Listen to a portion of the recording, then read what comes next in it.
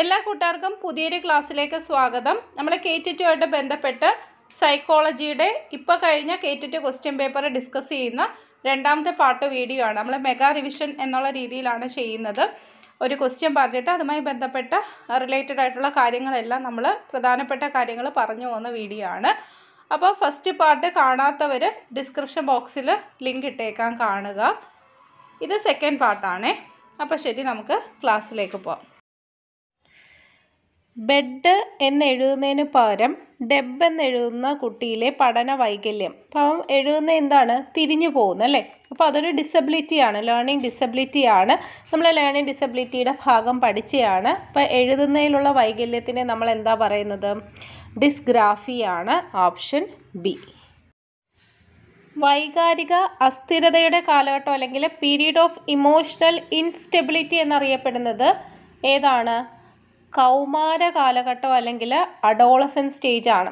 അതുപോലെ നമുക്കറിയാം പരിവർത്തനത്തിന്റെ കാലം അല്ലെങ്കിൽ പീരീഡ് ഓഫ് ട്രാൻസിഷൻ എന്നറിയപ്പെടുന്നതും കൗമാര കാലഘട്ടമാണ്. അതായത് നമ്മൾ ബാല്യത്തിൽ നിന്ന് ഈ പറയുന്ന പ്രായപൂർത്തിയാവുന്ന ആ ഒരു സ്റ്റേജിലോട്ട് പോകുമ്പോൾ നമുക്ക് ശാരീരികപരമായിട്ട് മാത്രമല്ല മാനസികപരമായിട്ടും അതുപോലെ സോഷ്യലി ഇമോഷണലി മെന്റലി ഒക്കെ എന്താണ് മാറ്റം ഉണ്ടാവുന്നുണ്ട് അല്ലേ? അതുകൊണ്ടാണ് ആ ഒരു കാലഘട്ടത്തെ നമ്മൾ പരിവർത്തനത്തിന്റെ കാലം അല്ലെങ്കിൽ പീരീഡ് ഓഫ് ട്രാൻസിഷൻ എന്ന് പറയുന്നത്. അതുപോലെ മറ്റൊരു പേരുകൂടെ പറയാം. അതുകൂടെ നോക്കി വെച്ചേക്കാം. ബുദ്ധിഭ്രമത്തിന്റെ കാലം. ബുദ്ധിഭ്രമത്തിന്റെ കാലം അല്ലെങ്കിൽ ടെമ്പററി ഇൻസാനിറ്റി എന്നറിയപ്പെടുന്നതും എന്താണ്? കൗമാര കാലഘട്ടമാണ്. മനസ്സിലായോ? ഇത് ഇങ്ങനെ വിശേഷിപ്പിക്കുന്നത് ഹോളിംഗ് ആണ്. ഹോളിംഗ് ആണ് കൗമാര കാലഘട്ടത്തെ ബുദ്ധിഭ്രമത്തിന്റെ കാലം അല്ലെങ്കിൽ ടെമ്പററി ഇൻസാനിറ്റി എന്ന് വിശേഷിപ്പിക്കുക വിശേഷിപ്പിച്ചത്. പ്രഭാതത്തിൽ കണ്ട വെള്ള റോസാപ്പൂവിന്റെ ചിത്രം പെൺകുട്ടിയുടെ മനസ്സിലുണ്ട്. ഇതിന് കാരണം the image of the white rose the girl saw in the early morning is in her mind this is due to എന്താണ്? നമ്മൾ രാവിലെ കാണുന്ന അല്ലെങ്കിൽ നമ്മൾ കാണുന്ന ഇമേജ് നമ്മുടെ മനസ്സിലുണ്ട് എന്ന് പറയുമ്പോൾ എന്താണത്? അവബോധം അല്ലെങ്കിൽ പേഴ്സെപ്ഷൻ പേഴ്സെപ്ഷൻ ആണ് കറക്റ്റ് ആൻസർ ഓപ്ഷൻ ഡി നോക്കിക്കോ. മോറോൺ മോറോൺ എന്ന് പറയുന്നത് ഈ താഴെ പറയുന്ന ഏത് കാറ്റഗറിയിലാണ് വരുന്നതെന്നാണ് ചോദിക്കുന്നത്. അപ്പം നിങ്ങൾക്കിത് മനസ്സിലാവണമെന്നുണ്ടെങ്കിൽ ഞാൻ ആദ്യം ഒരു ചാർട്ട് കാണിക്കാം. ഈ ചാർട്ട് ഐ ക്യു റേഞ്ച് ആണ്. ഇതിങ്ങനെ തന്നെ പഠിക്കണം. ഇതിന്റെ റേഞ്ച് ഇമ്പോർട്ടന്റ് ആണ്. എല്ലാം പഠിക്കണം. ഇത് സ്ക്രീൻഷോട്ട് എടുത്ത് അങ്ങ് പഠിച്ചു വെച്ചേക്കണം. അപ്പോൾ ഇതിന്റെ അകത്ത് നമ്മളോട് പറഞ്ഞിരിക്കുന്നത് മോറോൺ ആണ്. മോറോൺ എന്ന് പറയുന്നത് എവിടെയാണ് കിടക്കുന്നത്? ഇങ്ങനെ താഴെ വന്നേ അൻപത് ടു അറുപത്തി ഒൻപത് റേഞ്ച് ആണ് അല്ലേ? അപ്പോൾ എഴുപതിന് താഴെ എഴുപതിന് താഴെ എന്ന് പറയുമ്പോൾ മെന്റലി ചലഞ്ച്ഡ് അല്ലെങ്കിൽ ബുദ്ധിമാന്ദ്യമുള്ള കുട്ടികളാണെന്ന് നമുക്ക് പറയാൻ വേണ്ടിയിട്ട് പറ്റും. അപ്പോൾ ഇവിടെ വരുന്ന മൂന്ന് കാറ്റഗറിയും അതായത് മോറോണും അത് എന്ന് വെച്ചാൽ എന്താണ്? മൂഢബുദ്ധി അല്ലേ? മൂഢബുദ്ധിയും ക്ഷീണബുദ്ധിയും ജഡബുദ്ധിയും. ഈ പറയുന്ന മൂന്ന് പേരും എഴുപതിന് താഴെയുള്ളവരാണ്. ഇവർ മൂന്ന് പേരും എന്താണ്? മെന്റലി ചാലഞ്ച്ഡ് ആണ്. അല്ലെങ്കിൽ ബുദ്ധിമാന്ദ്യമുള്ള കുട്ടികളുടെ റേഞ്ചാണ് ഈ പറഞ്ഞത്. ഓക്കെ അപ്പോൾ നമുക്കിവിടെ ആൻസർ പറയാം. ഇവിടെ ആൻസർ എന്താണ്? മോറോൺ എന്ന് പറയുന്നത് ഓപ്ഷൻ സി ആണ്. മെന്റലി ചാലഞ്ച്ഡ് ചൈൽഡ് അല്ലെങ്കിൽ ബുദ്ധിമാന്ദ്യമുള്ള കുട്ടി. ഇനി അടുത്തത് ബ്രിഡ്ജസ് ചാർട്ട് അപ്പോൾ ബ്രിഡ്ജസ് ചാർട്ട് എന്ന് പറയുന്നത് category one category two category ഫോറുകാർ ഒന്ന് നോക്കിയിട്ട് പോകണം കാറ്റഗറി ത്രീകാർ നോക്കണ്ട. അവർക്ക് അങ്ങനെ ചോദിക്കാറില്ല. ചെറിയ കുട്ടികളുടെ കാര്യമല്ലേ. അപ്പോൾ ബ്രിഡ്ജസ് ചാർട്ട് താഴെ പറയുന്നതിൽ ഏതുമായി ബന്ധപ്പെട്ടിരിക്കുന്നു? ഈസി ക്വസ്റ്റ്യൻ ആണ്. ഏതാണ്?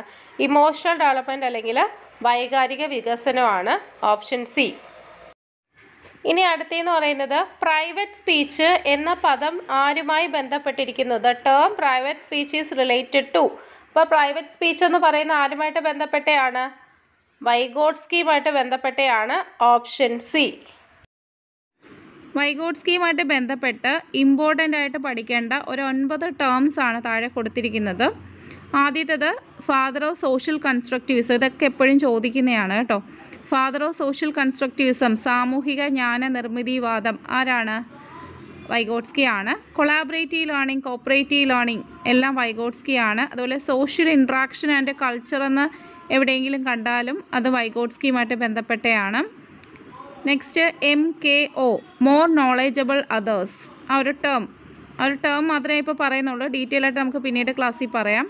അതുപോലെ തന്നെ സോൺ ഓഫ് പ്രോക്സിമൽ ഡെവലപ്മെന്റ് അതായത് സമീപസ്ഥ വികാസ മണ്ഡലം private speech social speech inner speech പ്രതിക്രിയ അധ്യാപനം എപ്പോഴും ചോദിക്കുന്നതാണ്. റെസിപ്രോക്കൽ ടീച്ചിങ് അടുത്തത് വളരെ ഇമ്പോർട്ടന്റ് ആയിട്ടുള്ളൊരു ആണ് സ്കഫോൾഡിംഗ് എന്ന് പറയുന്നത്. ഇവിടെ നിങ്ങൾ തെറ്റിക്കുന്നതെന്ന് പറയുന്നത് സ്കഫോൾഡിംഗ് എന്ന് പറയുന്ന ഒരു ടേം ഇൻട്രൊഡ്യൂസ് ചെയ്തത് ആരാണ്? അല്ലെങ്കിൽ കോയിൻ ചെയ്തത് ആരാന്നൊരു ചോദ്യം വന്നാൽ സ്കഫോൾഡിംഗ് എന്ന് എവിടെ കണ്ടാലും നിങ്ങൾ ഉടനെ പോയി വൈഗോട്സ്കി എഴുതി വെക്കും അല്ലേ? അല്ല ബ്രൂണറാണ് ആ ഒരു ടേം കോയിൻ ചെയ്തത് അല്ലെങ്കിൽ ആ ഒരു ടേം ഇൻട്രൊഡ്യൂസ് ചെയ്തത്. വൈഗോട്സ്കി അദ്ദേഹത്തിന്റെ ആ ഒരു എന്താണ് വർക്കിൽ ആ ഒരു ടേം കണക്ട് ചെയ്തിട്ടേ ഉള്ളൂ. അല്ലെങ്കിൽ ആ ഒരു ടേം പറഞ്ഞിട്ടേ ഉള്ളൂ. ആ ഒരു ടേം ഇൻട്രൊഡ്യൂസ് ചെയ്തത് അല്ലെങ്കിൽ കോയിൻ ചെയ്തത്. ബ്രൂണറാണ്. ഓർത്ത് വെച്ചേക്കാം. നമ്മൾ അഡ്ജസ്റ്റ്മെന്റ് മെക്കാനിസം അല്ലെങ്കിൽ സമായോജന ക്രിയാതന്ത്രങ്ങൾ പഠിച്ചിട്ടുള്ളതാണ് അപ്പോൾ പറഞ്ഞേ കിട്ടാത്ത മുന്തിരി പുളിക്കും എന്ന അഡ്ജസ്റ്റ്മെന്റ് മെക്കാനിസം ഏതാണ്? ഏതിൽ വരുന്നതാണ്? അതായത് കിട്ടാത്ത മുന്തിരി പുളിക്കും അല്ലെങ്കിൽ മധുരിക്കുന്ന നാരങ്ങ ഇങ്ങനെയൊക്കെയുള്ള ശൈലികൾ വരുന്നത് യുക്തീകരണം അല്ലെങ്കിൽ റാഷണലൈസേഷനിലാണ് ഓപ്ഷൻ ബി. ഇനി എന്താണ്? എറിക് എറിക്സന്റെ അഭിപ്രായത്തിൽ ഒരു വ്യക്തിയിൽ ഐഡന്റിറ്റി വേഴ്സസ് റോൾ കൺഫ്യൂഷൻ ഉണ്ടാവുന്ന പ്രായം ഏതാണ്? According to Erik Erikson identity versus role confusion ഒക്കെ in an individual in the age.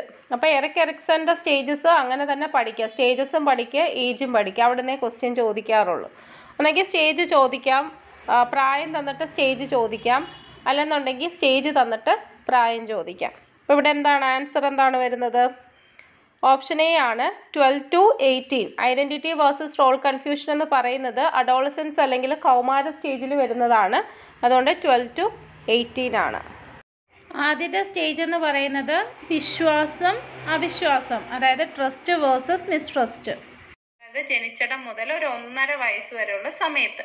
ഈ സമയത്ത് നമ്മുടെ കൂട്ടുകാരി ആരാണ്? നമ്മുടെ അമ്മയാണ് അല്ലേ? നമ്മളെ എടുക്കുന്നതും വെക്കുന്നതും സ്നേഹിക്കുന്നതും പരിചരിക്കുന്നതും ഒക്കെ അമ്മയാണ്. അപ്പൊ അമ്മയെ കാണുമ്പോഴേ കുട്ടി എന്ത് ചെയ്യും? പുഞ്ചിരിക്കാൻ വേണ്ടി തുടങ്ങും അല്ലെ? താൻ കരയുമ്പോൾ അമ്മ വന്ന് എടുക്കുമെന്ന് കുട്ടിക്കൊരു വിശ്വാസമുണ്ട്. ഇനി മറ്റാരെങ്കിലും എടുക്കുവാണെന്നുണ്ടെങ്കിൽ എന്താ അവിടെ സംഭവിക്കുന്നത്? വലിച്ചു കീറി കരയുമല്ലേ കാര്യം എന്താണ്? അവിശ്വാസം. അതാണ് ഈ സ്റ്റേജ്. അപ്പൊ അത് കഴിഞ്ഞു. രണ്ടാമത്തെ stage. Autonomy versus shame and doubt സ്വാശ്രയത്വ ജാള്യതയും സംശയവും. അതായത് ഒന്നര മുതൽ മൂന്ന് വയസ്സ് വരെയുള്ള ആണ്. ഇത്രയും നാൾ നമ്മളല്ലേ അവന് ഡ്രസ്സ് ഇരിച്ചു കൊടുത്തത്? ഇനി അവന്റെ കയ്യിലേക്ക് കൊടുക്കും. അവൻ ഇരുന്ന് ഡ്രസ്സ് ഇടട്ടെ. അതുപോലെ തന്നെ ഫുഡ് അവൻ തന്നെ അവിടെ ഇവിടെയൊക്കെ ആക്കുമായിരിക്കും. എന്നാലും അവൻ തന്നെ തന്നെ വാരി വാരി കഴിച്ചോട്ടെ. മനസ്സിലായോ?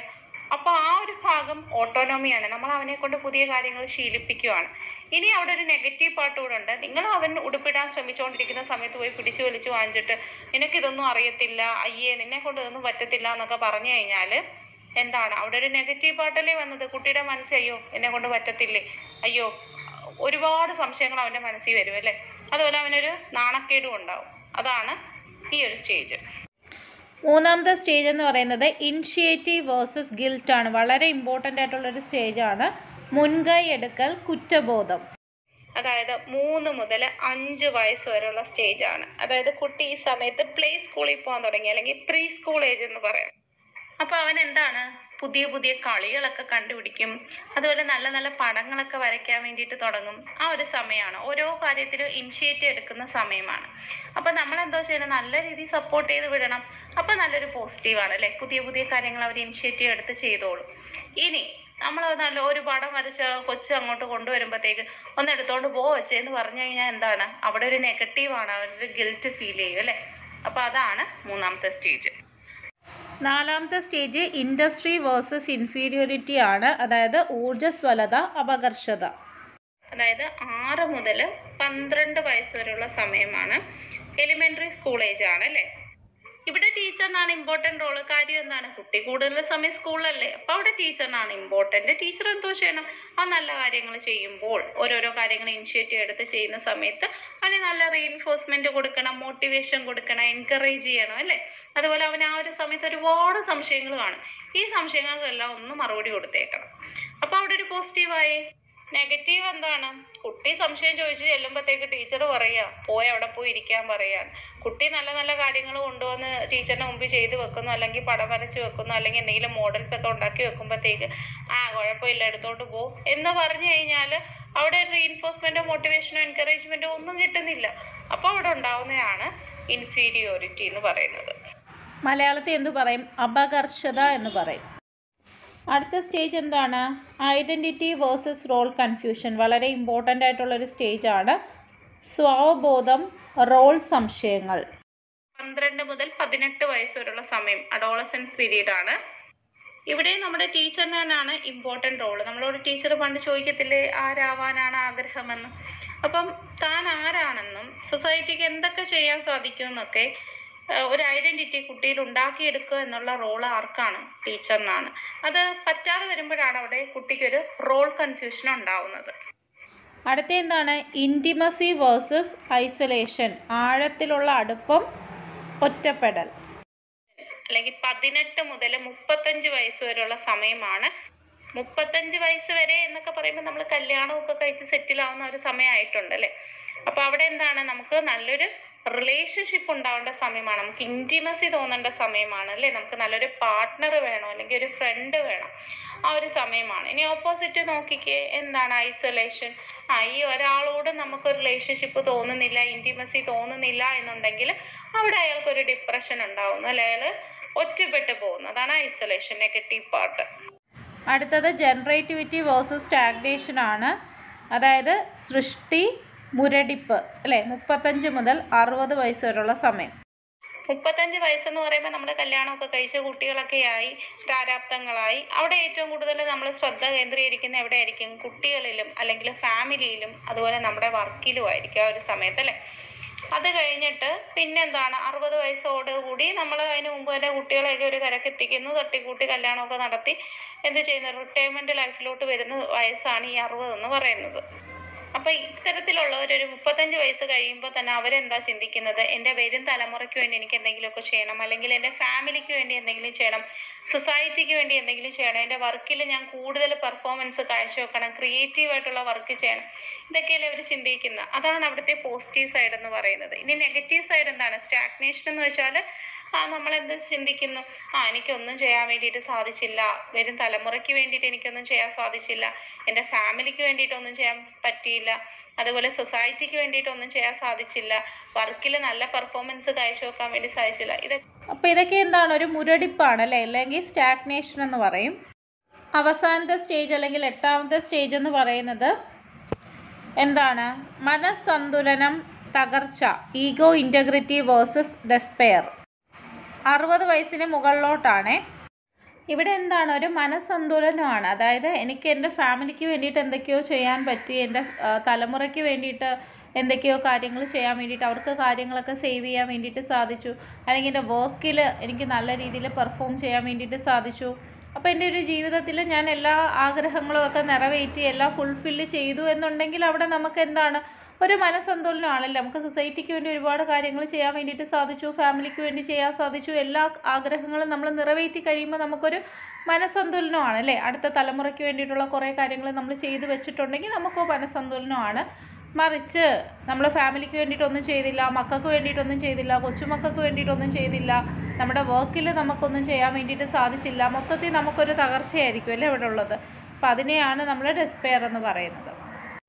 എല്ലാ ജീവജാലങ്ങളും നിലവിലുള്ള സന്തുലിതാവസ്ഥയിൽ തുടരാൻ ഇഷ്ടപ്പെടുന്നു ഈ ആശയം നിർദ്ദേശിച്ചത്.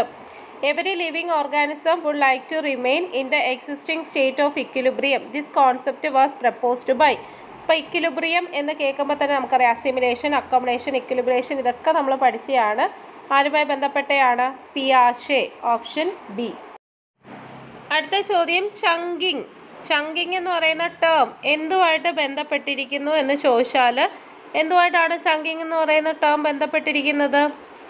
ഓർമ്മ അല്ലെങ്കിൽ മെമ്മറിയാണ് ഓപ്ഷൻ ബി നമ്മുടെ മെമ്മറിയെ ഇൻവോൾവ് ചെയ്യുന്ന നാല് പ്രധാനപ്പെട്ട എലമെൻസിനെ കുറിച്ചാണ്. അത് ഡീറ്റെയിൽ ആയിട്ടൊന്നും പഠിക്കേണ്ട. നാലെണ്ണം ഏതാണെന്ന് അറിഞ്ഞിരുന്നാൽ മതി.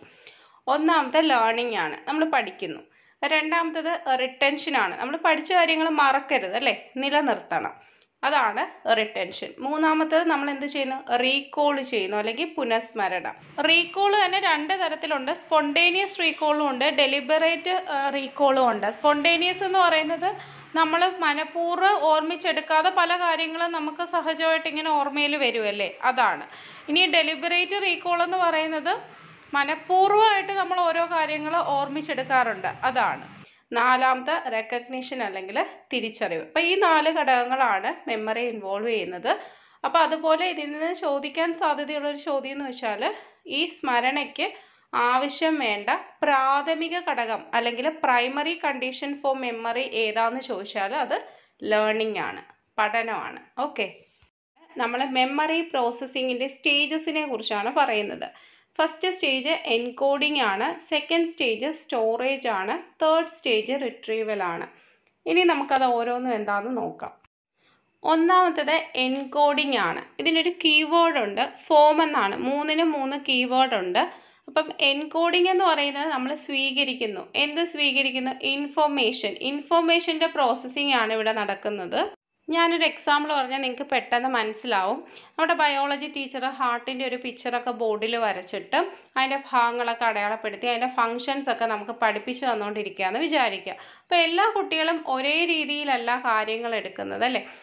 ഇപ്പം ഞാനെന്ന് വെച്ചാൽ ആ ഒരു പിക്ചർ അല്ലെങ്കിൽ ആ ഒരു ഇമേജ് ആയിരിക്കും എന്റെ ബ്രെയിനിൽ സ്റ്റോർ ചെയ്യാൻ വേണ്ടിയിട്ട് ഇഷ്ടപ്പെടുക. കാരണം എനിക്ക് അതാണ് പെട്ടെന്ന് എന്ത് ചെയ്യുന്നത് മനസ്സിലാവുന്നത്. പെട്ടെന്ന് എക്സാമിനൊക്കെ ചോദിച്ചു കഴിഞ്ഞാൽ ആ ഒരു ഇമേജ് ആയിരിക്കും ചിലപ്പോൾ എന്റെ മനസ്സിൽ പെട്ടെന്ന് ഓർമ്മ വരുന്നത്. എന്നാൽ വേറെ ചില കുട്ടികളാണെങ്കിൽ ടീച്ചർ പറയുന്ന കാര്യങ്ങൾ ഓറലായിട്ടുള്ള കാര്യങ്ങൾ ആ ഫങ്ഷൻസിനെയൊക്കെ കുറിച്ച് പറയത്തില്ലേ? ആ ഒരു കാര്യങ്ങളായിരിക്കും അവരുടെ ബ്രെയിനിൽ സ്റ്റോർ ചെയ്യാൻ വേണ്ടിയിട്ട് താല്പര്യപ്പെടുക. എന്നാൽ മറ്റു ചില കുട്ടികളായിക്കോട്ടെ ഈ പറയുന്ന വരച്ച കാര്യവും അതുപോലെ ടീച്ചർ പറഞ്ഞ കാര്യം കൂടെ കണക്ട് ചെയ്ത് വളരെ വിശദമായിട്ട് കുട്ടികൾ എന്ത് ചെയ്യുന്നു? മനസ്സിലാക്കി പഠിക്കുന്നു. അപ്പോൾ ഏതൊക്കെ കാര്യങ്ങളായി? വിഷ്വലായി അക്വസ്റ്റിക്കായി സെമാന്റിക്കായി അപ്പോൾ വിഷ്വൽ എന്ന് വെച്ചാൽ നമ്മൾ ഈ പഠിക്കുന്ന കാര്യങ്ങൾ ഇമേജസ് ആയോ പിക്ചറായിട്ടോ എടുക്കുന്നതാണ്. അക്വസ്റ്റിക് എന്ന് പറയുന്നത് ആ സൗണ്ട് അല്ലെങ്കിൽ അവർ ഓറലായിട്ട് ടീച്ചർ പറയുന്ന കാര്യങ്ങൾ സെമാന്റിക് എന്ന് പറയുന്നത് ഓറലായിട്ടും റിട്ടേൺ ആയിട്ടുള്ള കാര്യങ്ങൾ. അതായത് പിക്ചറായിട്ടും അതുപോലെ തന്നെ ടീച്ചർ പറഞ്ഞ കാര്യങ്ങളും എഴുതിയ കാര്യങ്ങളും എല്ലാം ഒന്നിച്ചു വരുന്നതാണ് സെമാന്റിക് എന്ന് പറയുന്നത്. അപ്പോൾ നമുക്ക് ഓർത്തെടുക്കാൻ പാകത്തിന് നമ്മൾ ഇമേജസ് ആയിട്ടോ അല്ലെങ്കിൽ പിക്ചേഴ്സ് ആയിട്ടോ അല്ലെങ്കിൽ എന്താണ് ഓറലായിട്ടോ റിട്ടേൺ ആയിട്ടോ കാര്യങ്ങളെ കൺവേർട്ട് ചെയ്യുന്നതിനെയാണ് നമ്മൾ എൻകോഡിങ് എന്നതുകൊണ്ട് പറയുന്നത്. രണ്ടാമത്തത് സ്റ്റോറേജ് ആണ്. സ്റ്റോറേജ് എന്ന് വെച്ചാൽ എന്താണ്? സംഭരണം. അതിന്റെ കീവേഡ് എന്ന് പറയുന്നത് റെക്കോർഡ് ചെയ്യുകയാണ് നമ്മൾ ഈ പറഞ്ഞ കാര്യങ്ങളൊക്കെ നമ്മൾ എന്ത് ചെയ്യുന്നു? നമ്മുടെ ബ്രെയിനിൽ സ്റ്റോർ ചെയ്ത് വെക്കുന്നു. അത്രയേ ഉള്ളൂ. അപ്പോൾ ഈ സ്റ്റോർ ചെയ്ത് വെക്കുന്നത് ചിലപ്പോൾ സെൻസറി മെമ്മറി ആയിട്ടാവാം അല്ലെങ്കിൽ ഷോർട്ട് ടേം മെമ്മറി ആയിട്ടാവാം ലോങ് ടേം മെമ്മറി ആയിട്ടാവാം. ഈ മൂന്ന് സ്റ്റേജിൽ നമുക്ക് സ്റ്റോർ ചെയ്ത് വെക്കാൻ വേണ്ടിയിട്ട് സാധിക്കും. സെൻസറി മെമ്മറി എന്ന് വെച്ചാൽ നമ്മുടെ ഇന്ദ്രിയങ്ങൾ നമ്മൾ കാണുന്നതും കേൾക്കുന്നതും തൊട്ടറിയുന്നതും രുചിച്ചറിയുന്നതുമായിട്ടുള്ള കാര്യങ്ങൾ അതുപോലെ തന്നെ ഷോർട്ട് ടേം എന്ന് പറഞ്ഞാൽ കുറച്ച് സമയം മാത്രം നിൽക്കുന്നത്. ലോങ് ടേം എന്ന് പറഞ്ഞാൽ കൂടുതൽ സമയം നിൽക്കുന്നത്. അപ്പോൾ ഈ മൂന്ന് രീതിയിൽ നമുക്ക് സ്റ്റോർ ചെയ്യാൻ വേണ്ടിയിട്ട് സാധിക്കും. ഈ ഒരു സെന്റൻസ് കണ്ടോ? Process of maintaining encoded information in memory over time is ഇത് ചോദിച്ചിട്ടുള്ളതാണ് മുമ്പ്. നമ്മൾ എൻകോഡ് ചെയ്ത ഇൻഫർമേഷൻ നമ്മുടെ മെമ്മറിയിൽ മെയിന്റെയിൻ ചെയ്യുന്ന പ്രോസസ്സിന് പറയുന്ന പേരെന്താണ്? എന്താണ്? സ്റ്റോറേജ് ആണ്. ഇങ്ങനെ തന്നെ എടുത്ത് ചോദിച്ചതാണ് കേട്ടോ. റിട്രീവൽ എന്ന് വെച്ചാൽ തിരിച്ചെടുക്കൽ. അതിന്റെ കീവേഡ് എന്ന് പറഞ്ഞാൽ റീകോൾ ആണ്. എക്സാമോ അല്ലെങ്കിൽ ടീച്ചർ ചോദിക്കുമ്പോഴോ ഒക്കെ നമുക്ക് എന്ത് ചെയ്യാൻ കഴിയണം? ഈ പറഞ്ഞ സ്റ്റോർ ചെയ്ത കാര്യങ്ങൾ നമുക്ക് റീകോൾ ചെയ്യാൻ വേണ്ടിയിട്ട് സാധിക്കണം. ഓക്കെ അതുപോലെ ക്വസ്റ്റ്യനിൽ കണ്ട ചങ്കിങ് എന്ന് പറയുന്ന ഒരു നിമോണിക് തന്ത്രമാണ്. അതായത് നമുക്ക് ഒരു ഓരോ കാര്യങ്ങൾ മറന്നു പോകാതെ ഓർത്ത് വെക്കാൻ വേണ്ടിയിട്ട് നമ്മൾ പല തന്ത്രങ്ങൾ ഉപയോഗിക്കും അല്ലേ? അപ്പോൾ അതുപോലെ തന്നെയാണ് നമ്മൾ ചിലപ്പോൾ ചില കുറച്ച് വസ്തുക്കളുടെ ഒരു പേര് വന്നിട്ട് അതിങ്ങനെ ഓർത്തിരിക്കണമെന്ന് പറയുമ്പോൾ നമ്മൾ എന്തോ ചെയ്യും. ഒരു കഥ പോലെ ഇങ്ങനെ മെനയും. അതുപോലെ പി എസ് സിയിൽ നമ്മൾ പല പല കോഡിട്ട് പഠിക്കാറില്ലേ? അതൊക്കെ എന്താണ്? അതൊക്കെ ഓരോ നിമോണിക് തന്ത്രങ്ങളാണ് അല്ലേ അതുപോലെ നമ്മൾ ഈ പറയുന്ന മഴവില്ലിലെ ഏഴ് കളേഴ്സിനെ ഓർത്തിരിക്കാൻ വേണ്ടിയിട്ട് വിബ്ജിയോർ അല്ലേ? ഓരോ കളറിന്റെ ഫസ്റ്റ് ലെറ്റർ കൂട്ടി നമ്മളൊരു വേർഡ് ഉണ്ടാക്കി അപ്പോൾ അതിനെ നമ്മൾ അക്രോണിംസ് എന്നാണ് പറയുന്നത് കേട്ടോ. അങ്ങനെ പറയുന്നതിന് എന്താ പറയുന്നത്? അക്രോണിംസ് എന്നാണ് പറയുന്നത്. മഴവില്ലിലെ നിറങ്ങൾ എക്സാമ്പിളാണ് അപ്പോൾ ഇതും അതുപോലെ തന്നെ ചങ്കിങ്ങും ഇമ്പോർട്ടന്റ് ആണ്. ഇത് രണ്ടും ചോദിച്ചു കാണാറുണ്ട്. ചങ്കിങ് എന്ന് പറയുന്നത് സംഖ്യകൾ ഓർമ്മയെ നിലനിർത്താൻ സഹായിക്കുന്ന ഒരു രീതിയാണ് ചങ്കി. അക്രോണിങ്സ് എന്ന് പറയുന്നത് മഴവില്ലിലെ നിറങ്ങളെ നമ്മൾ ഫസ്റ്റ് ലെറ്റർ വെച്ചിട്ട് അങ്ങനെ ഓർത്ത് വെച്ചിരിക്കുന്നതാണ്. അപ്പോൾ അത് രണ്ടും നോക്കിയാൽ മതി. വേറെ കുറേ കാര്യങ്ങളൊക്കെ ഉണ്ട്. നമ്മളിത് രണ്ടും പ്രധാനമായിട്ട് നോക്കിയാൽ മതി. കോൾബർഗിന്റെ അഭിപ്രായത്തിൽ സാമൂഹിക മാനദണ്ഡങ്ങൾക്കനുസരിച്ച് ധാർമ്മികത അല്ലെങ്കിൽ മൊറാലിറ്റിയെ ഒരു വ്യക്തിക്ക് വിലയിരുത്താൻ കഴിയുന്ന പ്രായമാണ് ചോദിക്കുന്നത്. നമ്മൾ കോൾബർഗിന്റെ സ്റ്റേജസ് പഠിച്ചപ്പോൾ രണ്ടാമത്തെ സ്റ്റേജ് അതായത് കൺവെൻഷണൽ ലെവലിൽ അത് രണ്ട് ലെവലായിട്ട് തിരിച്ചിട്ടുണ്ട് അല്ലേ? ഓരോ സ്റ്റേജിനെ രണ്ട് ലെവലാക്കിയിട്ടുണ്ട്. അപ്പോൾ അതിൽ രണ്ടാമത്തെ ലെവലിൽ നമ്മൾ എന്താ പഠിച്ചത്? ആ കുട്ടികൾ റൂൾസും റെഗുലേഷനും ഒക്കെ മനസ്സിലാക്കി നല്ല അടുക്കും ചിട്ടയായിട്ടൊക്കെ കഴിയുന്ന ഒരു കാലഘട്ടമാണ് ആ പറയുന്ന ലെവൽ ടു എന്ന് പറയുന്നത്. അപ്പോൾ അതിന്റെ പ്രായം എന്ന് പറയുന്നത് പത്ത് മുതൽ പതിമൂന്ന് വയസ്സ് വരെയാണ്. അപ്പോൾ ഓപ്ഷൻ സി ആണ് ഇവിടെ correct answer ten to thirteen years. Programmed learning ആരുടെ പഠന സിദ്ധാന്തത്തെ ആസ്പദമാക്കിയിട്ടുള്ളതാണ്? പ്രോഗ്രാംഡ് ലേണിംഗ് നമുക്കറിയാം ആരുടെയാണ്? സ്കിന്നറിന്റെയാണ് ഓപ്ഷൻ ബി. ബുദ്ധിഭാവനത്തിനുള്ള കൾച്ചറൽ ഫെയർ ടെസ്റ്റ് നിർമ്മിച്ചത് ആരാണ്? അപ്പം ഇത് ഒരു റെയർ ക്വസ്റ്റ്യൻ ആണ് അല്ലേ? നമ്മൾ അങ്ങനെ കാണാൻ സാധ്യതയുള്ള ഒരു ചോദ്യമല്ല the culture of a test for measuring intelligence was prepared by അപ്പോൾ ഇതാരാന്ന് ചോദിച്ചാൽ ഇതിന്റെ ആൻസർ കാറ്റലാണ് കേട്ടോ റെയ്മൻ കാറ്റലാണ് നമ്മുടെ ഫ്ലൂയിഡ് ഇന്റലിജൻസിന്റെയും ക്രിസ്റ്റലൈസ്ഡ് ഇന്റലിജൻസിന്റെയൊക്കെ ആൾ കാറ്റലാണ് of a test for measuring intelligence prepare ചെയ്തത്. അപ്പോൾ ഒന്ന് രണ്ട് ക്വസ്റ്റ്യൻസ് ഒക്കെ ഇതുപോലെ നമ്മൾ കാണാത്തത് കാണും അത് പേടിക്കേണ്ട. എങ്ങനെ പോയാലും നിങ്ങൾക്കൊരു ട്വന്റി ഫൈവ് പ്ലസ് മാർക്ക് എന്തായാലും സ്കോർ ചെയ്യാൻ പാകത്തിനുള്ള ക്വസ്റ്റ്യൻസ് ആയിരിക്കും. നമ്മുടെ പോർഷനിൽ നിന്ന് ചോദിക്കും. പിന്നെ ഒന്ന് രണ്ടെണ്ണം ഇതുപോലെ കാണാത്തതും കാണും. മിക്കവാറും ചോദിക്കുന്നത് ഫാദർ ഓഫ് ഇന്റലിജൻസ് ടെസ്റ്റിംഗ് ആരാണ്? ഫാദർ ഓഫ് ഇന്റലിജൻസ് ടെസ്റ്റിംഗ് അല്ലെങ്കിൽ ബുദ്ധി പരീക്ഷയുടെ പിതാവെന്ന് അറിയപ്പെടുന്നത് ആൽഫ്രഡ് ബിനേറ്റ് ആണ്. ഇനി പിന്നീട് ഒരു ക്വസ്റ്റ്യൻ വന്നതെന്ന് വെച്ചാൽ Alfred Binet is known as the father of intelligence testing mainly because of his contribution in Alfred Binet intelligence ടെസ്റ്റിങ്ങിന്റെ പിതാവെന്ന് അറിയപ്പെടുന്നു അതെന്ത് എന്തിന്റെ സംഭാവന കൊണ്ടാണ് അങ്ങനെ അറിയപ്പെടുന്നത്? നമ്മൾ ആദ്യം പഠിച്ചപ്പോഴേ പഠിച്ചായിരുന്നു. മെന്റൽ ഏജ് എന്ന് പറയുന്ന ഒരു കോൺസെപ്റ്റ് കൊണ്ടുവന്നത് ആൽഫ്രഡ് ബിനേറ്റ് ആണ് അപ്പോൾ പ്രധാനമായിട്ടും ഒരാളുടെ പഠിക്കാനുള്ള കഴിവ് വിലയിരുത്തുന്നതിലും മാനസിക പ്രായം സൃഷ്ടിക്കുന്നതിലും അദ്ദേഹം നൽകിയ സംഭാവനകൾ കൊണ്ടാണ് അദ്ദേഹത്തിന് ഫാദർ ഓഫ് ഇന്റലിജൻസ് ടെസ്റ്റിംഗ് എന്ന് അറിയപ്പെടുന്നത്. ചോദിച്ചിട്ടുള്ളതാണ് കേട്ടോ. നോക്കിക്കേ മുമ്പ് ചോദിച്ചിട്ടുള്ളതാണ് അലക്സാണ്ടർ പാസലോങ് ടെസ്റ്റ്. അതെന്ന് പറയുന്ന ഒരു ഇന്റലിജൻസ് പെർഫോമൻസ് ടെസ്റ്റാണ് അല്ലെങ്കിൽ പ്രകടന ബുദ്ധി പരീക്ഷയ്ക്ക് എക്സാമ്പിളാണ് അലക്സാണ്ടർ പാസലോങ് ടെസ്റ്റ്. അപ്പോൾ നമുക്ക് ഒന്ന് രണ്ടെണ്ണം പ്രധാനപ്പെട്ടത് പഠിക്കാം. താഴെ പറയുന്ന എല്ലാ ഇന്റലിജൻസ് പെർഫോമൻസ് ടെസ്റ്റിന് എക്സാമ്പിൾസ് ആണ് കേട്ടോ. പിൻഡർ പാറ്റേഴ്സൺ പെർഫോമൻസ് സ്കെയിൽ അടുത്തത് Arthur test for small children next Bhatia's performance test last one Wechsler Bellevue ബുദ്ധിമാപിനി ഇപ്പം ഇത്രയും കാര്യങ്ങളും നോക്കി വെച്ചേക്കോട്ടെ. എവിടെ നിന്ന് വേണമെങ്കിലും ചോദിക്കാം. അതുകൊണ്ടാണ്. ഒരു പെൺകുട്ടി താൻ ശോഭനെ പോലെ നൃത്തം ചെയ്യുമെന്ന് പറയുന്നു. അതിനു വേണ്ടിയിട്ട് ശ്രമിക്കുകയും ചെയ്യുന്നു. ഇത് ആരുടെ പഠന സിദ്ധാന്തവുമായിട്ട് ബന്ധപ്പെട്ടിരിക്കുന്നു? അതായത് ആ കുട്ടി എന്താണ്? മറ്റൊരാളെ കോപ്പി ചെയ്യാൻ വേണ്ടിയിട്ട് ശ്രമിക്കുകയാണ് അല്ലേ? അയാളുടെ ബിഹേവിയർ അല്ലെങ്കിൽ അയാൾ എങ്ങനെയാണ് കളിക്കുന്നത്? അതേ രീതിയിലൊക്കെ കളിക്കാൻ വേണ്ടിയിട്ടും അയാളെ പോലെ ആവാൻ വേണ്ടിയിട്ടുമാണ് ശ്രമിക്കുന്നത് അല്ലേ? അപ്പോൾ അതെന്താണ്? അതെന്താണെന്നല്ല അത് ഏത് പഠന സിദ്ധാന്തവുമായിട്ട് ബന്ധപ്പെട്ടിരിക്കുന്നു. അങ്ങനെയല്ലേ ചോദിച്ചിരിക്കുന്നത് അപ്പോൾ ഏതാണ്? ബന്ധൂരയുടെയാണ് ഓപ്ഷൻ എ. ആരാണ് സോഷ്യൽ ലേണിംഗ് തിയറി അല്ലെങ്കിൽ സാമൂഹ്യ പഠന സിദ്ധാന്തം ഡെവലപ്പ് ചെയ്തത്? ആരാണ്? ആൽബർട്ട് ബന്ദൂരയാണ് മുമ്പ് ചോദിച്ചിട്ടുള്ള ക്വസ്റ്റ്യൻ ആണ്. It is also known as observational learning അപ്പോൾ ഈ ഒരു സംഭവം അറിയപ്പെടുന്ന മറ്റൊരു പേരാണ് നിരീക്ഷണ പഠന സിദ്ധാന്തം അല്ലെങ്കിൽ ഒബ്സർവേഷണൽ ലേണിംഗ് അതും ചോദിച്ചിട്ടുള്ളതാണ് അടുത്തത് ഇദ്ദേഹത്തിന്റെ ബുക്കാണ് ഫേമസ് ആയിട്ടുള്ളൊരു ബുക്കാണ് social learning and personality development അപ്പോൾ ഈ ഒരു തിയറിക്ക് വേണ്ടിയിട്ട് അദ്ദേഹം ഒരു എക്സ്പെരിമെന്റ് ചെയ്തിട്ടുണ്ടായിരുന്നു. ആ എക്സ്പെരിമെന്റിന്റെ പേരാണ് ബോബോഡോൾ എക്സ്പെരിമെന്റ് അപ്പോൾ ഈ ബോബോഡോൾ എക്സ്പെരിമെന്റ് ആരുമായി ബന്ധപ്പെട്ടിരിക്കുന്നു എന്ന് ചോദിച്ചാൽ ആൽബർട്ട് ബന്ദൂരയാണ് നമ്മുടെ ഒബ്സർവേഷൻ ലേണിംഗ് തിയറി അല്ലെങ്കിൽ നിരീക്ഷണ പഠനത്തിന് നാല് ഘട്ടങ്ങളാണുള്ളത്. പഠിച്ചേക്കണം. Attention retention motor reproduction motivation or reinforcement പണ്ടേ നമ്മൾ ടി വിക്കകത്ത് ശക്തിമാൻ എന്ന് പറയുന്ന ഒരു പ്രോഗ്രാം ഉണ്ടായിരുന്നു. ഞാൻ അതിന്റെ വലിയൊരു ആരാധികയായിരുന്നു. അപ്പോൾ വേറെ എന്ത് കണ്ടില്ലെങ്കിലും ഈ എപ്പിസോഡ് വരുമ്പോൾ കാണാതെ പോകത്തില്ല. അങ്ങനെയായിരുന്നു അപ്പോൾ എന്താണ്? നമ്മുടെ ചുറ്റും ഒരുപാട് പേര് വന്നു പോവും. നമ്മൾ ഒരുപാട് പ്രോഗ്രാംസ് കാണും. പക്ഷേ ചിലതിൽ മാത്രമേ നമ്മുടെ ശ്രദ്ധ പോകത്തുള്ളൂ. എല്ലാ കാര്യവും നമ്മൾ ശ്രദ്ധിക്കത്തില്ല അല്ലേ? ആ കൂട്ടത്തിൽ തന്നെ മൗംഗ്ലി കാണുമെന്ന് എന്നാൽ അതിൽ വലിയൊരു ശ്രദ്ധയൊന്നുമില്ല. അത് ജസ്റ്റ് കാണുന്നു പോകുന്നു. പക്ഷേ ശക്തിമാൻ കാണുമ്പോഴാണ് കൂടുതൽ അദ്ദേഹത്തിന്റെ ആക്ഷൻസും അദ്ദേഹം കാണിക്കുന്ന അങ്ങേരെ ഏഹ്, സംസാരമൊക്കെ നമ്മൾ പെട്ടെന്ന് ശ്രദ്ധിച്ചിരിക്കും. അതാണ് ആദ്യത്തത് അറ്റൻഷൻ രണ്ടാമത്തേന്ന് പറയുന്നത് ഈ ഇദ്ദേഹം കാണിക്കുന്ന ആ ഒരു ചലനങ്ങളും ആ നിന്ന് കറങ്ങുന്നതും അതുപോലെ തന്നെ അദ്ദേഹത്തിന്റെ സംസാര രീതികളും ഒക്കെ എന്ത് ചെയ്യും? നമ്മൾ അതൊക്കെ ഇങ്ങ് പഠിച്ചെടുക്കും. നമ്മുടെ മെമ്മറിയിൽ അത് സ്റ്റോർ ചെയ്യും. അതിനെ നമ്മൾ റിട്ടൻഷൻ അല്ലെങ്കിൽ നിലനിർത്തും. അല്ലേ? അടുത്തത് മോട്ടോ റീപ്രൊഡക്ഷൻ അല്ലെങ്കിൽ ചാല പ്രകടനം. ആ സമയത്ത് ഞാൻ എന്താ ചെയ്യുന്നത്? ഭയങ്കര പ്രകടനമാണ് അല്ലേ ശക്തിമാന്റെ ആക്ഷൻസും അദ്ദേഹം നിന്ന് കറങ്ങുന്നതും അതും ഇതുമൊക്കെ അങ്ങ് കണ്ണാടിയുടെ മുമ്പിൽ നിന്ന് കാണിക്കുന്നു വീട്ടിലുള്ളവരെ മുമ്പിൽ വെച്ച് കാണിക്കുന്നു അങ്ങനെ കറങ്ങി കറങ്ങി പോകുന്നു.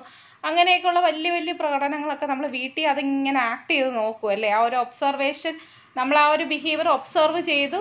അതിനെ നമ്മൾ നമ്മുടെ മെമ്മറിയിൽ സൂക്ഷിച്ചു. അതിനുശേഷം നമ്മളത് ആക്ട് ചെയ്ത് കാണിക്കുക നല്ല ഇമിറ്റേറ്റ് ചെയ്യുവാണ്. അടുത്ത സ്റ്റെപ്പ് മോട്ടിവേഷൻ ഓർ റീഇൻഫോഴ്സ്മെന്റ് ആണ്. അന്നേരം വീട്ടിൽ ആരെങ്കിലുമൊക്കെ അതിഥികളോ ആരെങ്കിലും റിലേറ്റീവ്സോ ഒക്കെ വരുമ്പോൾ അമ്മ പറയും മോളെ നീ ആ ശക്തിമാനെ ഒന്ന് കാണിച്ചു കൊടുത്ത്. എന്റെ മോൾ നല്ല സൂപ്പറായിട്ട് ശക്തിമാനെ കാണിക്കും. അപ്പോൾ നമ്മൾ നിന്നൊന്ന് കറങ്ങിയൊക്കെ കാണിക്കും. അപ്പോൾ അത് നമുക്കൊരു മോട്ടിവേഷൻ അല്ലെങ്കിൽ ഒരു റീഇൻഫോഴ്സ്മെന്റ് ആണ്. മനസ്സിലായെന്ന് വിചാരിക്കുന്നു. അടുത്തതെന്ന് വെച്ചാൽ ഇമ്പോർട്ടന്റ് ആണ്. ക്വസ്റ്റ്യൻ ചോദിക്കുന്ന ഒരു ഏരിയ ആണ്. അതായത് സോഷ്യൽ ലേണിങ്ങിന്റെ മൂന്ന് ബേസിക് പ്രിൻസിപ്പിൾസ് ആണ് നമ്മൾ പറയാൻ പോകുന്നത്. Direct reinforcement vicarious reinforcement self administered reinforcement direct reinforcement എന്ന് പറയുന്ന ആ പേര് പോലെ തന്നെ നമുക്ക് കിട്ടുന്ന ഡിറക്റ്റ് ആയിട്ടുള്ള റീഇൻഫോഴ്സ്മെന്റ് ആണ്. അതായത് ഞാൻ ശക്തിമാനെ ഇങ്ങനെ കാണിക്കുമെന്ന് പറഞ്ഞില്ല ആ സമയത്ത് അമ്മ നന്നായിട്ടുണ്ട്. കൊള്ളാം. നീ നന്നായിട്ട് ചെയ്യുന്നുണ്ട് എന്ന് പറഞ്ഞാൽ അത് ഡയറക്റ്റ് റീഇൻഫോഴ്സ്മെന്റ് ആണ്. അല്ലേ എനിക്ക് കിട്ടുന്ന ഡയറക്റ്റ് ആയിട്ടുള്ള റീഇൻഫോഴ്സ്മെന്റ് ആണ്. അത് പോസിറ്റീവ് ആവാം നെഗറ്റീവും ആവാം. ഇനി അങ്ങനെയൊന്നും ചെയ്യരുത്. അങ്ങനെയൊക്കെ കറങ്ങിക്കഴിഞ്ഞാൽ തല ഇറങ്ങും അങ്ങനെയൊന്നും ചെയ്യാൻ പാടില്ല എന്നാണ് പറയുന്നതെങ്കിൽ എന്താണ്? അത് നെഗറ്റീവാണ് അവിടെ കൊണ്ട് നമ്മൾ അതങ്ങ് സ്റ്റോപ്പ് ആവും അല്ലേ? അതാണ് ആദ്യത്തേത്. രണ്ടാമത്തേത് വിക്കേരിയസ് റീഇൻഫോഴ്സ്മെന്റ് ആണ്. അതായത് ക്ലാസ്സിൽ നല്ല ഹാൻഡ് റൈറ്റിങ്ങിൽ എഴുതിയൊരു കുട്ടിക്ക് ടീച്ചർ ഒരു മിഠായി കൊടുക്കുവാണ്. അപ്പോൾ ഇത് കണ്ട എനിക്ക് എന്താ തോന്നിയത്? ആ അത് കൊള്ളാമല്ലോ അവൾ അങ്ങനെ ചെയ്തപ്പോൾ അവൾക്ക് മിഠായി കിട്ടിയല്ലോ. അപ്പോൾ ഞാൻ അവളെ എന്ത് ചെയ്യും? മോഡലാക്കും അല്ലേ? മോഡലാക്കിയിട്ട് അവളുടെ ആ ഒരു ബിഹേവിയർ ഒബ്സർവ് ചെയ്ത് അവൾ ചെയ്യുന്ന പോലെ ഞാൻ ചെയ്യാൻ വേണ്ടിയിട്ട് ശ്രമിക്കും. അതായത് ഹാൻഡ് റൈറ്റിംഗ് നല്ലയാക്കാൻ വേണ്ടിയിട്ട് ശ്രമിക്കും. ഞാൻ അവളുടെ പെരുമാറ്റ രീതി കണ്ടിട്ട് അത് എന്റെ രീതിയിൽ ഞാൻ എന്ത് ചെയ്യും? ഊട്ടി ഉറപ്പിക്കുകയാണ് ചെയ്യുന്നത്. അപ്പോൾ അതാണ് വിക്കേരിയസ് റീഇൻഫോഴ്സ്മെന്റ് എന്ന് പറയുന്നത്. അടുത്ത സെൽഫ് അഡ്മിനിസ്ട്രേഡ് റീഇൻഫോഴ്സ്മെന്റ് ആണ്. അപ്പോൾ അഭിനയിക്കാനൊക്കെ ആഗ്രഹമുള്ളവർക്കേ അപ്പോൾ അഭിനയിക്കാൻ ആഗ്രഹമുള്ളവർക്ക് എന്താണ്? എനിക്ക് മമ്മൂട്ടിയെ പോലെ മോഹൻലാലിനെ പോലെയൊക്കെ അഭിനയിക്കണമെന്ന് അങ്ങനെ തോന്നാറില്ലേ? അങ്ങനെ ആഗ്രഹമുള്ളവരുടെ കാര്യമാണ് പറയുന്നത്. അപ്പോൾ അതുപോലെ നമുക്ക് ഇപ്പോൾ മഞ്ജു വാര്യറിനെ പോലെ അഭിനയിക്കാൻ എനിക്ക് ആഗ്രഹമുണ്ട്. അപ്പോൾ ഞാൻ എന്ത് ചെയ്യും? അവരുടെ സിനിമകളൊക്കെ കണ്ടിട്ട് അവരുടെ ആ ഒരു ബിഹേവിയർ എല്ലാം നമ്മൾ നന്നായിട്ട് തന്നെ അവരുടെ ആക്ഷനും കാര്യങ്ങളും ഒക്കെ എന്ത് ചെയ്യും? ഒബ്സർവ് ചെയ്യും. എന്നിട്ട് നമ്മൾ തന്നെ പ്രാക്ടീസ് ചെയ്യും ദിവസവും നമ്മൾ അങ്ങനെ കണ്ണാടിയുടെ മുമ്പിലോ അല്ലാതെയൊക്കെ നമ്മൾ പ്രാക്ടീസ് ചെയ്ത് ഒരു ഘട്ടം എത്തുമ്പോഴത്തേക്ക് നമുക്ക് തോന്നും നമ്മൾ അതേ രീതിയിലായി എന്ന് തോന്നില്ലേ? അപ്പോൾ ഉണ്ടാവുന്നതാണ് സെൽഫ് അഡ്മിനിസ്റ്റർ റീഇൻഫോഴ്സ്മെന്റ് എന്ന് പറയുന്നത്. വേറെ എക്സാമ്പിൾ പറഞ്ഞാൽ നമുക്ക് സച്ചിനെ ഭയങ്കര ഇഷ്ടമാണ് അല്ലെങ്കിൽ ധോണിയെ ഭയങ്കര ഇഷ്ടമാണ് അവരെ പോലെ നമുക്ക് എന്താണ് കളിക്കാൻ വേണ്ടിയിട്ട് ഭയങ്കര ആഗ്രഹമാണ്. അപ്പോൾ അതിന് വേണ്ടിയിട്ട് നമ്മൾ എന്ത് ചെയ്യും? അവരുടെ കളികളും കാര്യങ്ങളും ഒക്കെ കണ്ടതൊക്കെ ഒബ്സർവ് ചെയ്ത് നമ്മൾ വീട്ടിൽ അത് നന്നായിട്ട് പ്രാക്ടീസ് ചെയ്ത് ഗ്രൗണ്ടിൽ പോയി പ്രാക്ടീസ് ചെയ്ത് എല്ലാം കഴിഞ്ഞ് ഒരു ഘട്ടമാകുമ്പോൾ നമുക്ക് തോന്നും ആ നമ്മൾ അവരെ പോലെ ഏകദേശമൊക്കെ ആയിട്ടുണ്ട് എന്ന് നമുക്ക് മനസ്സിൽ തോന്നില്ലേ? അതാണ് സെൽഫ് അഡ്മിനിസ്ട്രേഡ് റീഇൻഫോഴ്സ്മെന്റ് അപ്പോൾ ക്ലിയർ ആയെന്ന് വിചാരിക്കുന്നു. നമുക്ക് അടുത്തയിലേക്ക് പോകാം വിഗേരിയസ് റീഇൻഫോഴ്സ്മെന്റിന്റെ ഒരു ഡെഫിനിഷൻ പഠിച്ചു വെച്ചേക്കണം കേട്ടോ. കഴിഞ്ഞ പ്രാവശ്യം ചോദിച്ചതാണ്. എനിക്കത് കാറ്റഗറി ടൂനാന്ന് തോന്നി ഈ ക്വസ്റ്റ്യൻ ചോദിച്ചത്. Where the likelihood of carrying out of a behaviour is increased by simply creating the behaviour and its consequences having a reinforced by someone else ഞാനിപ്പോൾ പറഞ്ഞത് തന്നെയാണ് മറ്റൊരാളുടെ ഒരു പെരുമാറ്റവും അതിന്റെ ഭവിഷ്യത്തുകളും ഒക്കെ കണ്ട് മനസ്സിലാക്കി സ്വന്തം രീതിയിൽ വ്യത്യാസമുണ്ടാക്കി അതിനെ ഊട്ടി ഉറപ്പിക്കുന്നതിനെയാണ് നമ്മൾ എന്ത് പറയുന്നത്? വിക്കേരിയസ് റീൻഫോഴ്സ്മെന്റ് എന്ന് പറയുന്നത്. Okay the term personal disposition was first used by personal disposition എന്ന പദം ആദ്യമായിട്ട് ഉപയോഗിച്ചത്. ഇതൊരു റെയർ ആയിട്ടുള്ള ക്വസ്റ്റ്യൻ ആണ്. നമ്മൾ അധികം കേട്ടിട്ടില്ല. അപ്പോൾ പക്ഷേ നമുക്കിതിന്റെ ആളെ പറഞ്ഞാൽ അറിയും നമ്മുടെ ട്രേറ്റ് തിയറിയുടെ ആൾ ആൽപോർട്ടാണ് പേഴ്സണൽ ഡിസ്പൊസിഷൻ എന്ന പദം ആദ്യമായിട്ട് യൂസ് ചെയ്തത്. നോക്കിക്കേ എം കെ ഒ എന്ന പദം നിർദ്ദേശിച്ചത് ആരാണ്? മോർ നോളജിബിൾ അതേഴ്സ് അതായത് നമ്മൾ ഓൾറെഡി വൈഗോട്സ്കിയെ കുറിച്ച് പറഞ്ഞ സമയത്ത് ഈ ടേംസ് എല്ലാം പറഞ്ഞിട്ടുള്ളതാണ് എം കെ ഒ എന്ന പദം പ്രപ്പോസ് ചെയ്തത് വൈഗോഡ്സ്കിയാണ് ഓപ്ഷൻ ബി അബ്രഹാം ആസ്ട്രോയുടെ ശ്രേണി നമ്മൾ ഡിസ്കസ് ചെയ്തതാണ്. അപ്പോൾ കണ്ടില്ലേ നമ്മൾ കാറ്റഗറി വണ്ണിലെ ക്വസ്റ്റ്യൻസ് ആ ഒരു ടോപ്പിക്കിൽ നിന്ന് തന്നെയാണ് കാറ്റഗറി ടൂവിനും ചോദിക്കുന്നത്. ഇതൊക്കെ തന്നെയാണ് എല്ലാ കാറ്റഗറിയിലും ആവർത്തിക്കുന്നത്. മനസ്സിലായി? അപ്പോൾ അബ്രഹാം ആസ്ട്രോയുടെ ആവശ്യങ്ങളുടെ ശ്രേണിയിൽ ഏറ്റവും ഉയർന്ന നിലവാരത്തിലുള്ളത് ഏതാണ്? നമുക്കറിയാം സെൽഫ് ആക്ച്വലൈസേഷൻ ആണ് അല്ലെങ്കിൽ ആത്മസാക്ഷാത്കാര ആവശ്യങ്ങളാണ് option D children apperception test നിർമ്മിച്ചത് ആരാണ്? C A T CAT TAT ഇതൊക്കെ നമ്മൾ പ്രൊജക്റ്റീവ് ടെസ്റ്റിൽ പഠിച്ചതാണ് അല്ലേ? പ്രക്ഷേപണ തന്ത്രങ്ങളിൽ പഠിച്ചതാണ് അപ്പോൾ ചിൽഡ്രൻ അപ്പർസെപ്ഷൻ ടെസ്റ്റ് നിർമ്മിച്ചത് ആരാന്ന് ചോദിച്ചാൽ എന്താണ്? ആൻസർ എന്താണ്? ബെല്ലാക്കാണ് option A thematic apperception test അല്ലെങ്കിൽ ടാറ്റ് വികസിപ്പിച്ചത് ആരാന്ന് ചോദിച്ചാൽ മോർഗൻ ആൻഡ് മുറയാണ് ക്യാറ്റ് ചിൽഡ്രൻ അപ്പർസെപ്ഷൻ ടെസ്റ്റ് ആരാണ്? ബെല്ലാക്കാണ് ഇനി വാറ്റ് അല്ലെങ്കിൽ വേർഡ് അസോസിയേഷൻ ടെസ്റ്റ് അത് വികസിപ്പിച്ചത് സി ജി യുങ് ആണ്. ലാസ്റ്റ് വൺ മഷിരൂപങ്ങൾ അല്ലെങ്കിൽ ഇങ്ക് ബ്ലോട്ട് ടെസ്റ്റ് ഉണ്ടല്ലോ. അത് വികസിപ്പിച്ചത് ഹെർമൻ ആണ്. അപ്പോൾ ഈ നാലെണ്ണം പഠിച്ചിരിക്കണം. പിയാഷയുടെ അഭിപ്രായത്തിൽ ബുദ്ധി വളർച്ചയുടെ ഘട്ടങ്ങളിൽ കുട്ടികൾ പ്രതീകാത്മക കളികളിൽ ഏർപ്പെടുന്ന ഘട്ടം ഏതാണ്? According to പിയാഷെ in cognitive development the stage characterised by symbolic play ആലോചിച്ച് നോക്കിക്കേ ഏതാണ്? കുട്ടി സിംബോളിക് പ്ലേ എന്ന് പറയുന്നത് എന്താണ്? നമ്മളിപ്പോൾ ഒരു വടി എടുത്തിട്ട് കൊച്ചു തോക്ക് പോലെ ചൂണ്ടുന്നു. അല്ലെങ്കിൽ ടി വിയുടെ റിമോട്ട് എടുത്തിട്ട് ഫോൺ പോലെ സംസാരിക്കുന്നു. അല്ലെങ്കിൽ എന്താണ്? ഇപ്പോൾ ഏതെങ്കിലും ഫ്രൂട്ട്സോ ബനാനയോ അല്ലെങ്കിൽ പാക്കുട്ടിയൊക്കെ എടുത്തിട്ട് അതിനോട് സംസാരിക്കുന്നു. അപ്പോൾ അതേതാണ് അതാണ് സിംബോളിക് പ്ലേ എന്ന് പറയുന്നത്. മലയാളത്തിൽ എന്താ പറയുന്നത്? പ്രതീകാത്മക കളികൾ അപ്പോൾ നമ്മളതവിടെ വ്യക്തമായിട്ട് തന്നെ പറഞ്ഞിട്ടുണ്ട്. ഏത് ഘട്ടമെന്ന് വെച്ചാൽ പ്രീ ഓപ്പറേഷൻ സ്റ്റേജാണ് ഓപ്ഷൻ ബി ഇവിടെ പ്രീ കൺസെപ്ച്വൽ സ്റ്റേജ് എന്നാണ് പറഞ്ഞിരിക്കുന്നത്. രണ്ടും വ്യത്യാസമൊന്നുമില്ല. രണ്ടും ഒരുപോലെ തന്നെ കേട്ടോ. പ്രീ കൺസെപ്ച്വൽ സ്റ്റേജ് അല്ലെങ്കിൽ പ്രീ ഓപ്പറേഷണൽ സ്റ്റേജ് ആണ് option B pre gang age എന്നറിയപ്പെടുന്ന കാലഘട്ടം ഏതാണത് period which known as pre gang age ഏത് കാലഘട്ടമാണ്? ഓപ്ഷൻ ബി ആണ്. ഏർലി ചൈൽഡ്ഹുഡ് അല്ലെങ്കിൽ ആദ്യ ബാല്യമാണ്. അപ്പം നമ്മൾ നേരത്തെ കൗമാരപ്രായത്തിന്റെ വിശേഷണങ്ങൾ പഠിച്ചിട്ടുണ്ടായിരുന്നു അല്ലേ? അപ്പം അതുപോലെ തന്നെ ആദ്യകാല ബാല്യം അല്ലെങ്കിൽ ഏർലി ചൈൽഡ്ഹുഡിനെ നമ്മൾ ടോയ് ഏജ് അല്ലെങ്കിൽ കളിപ്പാട്ടങ്ങളുടെ കാലം എന്നാണ് അറിയപ്പെടുന്നത്. അതുപോലെ നേരത്തെ ക്വസ്റ്റ്യനിൽ കണ്ടതുപോലെ തന്നെ പ്രീ ഗ്യാങ് ഏജ് അതിന്റെ കറക്റ്റ് മലയാളം എന്ന് പറയുന്നത് സംഘബന്ധ പൂർവകാലം എന്നാണ്. പ്രീ ഗ്യാങ് ഏജ് എന്ന് പറയപ്പെടുന്നത് ആദ്യകാല ബാല്യമാണ്. അതുപോലെ തന്നെ ആത്മരതിയുടെ കാലഘട്ടം ഏജ് ഓഫ് നാസിസം അതുപോലെ ഏജ് ഓഫ് ഫാന്റസി ഭാവനയുടെ കാലം ഈ വിശേഷണങ്ങളൊക്കെ ഏത് ഘട്ടത്തെ കുറിച്ചിട്ടുള്ളതാണ് ആദ്യകാല ബാല്യം അല്ലെങ്കിൽ ഏർലി ചൈൽഡ്ഹുഡ് ഇനി പിൽക്കാല ബാല്യം അല്ലെങ്കിൽ ലേറ്റ് ചൈൽഡ്ഹുഡിലാണ് സംഘബന്ധങ്ങളുടെ കാലം. ശ്രദ്ധിച്ചോണം. പ്രീ ഗ്യാങ് ഏജ് എന്ന് പറയുന്നത് അല്ലെങ്കിൽ സംഘബന്ധ പൂർവകാലം എന്ന് പറയുന്നത് ആദ്യകാല ബാല്യമാണ്. സംഘബന്ധങ്ങളുടെ കാലം അല്ലെങ്കിൽ ഗ്യാങ് ഏജ് എന്ന് പറയുന്നത് പിൽക്കാല ബാല്യമാണ്. അതുപോലെ തന്നെ ഏജ് കൺഫോമിറ്റി അല്ലെങ്കിൽ പൊരുത്തപ്പെടലിന്റെ കാലം എന്നറിയപ്പെടുന്നതും ലേറ്റ് ചൈൽഡ്ഹുഡ് ആണ്. ഓക്കെ അപ്പോൾ ഇത്രയും കാര്യം നോക്കി വെച്ചേക്കാം. A teacher asks questions to students while demonstrating an experiment in the classroom. This evaluation is ക്ലാസ്സിൽ പരീക്ഷണം നടത്തുന്നതിനിടയിൽ ടീച്ചർ കുട്ടികളോട് ചോദ്യം ചോദിക്കുന്നു. ഇതെങ്ങനെയാണ് അറിയപ്പെടുന്നത്? നമ്മൾ എന്താണ്? Assessment for learning assessment as learning assessment of learning പഠിച്ചില്ലേ?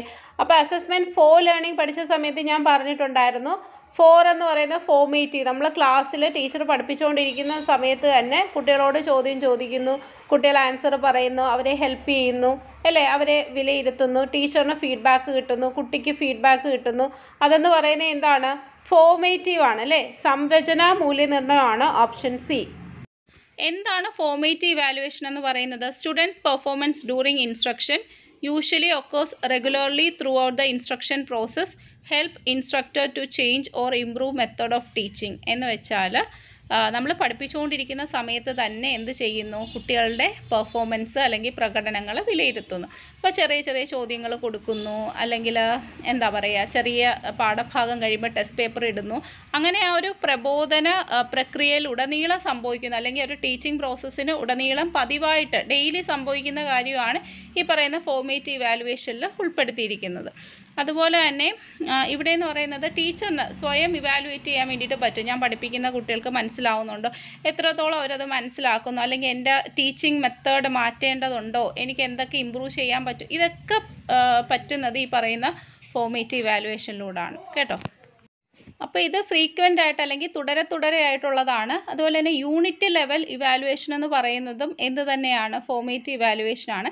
സമ്മേറ്റീവ് എന്ന് പറയുന്നത് കുട്ടിയെല്ലാം പഠിച്ചതിന് ശേഷം അവസാനം അതായത് ഒരു ഗ്രേഡിനോ മാർക്കിനോ റാങ്കിനോ ഒക്കെ വേണ്ടിയിട്ട് നടത്തുന്നതാണ് സമ്മേറ്റീവ് ഇവാലുവേഷൻ എന്ന് പറയുന്നത്. അപ്പോൾ ഇയർ എൻഡ് എക്സാം ഒക്കെ സമ്മേറ്റീവ് ഇവാലുവേഷൻ എക്സാമ്പിളാണ് അടുത്ത in Guilford's model of intelligence memory comes under ഗിൽഫോർഡിന്റെ ബുദ്ധി സിദ്ധാന്ത മാതൃകയിൽ മെമ്മറി എവിടെയാണ് ഉൾപ്പെട്ടിരിക്കുന്നത്? യൂണിറ്റ്സിലാണോ പ്രോഡക്ട്സിലാണോ ഓപ്പറേഷൻസിലാണോ കണ്ടൻസിലാണോ?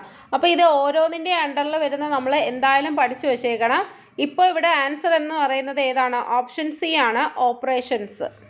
Every intellectual activity can be described on the basis of three different basic parameters അപ്പോൾ അദ്ദേഹം ത്രിമുഖ ബുദ്ധി സിദ്ധാന്തത്തിലെ മൂന്ന് ഘടകങ്ങളെക്കുറിച്ചാണ് പറഞ്ഞിരിക്കുന്നത്.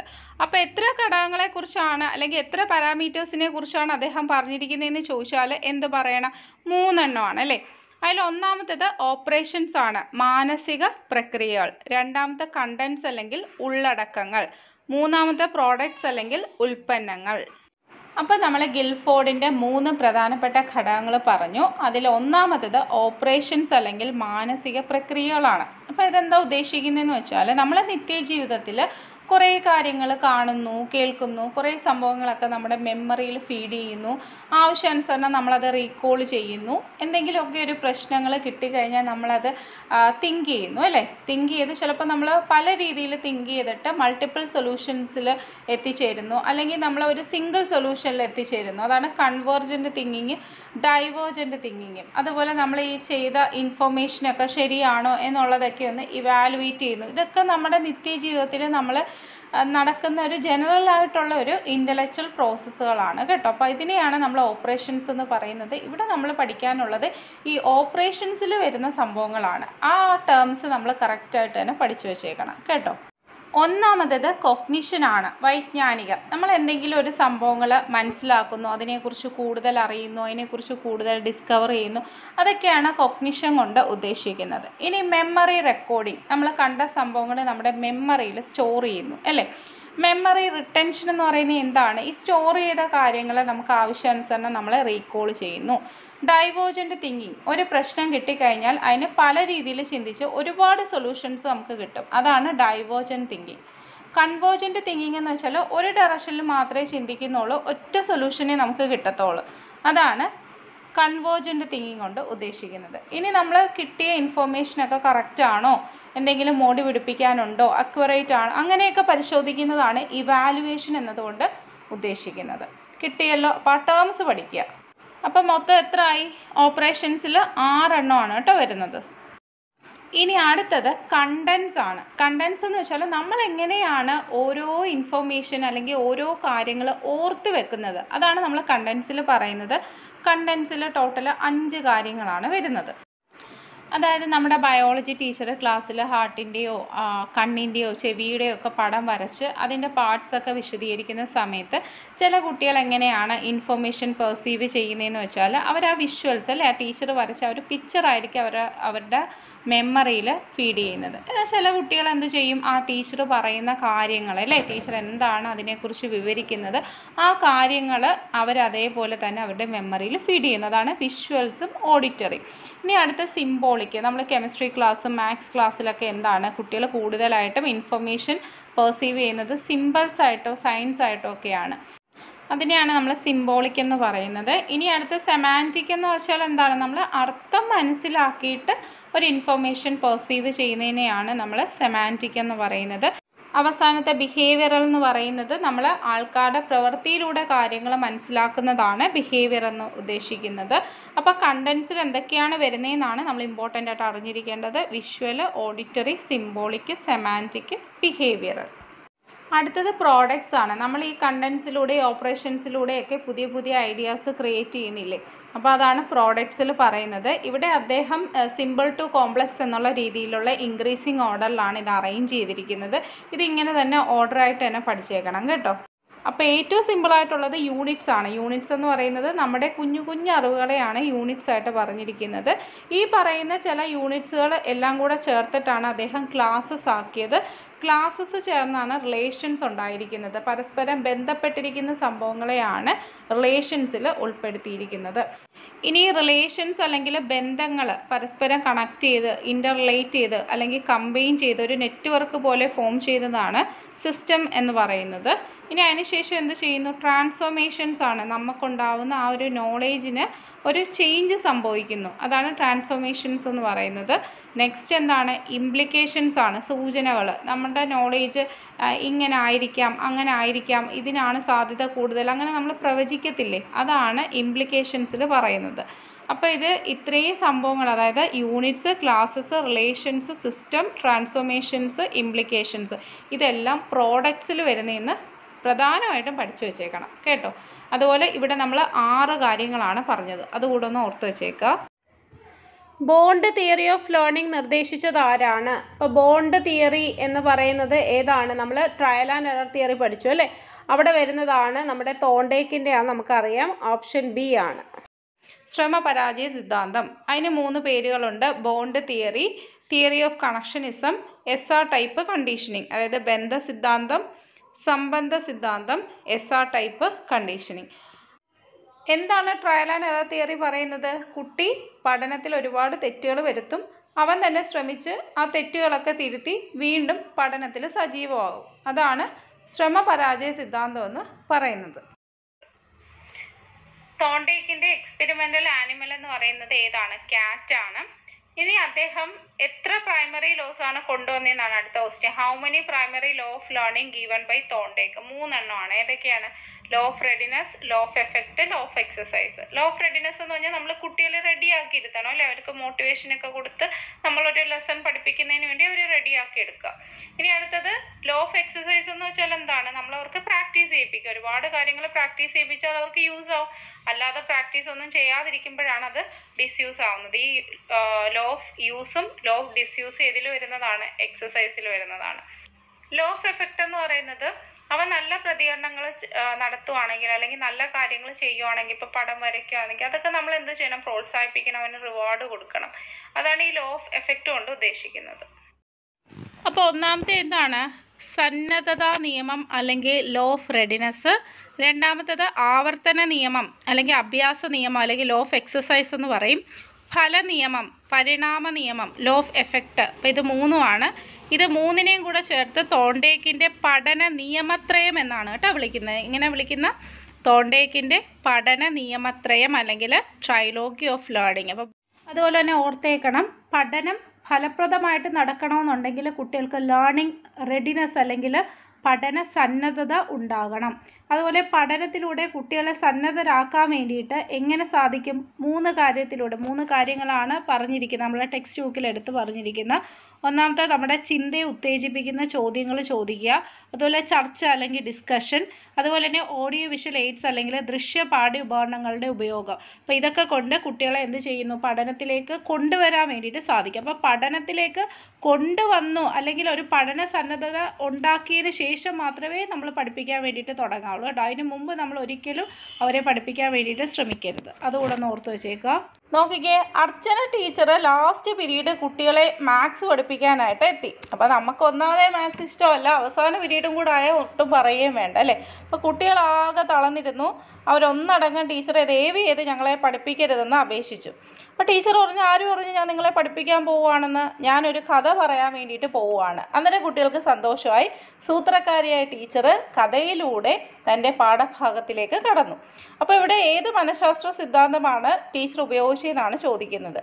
നമുക്ക് എന്ത് പറയാം? നമ്മുടെ തോണ്ടേക്കിന്റെ പഠന സന്നദ്ധതാ നിയമം. നമ്മൾ കുട്ടികളെ എന്ത് ചെയ്യുന്നു? ആ ഒരു ഇൻട്രസ്റ്റ് അല്ലെങ്കിൽ ആ ഒരു ആറ്റിറ്റ്യൂഡ് ഉണ്ടാക്കിയെടുത്തിട്ട് പഠിത്തത്തിലേക്ക് പോകുന്നു. അല്ലെങ്കിൽ പഠിപ്പിക്കാൻ വേണ്ടിയിട്ട് സ്റ്റാർട്ട് ചെയ്യുന്നു. അടുത്ത ചോദ്യം കേറ്റിന് ചോദിച്ചാണ് ഞാൻ മലയാളത്തിലോട്ടാക്കാം. റാണി ടി വി ഒക്കെ കണ്ട് നല്ല രസിച്ചിരിക്കുമായിരുന്നു അപ്പോഴാണ് അച്ഛൻ വന്നിട്ട് പറഞ്ഞത് നിനക്ക് കഴിഞ്ഞ പരീക്ഷയ്ക്കൊക്കെ മാർക്ക് കുറവായിരുന്നു. ദയവ് ചെയ്ത് ടി വി ഒക്കെ ഓഫ് ചെയ്ത് പോയിരുന്നു പഠിക്കാൻ വേണ്ടി പറയാണ്. അപ്പോൾ ഇത് കേട്ടാൽ തന്നെ നമുക്ക് പഠിക്കാനുള്ള മൊത്തം മൂടും പോകും അല്ലേ? നമുക്കൊരു ഇൻട്രസ്റ്റ് തോന്നത്തില്ല. റാണി അതുപോലെ തന്നെ പോയി അവിടെ ഇരുന്ന് എന്താണ് സ്റ്റഡി ടേബിളിൽ പോയിരുന്ന് സമയമെല്ലാം വേസ്റ്റ് ചെയ്ത്. പഠിച്ചില്ല. അപ്പോൾ റാണിയുടെ അച്ഛൻ ഏതോ ഒരു ലോ ഇവിടെ അപ്ലൈ ചെയ്യാൻ വേണ്ടിയിട്ട് ശ്രമിച്ചു പക്ഷെ അത് പാളിപ്പോയല്ലേ ഏത് ലോയാണ് ഏത് ലോ ആണ്? അവളെ പഠിത്തത്തിലേക്ക് കൊണ്ടുവരാൻ വേണ്ടിയിട്ട് ശ്രമിച്ചതാണ് ലോ ഓഫ് റെഡിനെസ് അല്ലെങ്കിൽ പഠന സന്നദ്ധതാ നിയമമാണ്. അവളെ പഠിത്തത്തിലേക്ക് കൊണ്ടുവരാൻ വേണ്ടി ശ്രമിച്ചു പക്ഷേ അത് ഫെയിലായിപ്പോയി ഓക്കെ അതുപോലെ തന്നെ പ്രയോഗ നിയമവും പ്രയോഗരഹിത നിയമവും അതായത് ലോ ഓഫ് യൂസും ലോ ഓഫ് ഡിസ്യൂസും ഏതിന്റെ അണ്ടറിൽ വരുന്നതാണെന്ന് ചോദിച്ചാൽ അത് അഭ്യാസ നിയമം അല്ലെങ്കിൽ ലോ ഓഫ് എക്സസൈസിൽ വരുന്നതാണ് ലോ ഓഫ് യൂസും law of ഡിസ്യൂസും in class teaching the step of introducing a lesson is based on which law of learning ഞാൻ പറഞ്ഞില്ലേ കുട്ടികളെ നമ്മൾ എന്ത് ചെയ്യണം? റെഡി ആക്കിയിരിക്കണം അല്ലേ? അപ്പം ഇൻട്രൊഡ്യൂസിങ് എ ലെസൺ ലെസനെ കുറിച്ച് നമ്മളൊരു ഇൻട്രൊഡക്ഷൻ കൊടുക്കുക എന്നുള്ളത് ഫസ്റ്റ് സ്റ്റെപ്പാണ് ഏതാണ്? ലോ ഓഫ് റെഡിനെസ്സിൽ വരുന്നതാണ്. ഫാദർ ഓഫ് എഡ്യൂക്കേഷൻ സൈക്കോളജി ആരാണ്? തോണ്ടേക്കാണ്. Law of readiness is related to law of readiness എന്ന് വെച്ചാൽ ഫസ്റ്റ് സ്റ്റെപ്പാണ് അല്ല നമ്മളൊരു ചാപ്റ്റർ അവരെ പഠിപ്പിക്കാൻ പോകുന്നതിന് മുമ്പ് തന്നെ അവരെ നമ്മൾ നല്ല മോട്ടിവേഷൻ ഒക്കെ കൊടുത്ത് ഒരു ഉണർവോട് കൂടി ഇരുത്തണം. അതാണ് law of readiness is related to motivation law of effect related to law of effect ഞാൻ പറഞ്ഞു പറഞ്ഞല്ലേ അവന്റെ പ്രതികരണങ്ങൾ കിട്ടിയാൽ നമ്മൾ എന്ത് ചെയ്യണം? നന്നായിട്ട് അവന് റിവാർഡ് കൊടുക്കണം അല്ലെ? അഭിനന്ദിക്കുകയും കാര്യങ്ങളൊക്കെ ചെയ്യണം. അതാണ് reward and punishment law of effect related to the reward and punishment തോണ്ടേക്കിന്റെ experiment അറിയപ്പെടുന്നത് cat in the puzzle box അല്ലെങ്കിൽ പ്രശ്നപേടകത്തിലെ പൂച്ച എന്നാണ് വേർത്തിമർ എന്ന പേര് ഏത് പഠന സിദ്ധാന്തവുമായിട്ട് ബന്ധപ്പെട്ടിരിക്കുന്നു? അപ്പോൾ നമുക്കറിയാം വേർത്തിമർ എന്ന് പറയുന്നത് എന്തുമായിട്ടാണ് റിലേറ്റ് ചെയ്തിരിക്കുന്നത്? ഏത് പഠന സിദ്ധാന്തം അല്ലെങ്കിൽ ഏത് ലേണിംഗ് തിയറിയുമായിട്ടാണ് ബന്ധപ്പെട്ടിരിക്കുന്നതെന്ന് ചോദിച്ചാൽ ഇൻസൈറ്റ്ഫുൾ ലേണിംഗ് അല്ലെങ്കിൽ ഉൾക്കാഴ്ച സിദ്ധാന്തമാണ്. അടുത്തത് നമുക്കറിയാവുന്ന ക്വസ്റ്റ്യൻ തന്നെയാണ്. ജനറ്റിക് എപ്പിസ്റ്റമോളജി ആരുടെ സംഭാവനയാണെന്ന് ചോദിച്ചാൽ ആരുടെയാണ്? നമ്മുടെ പിയാഷയുടെയാണ് option A frames of mind repeat ചെയ്ത് ചോദിക്കുന്ന ചോദ്യമാണ്. The book frames of mind was written by ആരാണ്? ഗാർഡ്നർ ആണ് ഓപ്ഷൻ എ അപ്പോൾ ഗാർഡ്നർ മൾട്ടിപ്പിൾ ഇന്റലിജൻസിനെ പറ്റി പരാമർശിച്ച അദ്ദേഹത്തിന്റെ പുസ്തകമാണ് frames of mind the theory of multiple intelligence അങ്ങനെയാണ് കേട്ടോ ഫുൾ നെയിം മനസ്സിന്റെ ചട്ടക്കൂടുകൾ. ഒരു കാര്യം ഓർത്തോണം. ഇദ്ദേഹം മൊത്തത്തിൽ ഒൻപത് ടൈപ്പ് ഇന്റലിജൻസിനെ കുറിച്ച് പറഞ്ഞിട്ടുണ്ട്. അതിൽ ആദ്യം അദ്ദേഹം ഏഴെണ്ണമാണ് പറഞ്ഞത്. പിന്നീടാണ് രണ്ടെണ്ണം പറഞ്ഞത്. ഓക്കെ അല്ലേ? അപ്പോൾ ആദ്യം പറഞ്ഞ ഏഴെണ്ണം frames of mind the theory of multiple ഇന്റലിജൻസിൽ അദ്ദേഹം ഉൾപ്പെടുത്തിയിട്ടുണ്ട്. പിന്നീടാണ് രണ്ടെണ്ണം അഡീഷണൽ ആയിട്ട് പറഞ്ഞത്. ആ പറഞ്ഞത് അടുത്ത പുസ്തകം അതായത് intelligence reframed multiple intelligence for the twenty first century എന്ന് പറയുന്ന പുസ്തകത്തിലാണ് പിന്നെ വന്ന രണ്ടെണ്ണം ആഡ് ചെയ്തിരിക്കുന്നത്. Z P D Z P D നമ്മൾ വൈഗോട്സ്കിയുടെ കാര്യം പറഞ്ഞപ്പോൾ പഠിച്ചതാണ് എന്താണ് ഇസഡ് പി ഡിയുടെ full form zone of proximal development option C അപ്പോൾ വൈഗോട്സ്കിയുമായിട്ട് ബന്ധപ്പെട്ടാണ് എം കെ ഒ അല്ലെങ്കിൽ മോർ നോളജബിൾ അത് അതുപോലെ തന്നെ സോൺ ഓഫ് പ്രോക്സിമ ഡെവലപ്മെന്റ് അല്ലെങ്കിൽ വികാസത്തിന്റെ സമീപസ്ഥ മണ്ഡലം അതുപോലെ തന്നെ ലാംഗ്വേജ് അല്ലെങ്കിൽ ഭാഷ. അപ്പോൾ ഇത്രയും കാര്യങ്ങൾ നമ്മൾ നോക്കിയിട്ട് വരാം. ഒന്നാമത്തത് എം കെ ഒ അല്ലെങ്കിൽ മോർ നോളജബിൾ അതർ ആണ്. എന്ന് വെച്ചാൽ നമുക്കിപ്പോൾ ഒരു കാര്യത്തിനെ കുറിച്ച് അറിയത്തില്ല. നമുക്കൊരു ചോദ്യം വന്നു കഴിഞ്ഞാൽ നമുക്ക് അതേപ്പറ്റി അറിയത്തില്ല എന്നുണ്ടെങ്കിൽ നമ്മൾ ആരോടാണ് ചോദിക്കുന്നത്? നമ്മൾ നമ്മുടെ ഫ്രണ്ട്സിനോട് ചോദിക്കും. നമ്മൾ ടീച്ചേഴ്സിനോട് ചോദിക്കും. നമ്മുടെ പാരൻസിനോട് ചോദിക്കും. നമ്മൾ മുതിർന്ന ആരോടെങ്കിലും നമ്മളൊരു ഹെൽപ്പ് ചോദിക്കും അല്ലേ? അതിനെയാണ് മോർ നോളജബിൾ അതർ അല്ലെങ്കിൽ എം കെ ഒ എന്നുകൊണ്ട് ഉദ്ദേശിക്കുന്നത്. രണ്ടാമത്തത് ഇസഡ് പി ഡി അല്ലെങ്കിൽ സമീപസ്ഥ വികസന മണ്ഡലം അല്ലെങ്കിൽ സോൺ ഓഫ് പ്രോക്സിമ ഡെവലപ്മെന്റ് ആണ്. അതായത് ഇപ്പോൾ ഒരു കുട്ടി അവൻ സ്വയം പഠിക്കുന്നു. ആരും അവനെ ഹെൽപ്പ് ചെയ്യുന്നില്ല. അവൻ സ്വയം എഫേർട്ട് എടുത്ത് അവൻ പഠിച്ച് അവൻ നൂറിൽ അൻപത് മാർക്ക് അവന്റെ മാത്സ് എക്സാമിന് സ്കോർ ചെയ്യുന്നുണ്ടെങ്കിൽ അത് അവന്റെ കറണ്ട് എബിലിറ്റിയാണ് മനസ്സിലായോ? ഇനി അവൻ അവന്റെ ഫ്രണ്ട്സോ അല്ലെങ്കിൽ ട്യൂഷന് പോയിട്ടോ അല്ലെങ്കിൽ ടീച്ചേഴ്സിന്റെയോ പാരൻസിന്റെയോ ഒക്കെ ഹെൽപ്പോട് കൂടി അവൻ പഠിക്കുന്നു. മനസ്സിലായി അവൻ അറിയാൻ വയ്യാത്ത കാര്യങ്ങൾ ആരെങ്കിലും പറഞ്ഞു കൊടുക്കുന്നു. അങ്ങനെ അവൻ പഠിച്ചിട്ട് ചിലപ്പോൾ ഒരു നൂറിൽ എൺപത് എൺപത്തഞ്ച് മാർക്ക് അവൻ ചിലപ്പോൾ സ്കോർ ചെയ്യും. മനസ്സിലായോ? അപ്പോൾ അതാണ് അവന്റെ പൊട്ടൻഷ്യൽ എബിലിറ്റി എന്ന് പറയുന്നത്. അപ്പോൾ ഈ കറണ്ട് എബിലിറ്റിക്കും പൊട്ടൻഷ്യൽ എബിലിറ്റിക്കും ഇടയ്ക്കുള്ളതാണ് ഇസഡ് പി ഡി അല്ലെങ്കിൽ സമീപസ്ഥ വികസന മണ്ഡലം എന്ന് പറയുന്നത്. മനസ്സിലായോ? ആദ്യത്തെ തവണയെന്ന് പറയുന്നത് നമ്മളെ എന്താണോ അറിയാവുന്നത് അത് പോയി നമ്മൾ എഴുതി വെക്കുന്നു അല്ലേ? ആരുടെയും ഹെൽപ്പില്ല നമ്മൾ എഫേർട്ട് എടുത്ത് പഠിച്ചതാണ് രണ്ടാമത്തേൽ എന്ത് ചെയ്യുന്നു? നമ്മളെ സഹായിക്കാൻ ആൾക്കാരുണ്ട് അല്ലേ? ആ ഒരു സഹായത്തോടു കൂടി നമ്മൾ പോയി പഠിച്ചെഴുതുവാണ് അപ്പോൾ രണ്ടും തമ്മിൽ വ്യത്യാസമുണ്ട്. ഇതിന്റെ രണ്ടിന്റെ ഇടയിലാണ് നമ്മുടെ സോണോ പ്രോക്സിമ ഡെവലപ്മെന്റ് വരുന്നത്. ഇനി നിങ്ങളത് വായിച്ചു നോക്കിക്കേ. ഓരോ പഠിതാവിനും ഒരു പഠന മേഖലയിൽ സ്വന്തം നിലയിൽ എത്തിച്ചേരാവുന്ന ഒരു വികാസ തലമുണ്ടെന്നും മുതിർന്ന ആളിന്റെ മാർഗനിർദ്ദേശമോ കൂടുതൽ കഴിവുള്ള സഹപാഠിയുടെ സഹായമോ ലഭിക്കുകയാണെങ്കിൽ പ്രസ്തുത പഠന മേഖലയിൽ കുറച്ചുകൂടി ഉയർന്ന വികാസതലത്തിൽ എത്തിച്ചേരാൻ ആ പഠിതാവിന് സാധിക്കുന്നു. ഈ രണ്ടിനും ഇടയ്ക്കുള്ളതാണ് സമീപസ്ഥ വികാസ മണ്ഡലം. ചുരുക്കി പറഞ്ഞാൽ നമ്മളെ ടീച്ചേഴ്സ് ഒരു പ്രോബ്ലം കൊടുത്തു കഴിഞ്ഞാൽ മാത്സ് ക്ലാസ്സിലാണെങ്കിൽ ഒരു പ്രോബ്ലം കൊടുത്തു കഴിഞ്ഞാൽ മൊത്തത്തിൽ അങ്ങ് ചെയ്ത് കൊടുക്കണം അല്ലെങ്കിൽ മൊത്തത്തിൽ അങ്ങ് വിശദീകരിച്ച് കൊടുക്കണമെന്നല്ല പറയുന്നത്. അവർക്ക് ആവശ്യമായിട്ടുള്ള ഹെൽപ്പ് കൊടുക്കുക അല്ലെങ്കിൽ ഒരു കൈത്താങ് കൊടുക്കുക. അതാണ് ഇവിടെ ഉദ്ദേശിക്കുന്നത്. മനസ്സിലായോ? എല്ലാവർക്കും ഇസഡ് പി ഡി ഒരുപോലെ ആകണമെന്നില്ല. ഓരോരുത്തർക്കും അതായത് ഓരോ കുട്ടിക്കും അവരുടേതായിട്ടുള്ള ഉയർന്ന നിലയിൽ എത്താൻ കഴിയും വിധമുള്ള ഇടപെടലുകളാണ് ഒരു ടീച്ചർ എന്നുള്ള ഭാഗത്ത് നിന്ന് നമുക്ക് ഉണ്ടാകേണ്ടത്. മനസ്സിലായോ? അടുത്ത ലാംഗ്വേജിനെ കുറിച്ച് പറയുകയാണെങ്കിൽ അദ്ദേഹം മൂന്ന് തരത്തിലുള്ള സ്പീച്ചിനെ കുറിച്ച് പറഞ്ഞിട്ടുണ്ട്. Social speech private speech and inner speech അപ്പോൾ ഇതിന്റെ മലയാളം ഞാൻ എവിടെയും കണ്ടിട്ടില്ല. മുമ്പ് കേറ്റിട്ട് പരീക്ഷയ്ക്ക് പ്രൈവറ്റ് സ്പീച്ച് ആരുമായി ബന്ധപ്പെട്ടിരിക്കുന്നു? അങ്ങനെ ചോദിച്ചിട്ടുണ്ട്. സോഷ്യൽ സ്പീച്ചിനെ കുറിച്ചും ഇന്നർ സ്പീച്ചിനെ കുറിച്ചും അങ്ങനെ ചോദിച്ചു കണ്ടിട്ടില്ല. എന്നാലും നമുക്ക് തള്ളിക്കളയാനും പറ്റത്തില്ല. പഠിച്ചു വെച്ചേക്കുക. എപ്പോഴും പ്രൈവറ്റ് സ്പീച്ചാണ് കണ്ട് വന്നിട്ടുള്ളത്. ഇനി എന്തോന്ന് അറിയാൻ വയ്യ. അതുകൊണ്ട് എല്ലാം ഒന്ന് നോക്കി വെച്ചേക്കുക.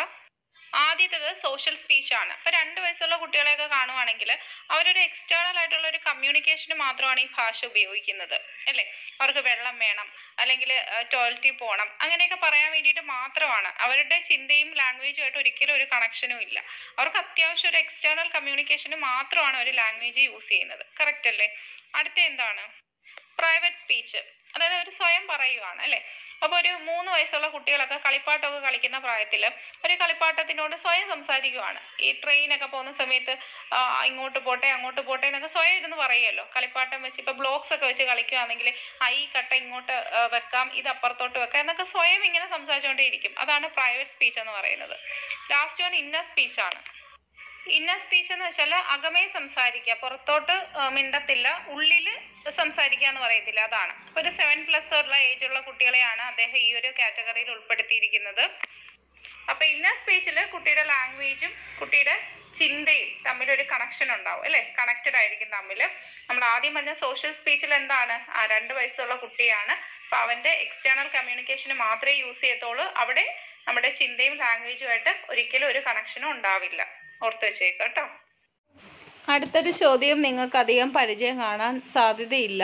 ഇൻക്ലൂസീവ് എഡ്യൂക്കേഷൻ എന്ന പദം ആദ്യമായിട്ട് നിർദ്ദേശിച്ചത് ആരാണ്? Select the person who introduced the term inclusive education ആരാണ്?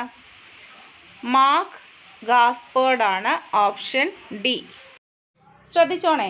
ഇന്റഗ്രേറ്റഡ് എഡ്യൂക്കേഷൻ അല്ലെങ്കിൽ സംയോജിത വിദ്യാഭ്യാസം എന്ന് പറഞ്ഞാൽ ഡിസേബിൾഡ് ആയിട്ടുള്ള കുട്ടികൾ നോർമൽ കുട്ടികളുമായിട്ട് ഒരേ സ്കൂളിൽ പഠിക്കുന്നതാണ്. കിട്ടിയോ? ശ്രദ്ധിച്ചോണേ? തെറ്റിക്കരുത്.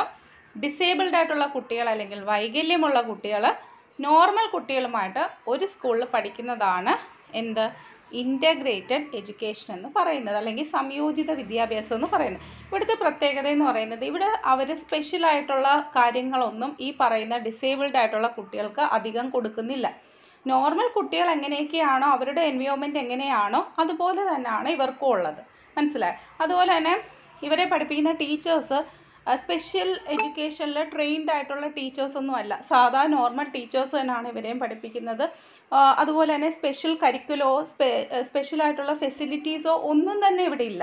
മനസ്സിലായോ? നോർമൽ കുട്ടികൾ എങ്ങനെയാണോ പഠിക്കുന്നത് അതുപോലെ തന്നെയാണ് ഇവരെയും കെയർ ചെയ്യുന്നത്. നോർമൽ കുട്ടികൾ ഇവരെ ശരിക്കും ഹെൽപ്പ് ചെയ്യുന്നുണ്ട്. അവർ തമ്മിലൊരു സോഷ്യൽ ഇൻട്രാക്ഷൻ ഉണ്ട്. അവരിവരെ ചേർത്ത് പിടിക്കുന്നുണ്ട്. അതുപോലെ ഈ ഡിസേബിൾഡ് ആയിട്ടുള്ള കുട്ടികൾക്ക് എന്താണ്? താൻ ഒറ്റപ്പെട്ടു പോവുകയാണെന്നോ അല്ലെങ്കിൽ ഒരു ഇൻഫീരിയോറിറ്റി കോംപ്ലക്സ് ഒന്നും അവരുടെ മനസ്സിൽ ഉണ്ടാവത്തില്ല. മനസ്സിലായോ?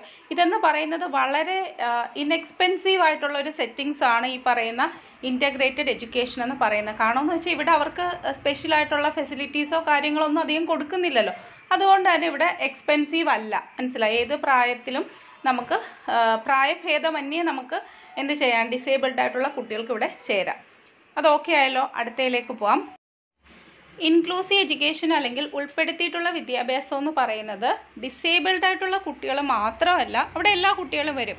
സമൂഹത്തിന്റെ അടുത്തട്ടിൽ നിന്നുള്ള കുട്ടികൾ പാവങ്ങളായിട്ടുള്ള കുട്ടികൾ സോഷ്യലി ഡിപ്രൈവ്ഡ് ചിൽഡ്രൻ അതുപോലെ തന്നെ എന്താണ് ജെൻഡറിന്റെയും കാസ്റ്റിന്റെയും നിറത്തിന്റെയൊക്കെ പേരിൽ വിദ്യാഭ്യാസം നിഷേധിക്കപ്പെട്ട കുട്ടികൾ അങ്ങനെ എല്ലാ കുട്ടികളെയും കൂടെ ഒന്നിച്ച് ചേർത്ത് ഒരു കുടക്കീഴിൽ കൊണ്ടുവരുന്നതാണ് ഇൻക്ലൂസീവ് എഡ്യൂക്കേഷൻ എന്ന് പറയുന്നത്. മനസ്സിലായപ്പോൾ അവിടെ വൈകല്യമുള്ള കുട്ടികൾ മാത്രമല്ല ഉള്ളത്.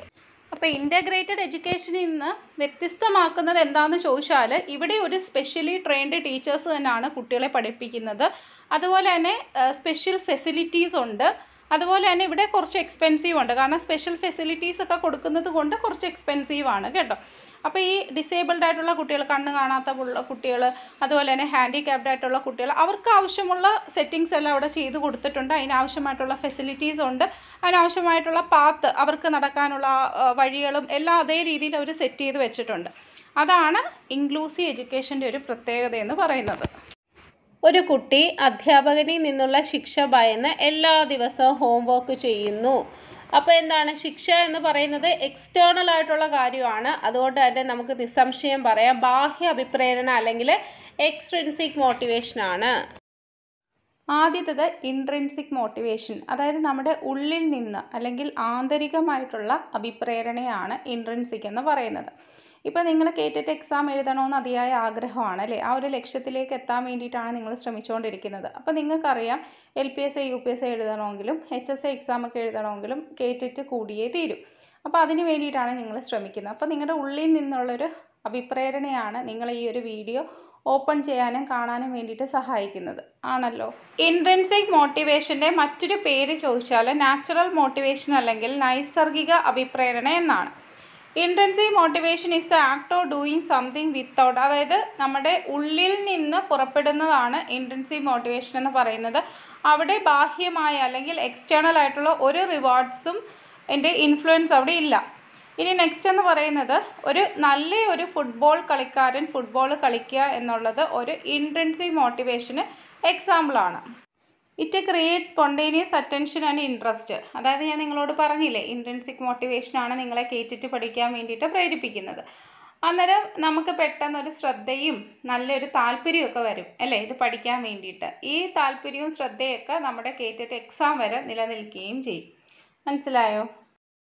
ഇനി അടുത്തത് എക്സ്ട്രിൻസിക് മോട്ടിവേഷനാണ് അപ്പോൾ നിങ്ങൾ കയറ്റിട്ടൊന്നും പഠിക്കാതെ ഇങ്ങനെ കളിച്ച് കിടക്കുകയാണെന്നുണ്ടെങ്കിൽ എന്താണ് നിങ്ങളുടെ വീട്ടുകാരും ഫ്രണ്ട്സും ഒക്കെ പറയുകയാണ് എങ്ങനെയെങ്കിലും ഇപ്രാവശ്യത്തെ കയറ്റിട്ട് എങ്ങനെയെങ്കിലും ഒന്ന് പോയിരുന്ന് പഠിച്ച് എഴുതിയിട്ട് ഇങ്ങനെ നടക്കല്ലേ എങ്ങനെയെങ്കിലും പോയിരുന്ന് പഠിക്ക് കിട്ടിയില്ലെങ്കിൽ മോശമാണ് എന്നൊക്കെ ഇങ്ങനെ പറഞ്ഞുകൊണ്ടിരിക്കുവാണ്.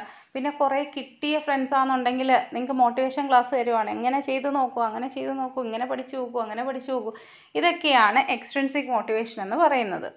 അപ്പോൾ ഇൻട്രൻസിക് മോട്ടിവേഷനെ നമ്മൾ നാച്ചുറൽ മോട്ടിവേഷൻ എന്ന് പറഞ്ഞു കഴിഞ്ഞാൽ എക്സ്ട്രൻസിക് മോട്ടിവേഷനെ നമുക്ക് പറയാം ആർട്ടിഫിഷ്യൽ മോട്ടിവേഷനാണ് അല്ലെങ്കിൽ കൃത്രിമ അഭിപ്രേരണയാണ്.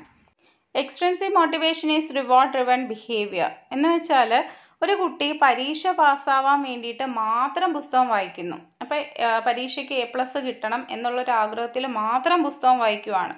അതൊരു എന്താണ്? എക്സ്ട്രൻസിക് മോട്ടിവേഷനാണ് അതായത് കുട്ടി എന്തെങ്കിലും പഠിക്കുന്നത് പഠനത്തിന് വേണ്ടിയിട്ടാണോ? അല്ല. ബാഹ്യമായിട്ടുള്ള എന്തോ ഒരു പ്രതിഫലം നേടാനാണ്. ഇവിടെ എ പ്ലസ് എന്ന് പറയുന്ന ഒരു സംഭവം അതിന്റെ മനസ്സിൽ കിടക്കുന്നുണ്ട്.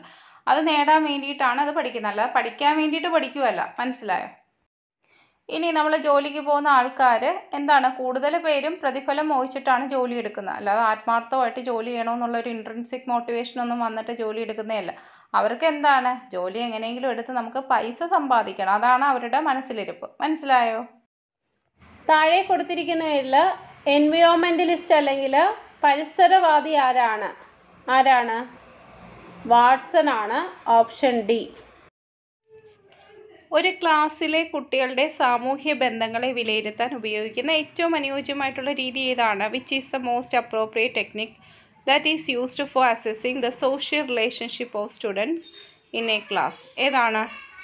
സോഷ്യോമെട്രി ആണ് അല്ലേ? Option C Anjali a primary school student actively engages in school activities and enjoys learning according to psycho social development theory she possesses അതായത് പ്രൈമറി സ്കൂൾ കുട്ടിയായ അഞ്ജലി സ്കൂൾ പ്രവർത്തനങ്ങളിൽ കൂടി പങ്കെടുക്കുകയും അതിൽ ആനന്ദം കണ്ടെത്തുകയും ചെയ്യുന്നു. അപ്പോൾ എറിക് എറിക്സന്റെ സ്റ്റേജസ് നമ്മൾ പഠിച്ചതാണ് പ്രൈമറി എന്ന് പറയുമ്പോൾ ഏതാണ്?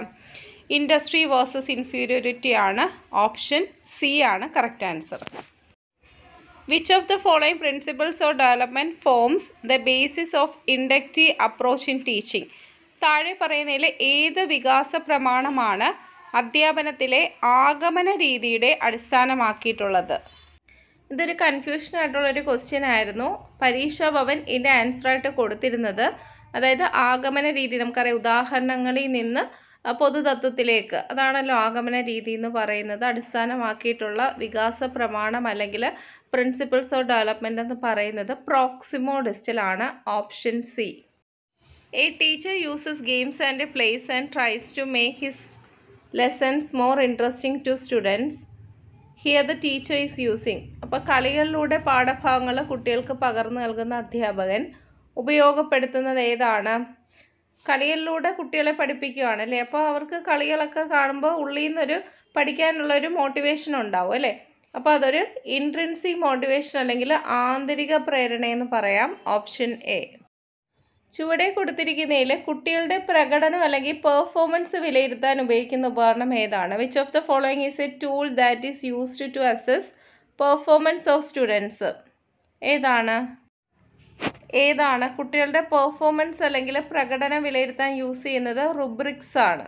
ഓപ്ഷൻ ഡി അടുത്തത് എന്താണ് റൂബ്രിക്സ് അതായത് നമ്മുടെ സ്കൂളിൽ ഏത് കോമ്പറ്റീഷൻ നടന്നാലും അതിൽ കുറച്ച് ക്രൈറ്റീരിയ കാണും. ഒരു വിജയെ തിരഞ്ഞെടുക്കാൻ വേണ്ടിയിട്ട് കുറച്ച് ക്രൈറ്റീരിയ കാണും. ഇപ്പൊ പ്രസംഗ മത്സരമാണ് നടക്കുന്നതെങ്കിൽ ആ കുട്ടികളുടെ ഒരു സൗണ്ട് മോഡുലേഷനും അതുപോലെ കുട്ടി എത്രത്തോളം ക്ലാരിറ്റിയിൽ അത് അവതരിപ്പിക്കുന്നെന്നും അവന്റെ കോൺഫിഡൻസ് ലെവലും എല്ലാം നോക്കും അല്ലെ? അതൊക്കെ അതിന്റെ ക്രൈറ്റീരിയകളാണ് ഇതൊക്കെ നോക്കിയിട്ടാണ് ലാസ്റ്റ് ഒരു വിൻ തന്നെ തിരഞ്ഞെടുക്കുന്നത്.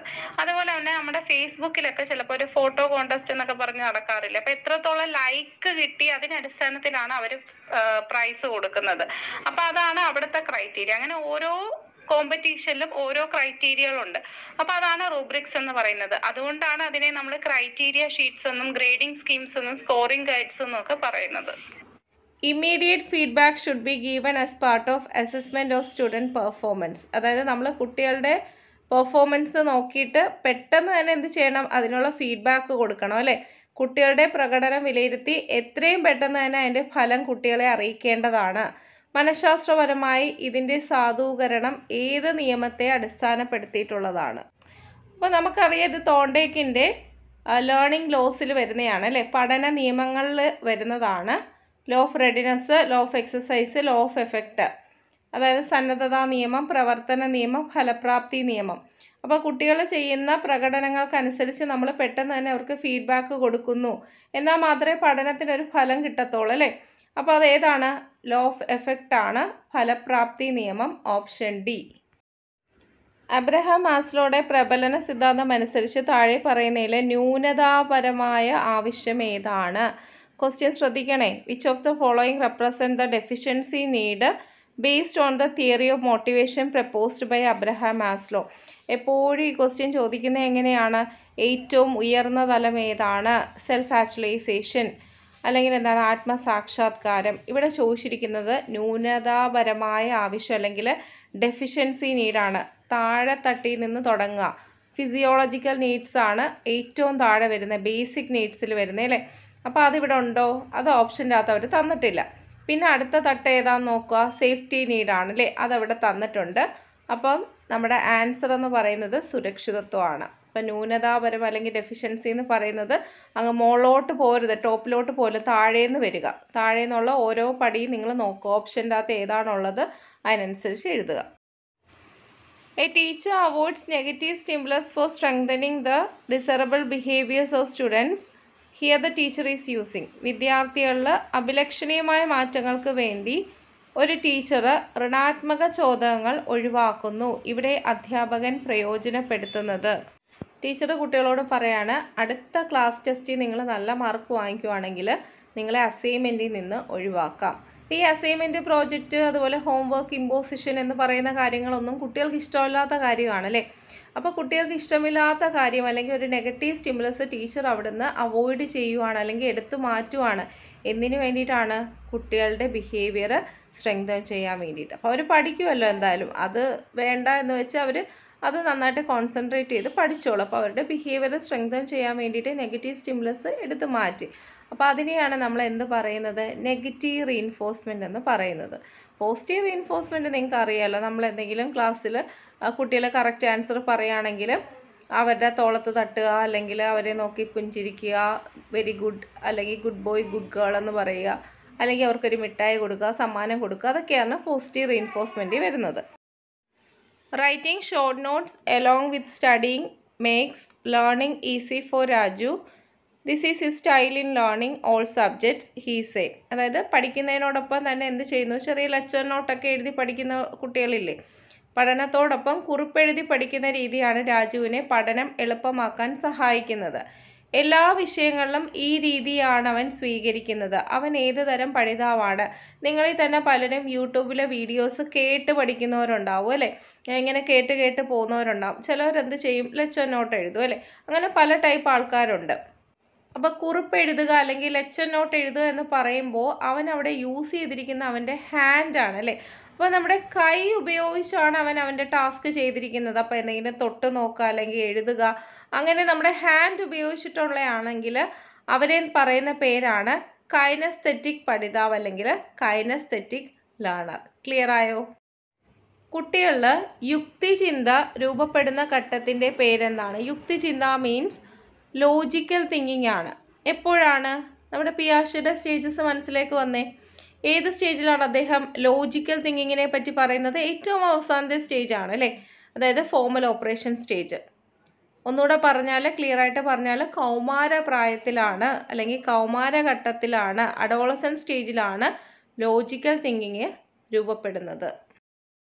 താഴെ പറയുന്നതിൽ ആരാണ് വികാസഘട്ട സിദ്ധാന്തവുമായിട്ട് ബന്ധപ്പെട്ടിരിക്കുന്നത്? Who among the following is associated with stage theory of development ആരാണ് നമുക്കറിയാം.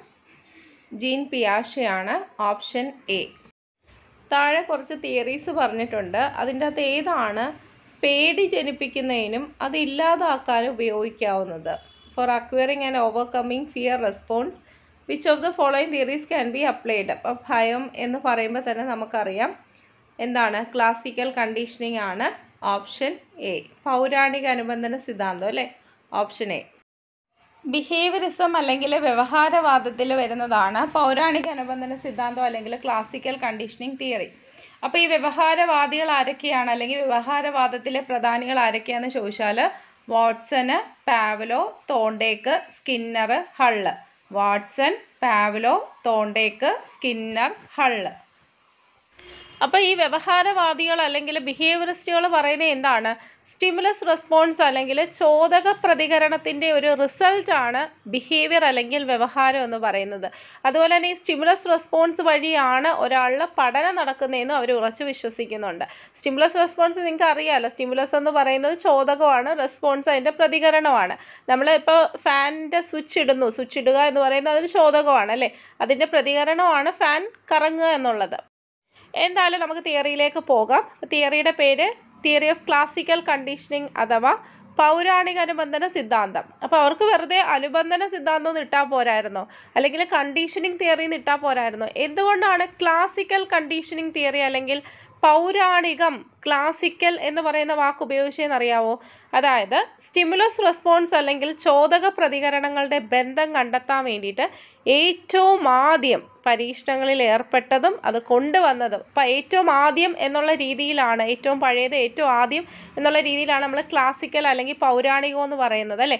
അതുപോലെ തന്നെ ഈ ചോദക പ്രതികരണങ്ങളുടെ ബന്ധം കണ്ടെത്താൻ വേണ്ടിയിട്ട് ഏറ്റവും ആദ്യം പരീക്ഷണത്തിൽ ഏർപ്പെട്ടതും ഇത് കൊണ്ടുവന്നതും ആരാന്ന് ചോദിച്ചാൽ പാവലോ ആണ് അതുകൊണ്ടാണ് അവിടെ നമ്മൾ ക്ലാസിക്കൽ എന്ന് പറയുന്നൊരു വാക്ക് ഉപയോഗിക്കുന്നത്. ഈ ഒരു തിയറിക്ക് മറ്റ് മൂന്ന് പേരുകളൂടെ ഉണ്ട് അപ്പോൾ അതുകൂടെ ഒന്ന് അറിഞ്ഞു വെച്ചേക്കണം. സ്റ്റേറ്റ്മെന്റ് രീതിയിലൊക്കെയാണ് ക്വസ്റ്റ്യൻ ചോദിക്കുന്നതെങ്കിൽ നമ്മൾ പെട്ടുപോകത്തില്ലേ? അപ്പോൾ നമുക്ക് പഠിക്കാം. എസ് ടൈപ്പ് അനുബന്ധനം. എസ് ടൈപ്പ് അനുബന്ധനം അതുപോലെ തന്നെ ഇച്ഛാതീത അനുബന്ധനം അതായത് റിഫ്ലെക്സ് കണ്ടീഷനിങ് പ്രതികരണ അനുബന്ധനം എന്ന് വെച്ചാൽ റെസ്പോണ്ടൻ കണ്ടീഷനിങ് അപ്പോൾ S type conditioning reflex conditioning respondent conditioning S type അനുബന്ധനം ഇച്ഛാതീത അനുബന്ധനം പ്രതികരണ അനുബന്ധനം. ഓക്കെ അല്ലേ? പാവലോ എന്ന് പറയുന്ന ഒരു റഷ്യൻ സൈക്കോളജിസ്റ്റ് ആണെന്നുള്ള കാര്യം ഓർത്തേക്കണം. അതുപോലെ അനുബന്ധന പ്രതികരണ സിദ്ധാന്തം അല്ലെങ്കിൽ കണ്ടീഷൻഡ് റെസ്പോൺസ് തിയറി ആരുടെയാണ് എന്ന് ചോദിച്ചാൽ വളരെ ഇമ്പോർട്ടന്റ് ആണ്. പ്രീവിയസ് ആയിട്ട് ചോദിച്ചതാണ്. അനുബന്ധന പ്രതികരണ സിദ്ധാന്തം ആരുടെയാണെന്ന് ചോദിച്ചാൽ പാവലോന്റെയാണ്. അപ്പോൾ ഈ കണ്ടീഷനിങ് അല്ലെങ്കിൽ അനുബന്ധനം എന്ന് കേട്ടാൽ തന്നെ പാവലോയുടെ കാര്യം ഓർത്തെടുത്തേക്കണം കേട്ടോ. അതുപോലെ തന്നെ കണ്ടീഷൻഡ് റിഫ്ലക്സസ് കണ്ടീഷൻഡ് റിഫ്ലക്സസ് എന്ന് പറയുന്നത് ആരുടെ പുസ്തകമാണ്? പാവലോയുടെ പുസ്തകമാണ്. ഇത് നമ്മുടെ കേറ്ററ്റിന് പ്രീവിയസ് ആയിട്ട് ചോദിച്ചൊരു ക്വസ്റ്റ്യൻ ആണ് കേട്ടോ. അപ്പോൾ വളരെ പ്രശസ്തമായിട്ടുള്ള ബുക്ക് ആയതുകൊണ്ടാണ് പറഞ്ഞത്. നമ്മൾ നേരത്തെ പറഞ്ഞ കാര്യം തന്നെയാണ്. വ്യവഹാര പഠനം നടക്കുന്നത് ചോദകവും പ്രതികരണവും തമ്മിലുള്ള നിരന്തര സംയോഗം വഴിയാണ്. അല്ലെങ്കിൽ association of stimulus and response വ്യവഹാര പഠനം നടക്കുന്നത് ചോദവും പ്രതികരണവും തമ്മിലുള്ള നിരന്തര സംയോഗം വഴിയാണ് എന്ന് സമർത്ഥിക്കുന്ന സിദ്ധാന്തം ഏതെന്ന് ചോദിച്ചാൽ പൗരാണിക അനുബന്ധന സിദ്ധാന്തമാണ്. അപ്പോൾ ഇവിടെ പരീക്ഷണം നടത്തിയത് പട്ടിയിലാണ് അല്ലെങ്കിൽ നായയിലാണ് നമുക്കറിയാം. പാവ എന്താ പാവ്ലോ ചെയ്തത്? വിശന്ന് വലഞ്ഞ പട്ടിയെ പിടിച്ച് കൂട്ടിലാക്കി അല്ലേ? എന്നിട്ട് അവിടെ ഒരു സിറിഞ്ചും കൂടെ കടിപ്പിച്ച് വെച്ചു. കാരണം പട്ടിക്ക് എത്രത്തോളം ഉമിനീർ സ്രവം ഉണ്ടാവുമെന്ന് പാവ്ലോന് മനസ്സിലാക്കണ്ട. അതിന് വേണ്ടിയിട്ട് ഒരു സിറിഞ്ചും കടിപ്പിച്ച് വെച്ചു. അപ്പോൾ വിശന്ന് വലഞ്ഞിരിക്കുന്ന പട്ടിക്ക് മുമ്പിൽ പാവലോ ആദ്യമായിട്ട് കാഴ്ചവെക്കുന്ന എന്താണ്? ഇറച്ചിയാണല്ലേ? അപ്പോൾ ഇറച്ചി കാണുമ്പോൾ തന്നെ ഇതിന് കുടുകൂടാ ഇങ്ങനെ വെള്ളം ചാടുവാണ് പുറത്തോട്ട്. നമ്മളായാലും ഹോട്ടലിലോ അല്ലെങ്കിൽ ബേക്കറിയിലോ ഒക്കെ പോയി ഭക്ഷണം കഴിക്കാൻ വേണ്ടിയിട്ട് പോയിരിക്കുന്ന സമയത്ത് നമുക്ക് വിശന്നിരിക്കുകയെന്നുണ്ടെങ്കിൽ നമുക്ക് ഇതുപോലെ വെള്ളം ചാടും. നമ്മൾ പയ്യെ അങ്ങ് ഇറക്കുമല്ലേ പക്ഷെ പട്ടിക്ക് അതുപോലെ കള്ളത്തരം ഒന്നും അറിയാൻ വയ്യാത്തതുകൊണ്ട് അതിന്റെ ഉമിനീരെന്ത് ഇങ്ങനെ ചാടും. ആ ചാടുന്ന സംഭവമൊക്കെ ആ സിറിഞ്ചിൽ പുള്ളിക്കാരൻ മെഷർ ചെയ്യുന്നുണ്ട്. മനസ്സിലായോ? അപ്പോൾ ആദ്യത്തെ സ്റ്റേജ് കഴിഞ്ഞു. രണ്ടാമത്തെ സ്റ്റേജിൽ ഭക്ഷണമൊന്നും കൊടുക്കാതെ ജസ്റ്റ് മണിയൊച്ച് മാത്രം കേൾപ്പിക്കുന്നു. അപ്പോൾ ഈ മണിയൊച്ച് കേൾപ്പിച്ച് കഴിഞ്ഞാൽ പട്ടിക്ക് വല്ല വ്യത്യാസമുണ്ടോ? ഒന്നുമില്ല. ഉമിനീർ സ്രാവവും ഇല്ല ഒന്നുമില്ല. മൂന്നാമത്തെ സ്റ്റേജിൽ മണിയടി ശബ്ദം കേൾപ്പിക്കുന്നു ഇറച്ചി കൊടുക്കുന്നു. മണിയടി ശബ്ദം കേൾപ്പിക്കുന്നു ഇറച്ചി കൊടുക്കുന്നു. അങ്ങനെ അങ്ങനെ ആവർത്തിച്ച സമയത്ത് പട്ടിക്ക് മനസ്സിലായി മണിയടി ശബ്ദത്തോടൊപ്പം തന്നെ എന്റെ ഭക്ഷണം അവിടെ എത്തുമെന്ന്. അപ്പം തന്നെ അതിനെന്തായി? ഉമിനീർ സ്രാവം ഉണ്ടായി. നാലാമത്തെ സ്റ്റേജിൽ അദ്ദേഹം എന്താ ചെയ്തത്? മണിയടി ശബ്ദം മാത്രം കേൾപ്പിച്ചു. ഫുഡ് കൊടുക്കാതെ പട്ടിയെ പറ്റിച്ചു. മണിയടി ശബ്ദം മാത്രം കേൾപ്പിച്ച് ഫുഡ് കൊടുത്തില്ല. പക്ഷേ ആദ്യം ഉണ്ടായ പോലെ തന്നെ. ആദ്യം പട്ടിക്ക് മുമ്പിൽ വിശന്ന് പറഞ്ഞ പട്ടിക്ക് മുമ്പിൽ ഇറച്ചി വെച്ചില്ല. അന്നേരം അതിന് ഉമിനീർ സ്രാവം ഉണ്ടായില്ല. അതേപോലെ തന്നെ അതേ ക്വാണ്ടിറ്റി തന്നെ ഉമിനീർ സ്രാവം മണിയൊച്ച മാത്രം കേട്ടപ്പോൾ നാലാമത്തെ സ്റ്റേജിൽ പട്ടിക്കുണ്ടായി മനസ്സിലായോ? ഇനി ഇതിന്റെ ഡീറ്റെയിൽ ആയിട്ടുള്ള കാര്യങ്ങൾ നമുക്ക് നോക്കാം. ഇവിടെ നമുക്ക് അനുബന്ധനത്തിന് മുമ്പ് നടന്ന സംഭവം അനുബന്ധന സമയത്ത് നടന്നത് അനുബന്ധനത്തിന് ശേഷം നടന്നത്. ഈ മൂന്ന് കാര്യങ്ങളാണ് പ്രധാനമായിട്ട് പഠിക്കാനുള്ളത്. എക്സ്പെരിമെന്റ് പറഞ്ഞപ്പോൾ നാല് സ്റ്റേജ് ആയിട്ടല്ലേ ഞാൻ പറഞ്ഞത്. അതിൽ ആദ്യത്തെ രണ്ട് സ്റ്റേജാണ് ബിഫോർ കണ്ടീഷനിങ് കണ്ടീഷനിങ്ങിന് മുമ്പ് നടക്കുന്നത്. അതായത് നമ്മൾ പട്ടിക്ക് ഇറച്ചി കൊടുക്കുന്നത് മണിയൊച്ച കേൾപ്പിക്കുന്നത്. ഇത് രണ്ടും. ഇത് രണ്ടിനെ കുറിച്ചാണ് ആദ്യം പറയാൻ പോകുന്നത്. ആദ്യം എന്താണ്? നമ്മൾ ഇറച്ചി കൊടുക്കുന്നു പട്ടിയുടെ നാവിൽ വെള്ളം വരുന്നു. അപ്പോൾ ഇറച്ചി എന്ന് പറയുന്നത് അല്ലെങ്കിൽ ഫുഡ് കാണുമ്പോൾ വെള്ളം വരിക എന്ന് പറയുന്നത് നാച്ചുറലായിട്ട് കൊടുത്ത സ്റ്റിമുലസിന് നാച്ചുറലായിട്ട് കിട്ടിയ ഒരു റെസ്പോൺസ് അല്ലേ? അതായത് അവിടെ ഇറച്ചി എന്ന് പറയുന്നത് അനുബന്ധനം ചെയ്യാത്ത ചോദകമാണ് അല്ലെങ്കിൽ അൺകണ്ടീഷൻഡ് സ്റ്റിമുലസ് ആണ്. അപ്പോൾ കിട്ടിയ റെസ്പോൺസ് എന്താണ്? നാച്ചുറലായിട്ടുള്ളതാണ് അതായത് അനുബന്ധനം ചെയ്യാത്ത പ്രതികരണം അല്ലെങ്കിൽ അൺകണ്ടീഷൻഡ് റെസ്പോൺസ് ആണ് കിട്ടുന്നത്. രണ്ടാമത്തെ സ്റ്റേജിൽ മണിയൊച്ച മാത്രം കേൾപ്പിക്കുവാണ്. അപ്പോൾ മണിയൊച്ച മാത്രം കേട്ടെന്ന് വെച്ചിട്ട് പട്ടിയുടെ നാവിൽ വെള്ളം വരുമോ ഇല്ല. അപ്പോൾ ഈ മണിയൊച്ച എന്ന് പറയുന്നത് നിഷ്ക്രിയ ചോദകമാണ്. അല്ലെങ്കിൽ ആർട്ടിഫിഷ്യലായിട്ട് കൊടുക്കുന്നതാണ്. അല്ലെങ്കിൽ ന്യൂട്രൽ സ്റ്റിമുലസ് എന്ന് പറയാം. നിഷ്ക്രിയ ചോദകമായി മണിയൊച്ച മാത്രം കേൾപ്പിച്ചപ്പോൾ അതിൽ നാച്ചുറലായിട്ടുള്ളൊരു റെസ്പോൺസ് ഉണ്ടായി. മണിയൊച്ചയുടെ ശബ്ദം കേട്ടെന്ന് വെച്ചാൽ അതിന് എന്തുണ്ടാവില്ല? ഉമിനീർ സ്രവം ഉണ്ടാവത്തില്ല. അടുത്തത് അനുബന്ധന സമയം അല്ലെങ്കിൽ ഡ്യൂറിങ് കണ്ടീഷനിങ് ആണ്. അതായത് നമ്മുടെ എക്സ്പെരിമെന്റിന്റെ തേർഡ് സ്റ്റേജ് നമ്മൾ മണിയൊച്ച കേൾപ്പിക്കുന്നതിനോടൊപ്പം തന്നെ ഫുഡും കൊടുക്കുന്നു. മനസ്സിലായോ? മണിയൊച്ച കേൾപ്പിക്കുന്നു മീറ്റ് കൊടുക്കുന്നു. മണിയൊച്ച കേൾപ്പിക്കുന്നു മീറ്റ് കൊടുക്കുന്നു. അപ്പോൾ അതെന്ന് പറയുന്നത് അവിടെയും ഈ പറയുന്ന ഫുഡ് എന്ന് പറയുന്നത് നാച്ചുറൽ ആയിട്ടുള്ള സ്റ്റിമുലസ് തന്നെയാണ്. അല്ലെങ്കിൽ അനുബന്ധനം ചെയ്യാത്ത ചോദകം തന്നെയാണ്. അനുബന്ധന ചോദകം അല്ലെങ്കിൽ കണ്ടീഷന്റെ സ്റ്റിമുലസ് ഇവിടെ ഏതാണ്? മണിയൊച്ചയാണ് നമ്മൾ നേരത്തെ പറഞ്ഞ പോലെ. അപ്പോഴും പട്ടിയുടെ നാക്കിൽ നാച്ചുറൽ ആയിട്ടുള്ള ഒരു റെസ്പോൺസ് ആണ് കിട്ടുന്നത് ഉമിനീ സ്രാവം. അടുത്തത് അനുബന്ധനത്തിന് ശേഷം അല്ലെങ്കിൽ ആഫ്റ്റർ കണ്ടീഷനിങ് എന്താണ് സംഭവിക്കുന്നത്? ആഹാരം കൊടുക്കാതെ മണിയൊച്ച മാത്രം കേൾപ്പിച്ചപ്പോഴും എന്തുണ്ടായി? പട്ടിയുടെ നാവിൽ ഉമിനീർ സ്രാവം നമ്മൾ ഉണ്ടാക്കിയെടുത്തു അല്ലേ? നമ്മളത് നാച്ചുറലായിട്ട് ഉണ്ടായതല്ല നമ്മളത് കണ്ടീഷനിങ് അല്ലെങ്കിൽ പരുവപ്പെടുത്തി എടുത്തതാണ്. നമ്മൾ നേരത്തെ ബിഫോർ കണ്ടീഷനിങ്ങിലും ഡ്യൂറിങ് കണ്ടീഷനിങ്ങിലും എല്ലാം പട്ടിക്ക് ഉണ്ടായ ഉമിനീർ സ്രവം എന്ന് പറയുന്നത് നാച്ചുറൽ ആയിട്ട് ഉണ്ടായതാണ് അല്ലേ? അല്ലെങ്കിൽ അനുബന്ധനം ചെയ്യാത്ത പ്രതികരണമാണ് അവിടെ ഉണ്ടായത്. പക്ഷേ ലാസ്റ്റ് സ്റ്റേജ് അല്ലെങ്കിൽ ആഫ്റ്റർ കണ്ടീഷനിങ്ങിൽ എന്താ സംഭവിച്ചത്? അനുബന്ധനത്തിന് ശേഷം ഉണ്ടായ ഉമിനീർ സ്രവം എന്ന് പറയുന്നത് അനുബന്ധിത പ്രതികരണം അല്ലെങ്കിൽ കണ്ടീഷൻഡ് റെസ്പോൺസ് ആണ്. നമ്മൾ കണ്ടീഷൻ ചെയ്തെടുത്ത റെസ്പോൺസ് ആണ്. മണിയൊച്ച അപ്പോഴും അനുബന്ധിത ചോദകം അല്ലെങ്കിൽ കണ്ടീഷൻഡ് സ്റ്റിമുലസ് തന്നെയാണ്.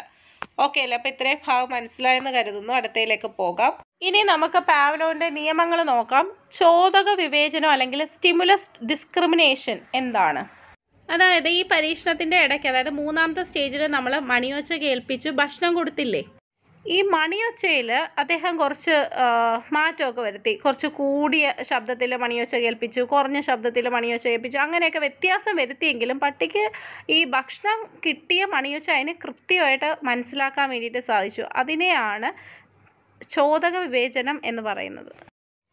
എന്താണ് വിളംബിത അനുബന്ധിത പ്രതികരണം അല്ലെങ്കിൽ ഡിലേഡ് കണ്ടീഷന്റെ റെസ്പോൺസ് അപ്പോൾ ഡിലേ ചെയ്യുന്നു എന്നുള്ള അർത്ഥമാണ്. അതായത് നമ്മൾ മണിയൊച്ച കേൾപ്പിച്ച ഉടനെ തന്നെ നായ്ക്ക് ഫുഡ് കൊടുക്കുന്നില്ല. മനസ്സിലായോ?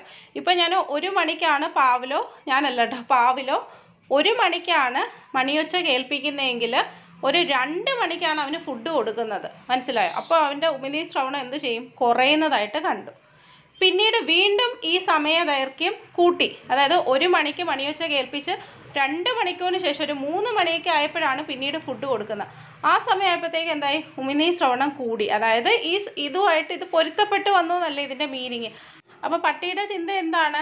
മണിയടി ശബ്ദം കേട്ട ഉടനെ ആഹാരം നമുക്ക് കിട്ടത്തില്ല. കുറച്ച് സമയം എടുക്കും. അല്ലെങ്കിൽ കുറച്ചുകൂടെ സമയം കഴിഞ്ഞിട്ടേ നമുക്ക് ആ ഭക്ഷണം കിട്ടത്തുള്ളൂ എന്നുള്ള കാര്യവുമായിട്ട് അത് പൊരുത്തപ്പെട്ട് വന്നു. അതാണ് അതിന്റെ മീനിങ് ആദ്യം ഉമിനീ സ്രവം കുറയുകയാണ് ചെയ്തത്. പിന്നെ കൂടി എന്ന് പറയുന്ന മീനിങ് എന്ന് വെച്ചാൽ അത് പൊരുത്തപ്പെട്ടു. അത്രയേ ഉള്ളൂ.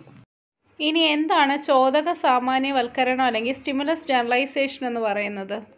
അഭ്യസിച്ച ഒരു പ്രതികരണത്തിന് ആസ്പദമായ ചോദകവുമായി സാമ്യമുള്ള ചോദകങ്ങൾ പ്രത്യക്ഷപ്പെടുമ്പോൾ അഭ്യസിച്ച പ്രതികരണം തന്നെ ഉണ്ടാക്കാനുള്ള പ്രവണത. മനസ്സിലായോ? മനസ്സിലായില്ല. പറഞ്ഞുതരാം.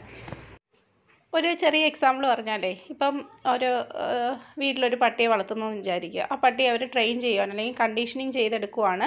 വിസിലടിച്ച് കഴിഞ്ഞാൽ ഓണറിന്റെ അടുത്തേക്ക് എത്തണം. മനസ്സിലായോ? അപ്പോൾ എവിടെ വിസിലടി കേട്ടാലും ഇതെന്ത് ചെയ്യും? ഓണന്റെ അടുത്തേക്ക് എത്തും.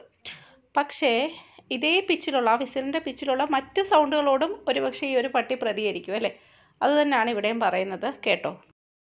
അഭ്യസിച്ച ഒരു പ്രതികരണത്തിന്. അപ്പോൾ പട്ടിയുടെ അഭ്യസിച്ച കാര്യം എന്താണ്? മണിയടി ശബ്ദം കേൾക്കുമ്പോൾ ഉമിനീ സ്രാവം ഉണ്ടാകുന്നത് അത് ശീലിച്ച കാര്യമാണ്. അത് നമ്മൾ അവന് പഠിപ്പിച്ചു കൊടുത്ത കാര്യമാണ് അല്ലെ? അവനെ പരുവപ്പെടുത്തി എടുത്തതാണ് മണിയടി ശബ്ദം കേൾക്കുമ്പോൾ ഉമിനീ സ്രാവം ഉണ്ടാവുക എന്നുള്ളത്.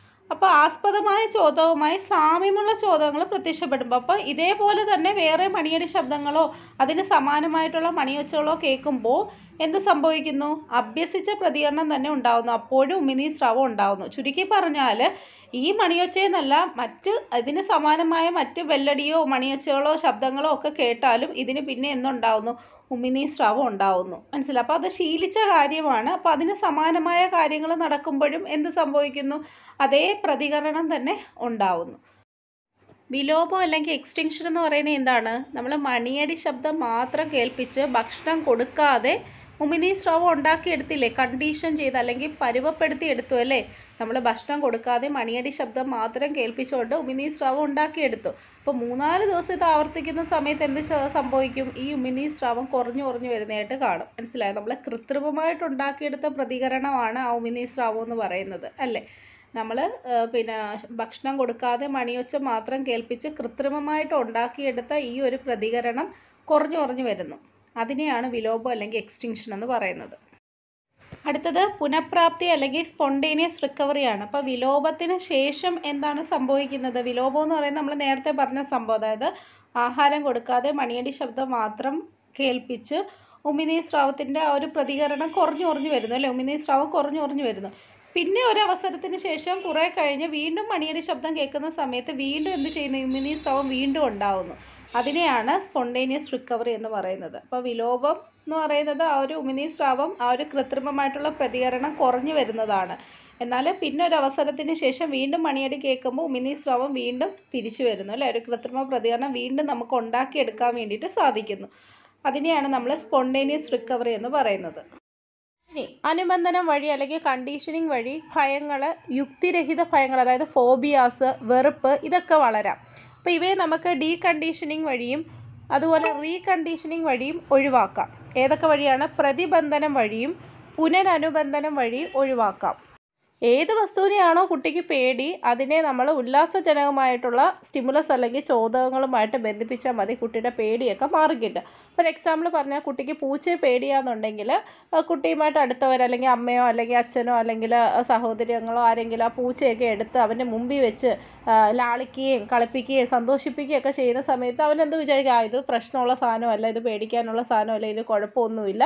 അവർ നന്നായിട്ട് ലാളിക്കുന്നില്ല അപ്പോൾ എനിക്കും പ്രശ്നമൊന്നുമില്ല. അപ്പോൾ അതുവഴി അവന്റെ പേടിയെല്ലാം മാറും. ഓക്കെ അല്ലേ?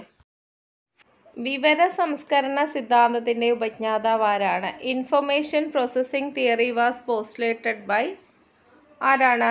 റോബർട്ട് സ്റ്റേൺബർഗ് ആണ് ഓപ്ഷൻ ബി. നമ്മൾ ഗ്യാങ്നയുടെ പഠന ശ്രേണി അല്ലെങ്കിൽ ഹൈറാർക്കി ഓഫ് ലേണിംഗ് പഠിച്ചിട്ടുണ്ട് അല്ലേ? അപ്പോൾ അത് ഓർഡറിലാക്കാൻ വേണ്ടിയിട്ട് ചോദിക്കാറുണ്ട്. അതങ്ങനെ തന്നെ ആ ശ്രേണി പഠിച്ചു വെച്ചേക്കണം. ഇവിടെ നിങ്ങളൊന്ന് ഓർഡറിലാക്കിയേ. ഇതിൽ ആദ്യത്തത് എസ് ആർ ലേണിംഗ് ആണ്. രണ്ടാമത്തത് ചെയിനിങ് ആണ്. മൂന്നാമത്തത് കോൺസെപ്റ്റ്സ് ആണ്. അടുത്തത് പ്രോബ്ലം സോൾവിങ് ആണ്. അപ്പോൾ ഏതാണ്? ഓപ്ഷൻ ബി ആണ് correct three one four two കേട്ടോ? ഒന്നാമത്തത് എസ് ആർ പഠനം രണ്ട് ചെയിനിങ് അടുത്തത് ആശയങ്ങൾ ലാസ്റ്റ് വൺ പ്രശ്ന പരിഹരണം നമ്മുടെ ഗാങ്നയുടെ ശ്രേണി എങ്ങനെയാണ് പോകുന്നത്? അല്ലെങ്കിൽ അദ്ദേഹം എങ്ങനെയാണ് അറേഞ്ച് ചെയ്തിരിക്കുന്നത്? സിമ്പിൾ ടു കോംപ്ലക്സ് അല്ലെങ്കിൽ ലളിതമായതിൽ നിന്ന് സങ്കീർണതയിലേക്ക് എന്ന രീതിയിലാണ് അദ്ദേഹം അറേഞ്ച് ചെയ്തിരിക്കുന്നത്. This learning needs previous knowledge അതായത് നമുക്ക് പുതിയൊരു കാര്യം പഠിക്കണമെന്നുണ്ടെങ്കിൽ നമ്മൾ എന്ത് ചെയ്യുന്നു? നമുക്കൊരു പ്രീവിയസ് നോളേജ് വേണമല്ലേ അതുമായിട്ട് കണക്ട് ചെയ്താണ് പുതിയ കാര്യങ്ങൾ നമ്മൾ പഠിക്കുന്നത്. എന്ന രീതിയിൽ തന്നെയാണ് അദ്ദേഹം അദ്ദേഹത്തിന്റെ ശ്രേണിയും എന്ത് ചെയ്തിരിക്കുന്നത്? അറേഞ്ച് ചെയ്തിരിക്കുന്നത്. ഇനി അദ്ദേഹത്തിന്റെ ഒരു പുസ്തകമാണ് ഫേമസ് ആയിട്ടുള്ള പുസ്തകമാണ് പ്രീവിയസ് ആയിട്ട് ചോദിച്ചിട്ടുണ്ട്. എൽ പി യു പിക്കല്ല ടിന് ചോദിച്ചിട്ടുണ്ട്. കണ്ടീഷൻസ് ഓഫ് ലേണിംഗ് എന്ന് പറയുന്നത് ആരുടെ പുസ്തകമാണ്? എന്ന് ചോദിച്ചാൽ ഗാഗ്നയുടെയാണ് പിന്നീട് ഗാഗ്നയുടെ ശ്രേണിയിൽ എത്ര തലങ്ങളുണ്ട് എന്ന് ചോദിച്ചാൽ എത്ര ബേസിക് ടൈപ്സ് ഉണ്ടെന്ന് ചോദിച്ചാൽ അതും ചോദിച്ചിട്ടുള്ളതാണ് എട്ടെണ്ണമാണുള്ളത് കേട്ടോ.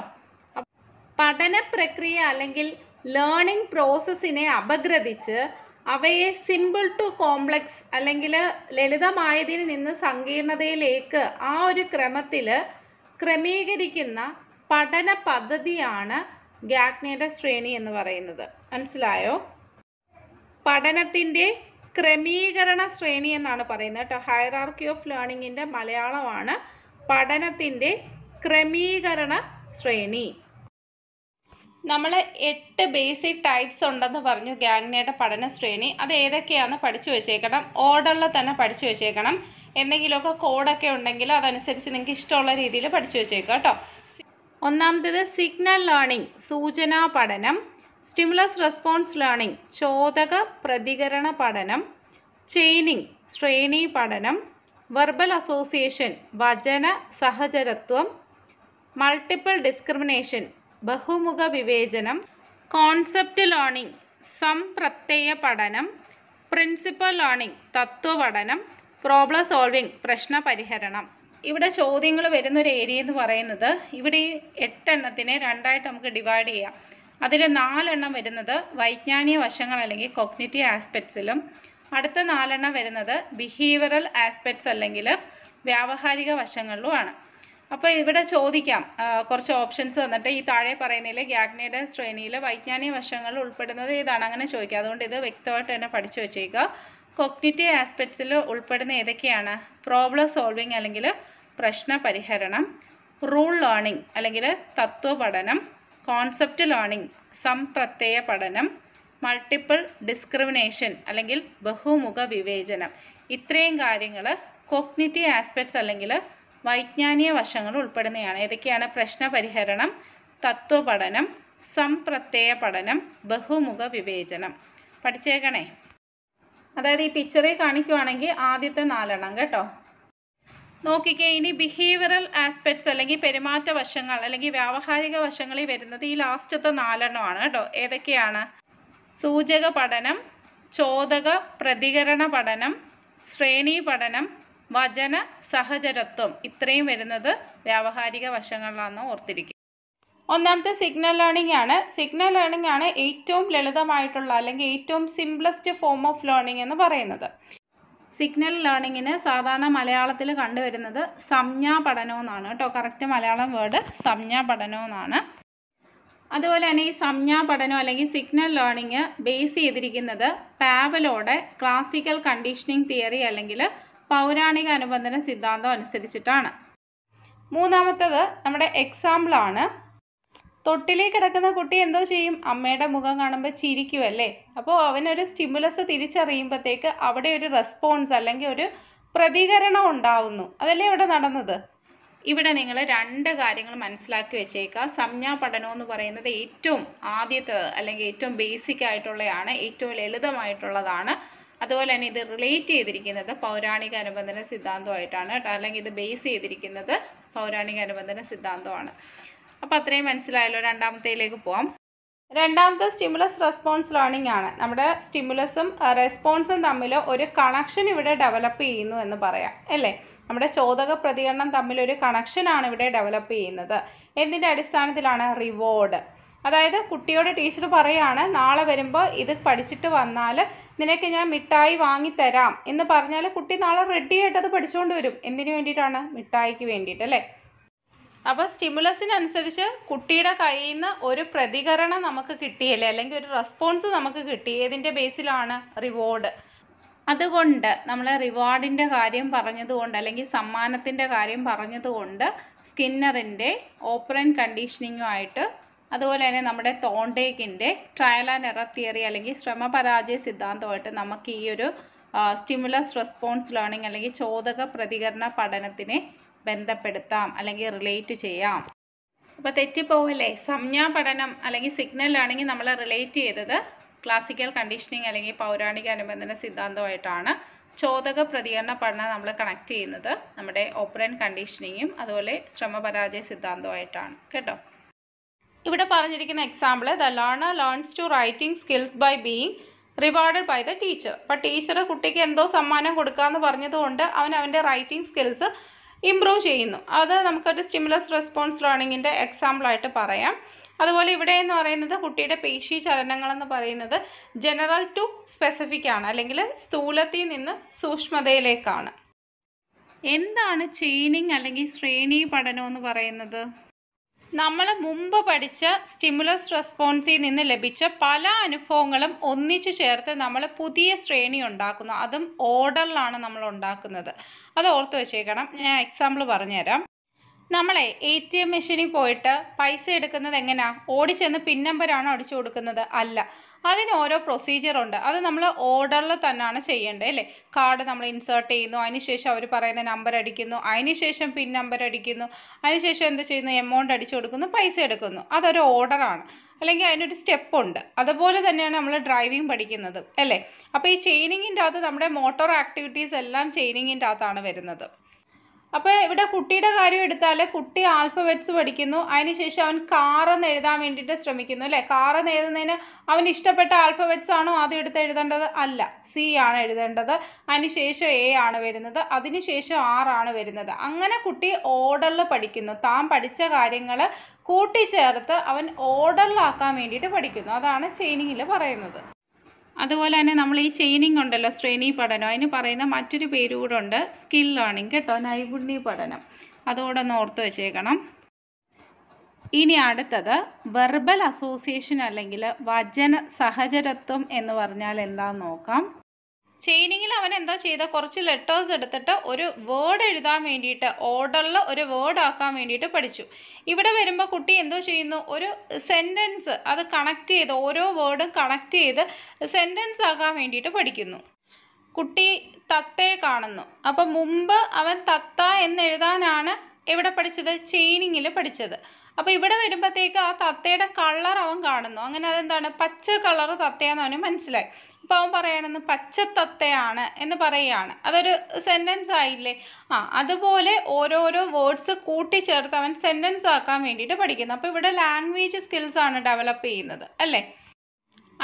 അപ്പോൾ ഇവിടെ എന്താണ്? ഒരു ഭാഷാ നൈപുണ്യമാണ് ഡെവലപ്പ് ചെയ്യുന്നത്. ഉന്നത നിലവാരം പുലർത്തുന്ന വാചിക ശ്രേണീകരണമാണ് നടത്തുന്നത്. ആശയ ആവിഷ്കാരത്തിന് അടുക്കും ചിട്ടയും ഉണ്ടാവുന്നു. ഓക്കെ അല്ലേ? അടുത്തയിലേക്ക് പോവാം. അടുത്തത് മൾട്ടിപ്പിൾ ഡിസ്ക്രിമിനേഷൻ ആണ്. The individual learns to discriminate and make different similar response to many stimuli അതായത് ഒരുപോലെ ഇരിക്കുന്ന രണ്ട് വ്യത്യസ്ത കാര്യങ്ങളെ വേർതിരിച്ചറിയാൻ കുട്ടി പഠിക്കുന്നു. അതായത് ചില കുട്ടികളുണ്ടല്ലോ അവർക്ക് ഈ ബ്ലൂ കളറും വയലറ്റ് കളറും ഒക്കെ ഒരുപോലെ തോന്നും അല്ലേ? അപ്പോൾ കുട്ടി എന്താണ്? ഇത് ബ്ലൂ ആണ്. അതായത് ആകാശത്തിന്റെ കളറാണ് ഈ ബ്ലൂ കളറ് ഇത് വയലറ്റ് വേറെ കളറാണ് എന്ന് രണ്ടും വേർതിരിച്ചറിയുന്നു. അതുപോലെ തന്നെയാണ് നമ്മൾ ക്യാരറ്റും റാഡിഷും കാണിച്ചു കൊടുത്താലേ ചില കുട്ടികൾക്ക് അത് ഒരുപോലെ തോന്നും അല്ലേ? അപ്പോൾ കുട്ടി എന്താണ് പറയുകയാണ് ഇത് ക്യാരറ്റ് ആണ് ഇത് റാഡിഷ് ആണ് രണ്ടിന്റെയും കളറാണ് വ്യത്യാസമുള്ളത്. അതുപോലെ അതിന്റെ ഷേപ്പിൽ കുറച്ച് സിമിലാരിറ്റീസ് ഉണ്ടെന്നേ ഉള്ളൂ എന്നുള്ള കാര്യം കുട്ടി എന്ത് ചെയ്യുന്നു? വേർതിരിച്ചറിയുന്നു.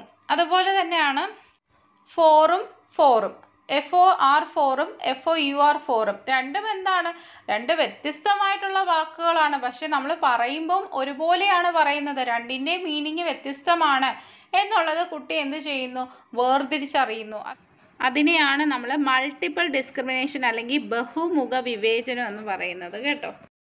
അടുത്തത് കോൺസെപ്റ്റ് ലേണിംഗ് അല്ലെങ്കിൽ സംപ്രത്യയ പഠനമാണ്. ആ പേര് പോലെ തന്നെ കുട്ടി എന്ത് ചെയ്യുന്നു? കോൺസെപ്റ്റ് പഠിക്കുന്നു അല്ലേ?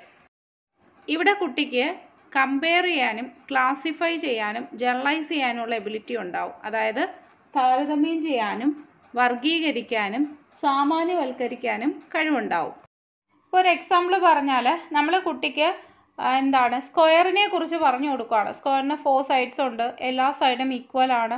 നയന്റി ഡിഗ്രിയാണ് അതിന്റെ ആംഗിൾ എന്ന് പറഞ്ഞു കൊടുത്തതിന് ശേഷം കുട്ടിക്ക് എന്താണ് ഒരു റെക്റ്റാങ്കിളും ഒരു സ്ക്വയറും കൂടെ കൊടുത്തിട്ട് ഇതിന്റെ അകത്ത് ഏതാണ് സ്ക്വയർ എന്നുള്ളത് കുട്ടിയോട് കണ്ടുപിടിക്കാൻ പറയുകയാണ് അപ്പോൾ കുട്ടിക്ക് ആ സ്ക്വയറിന്റെ കോൺസെപ്റ്റ് അറിയാമെങ്കിൽ മാത്രമേ ഈ റെക്റ്റാങ്കിൾ ഏതാണ് അല്ലെങ്കിൽ സ്ക്വയർ ഏതാണെന്ന് വേർതിരിച്ചറിയാൻ വേണ്ടിയിട്ട് സാധിക്കൂ.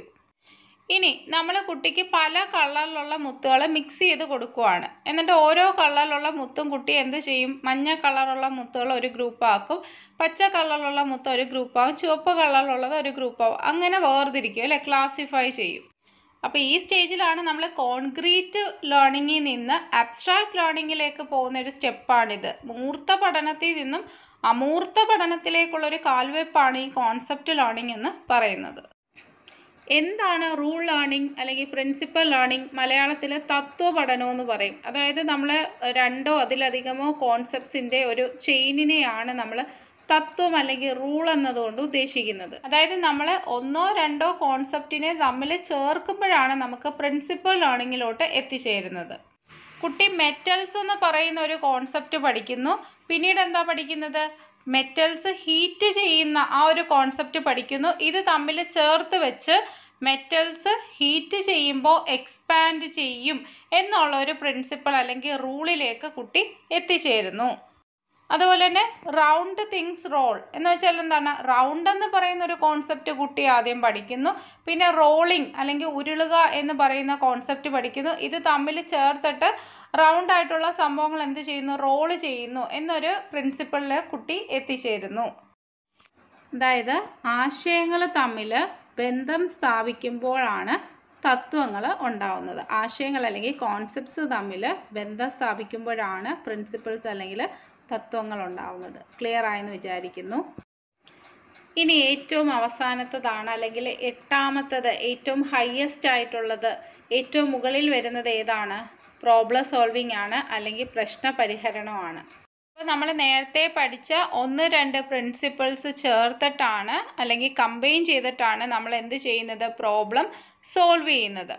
A boy proves theorems in geometry കുട്ടിക്ക് ജോമെട്രിയിലെ തിയറം പ്രൂവ് ചെയ്യണമെന്നുണ്ടെങ്കിൽ കുട്ടി ആദ്യം കോൺസെപ്റ്റ് മനസ്സിലാക്കിയ ശേഷം എന്ത് ചെയ്യും?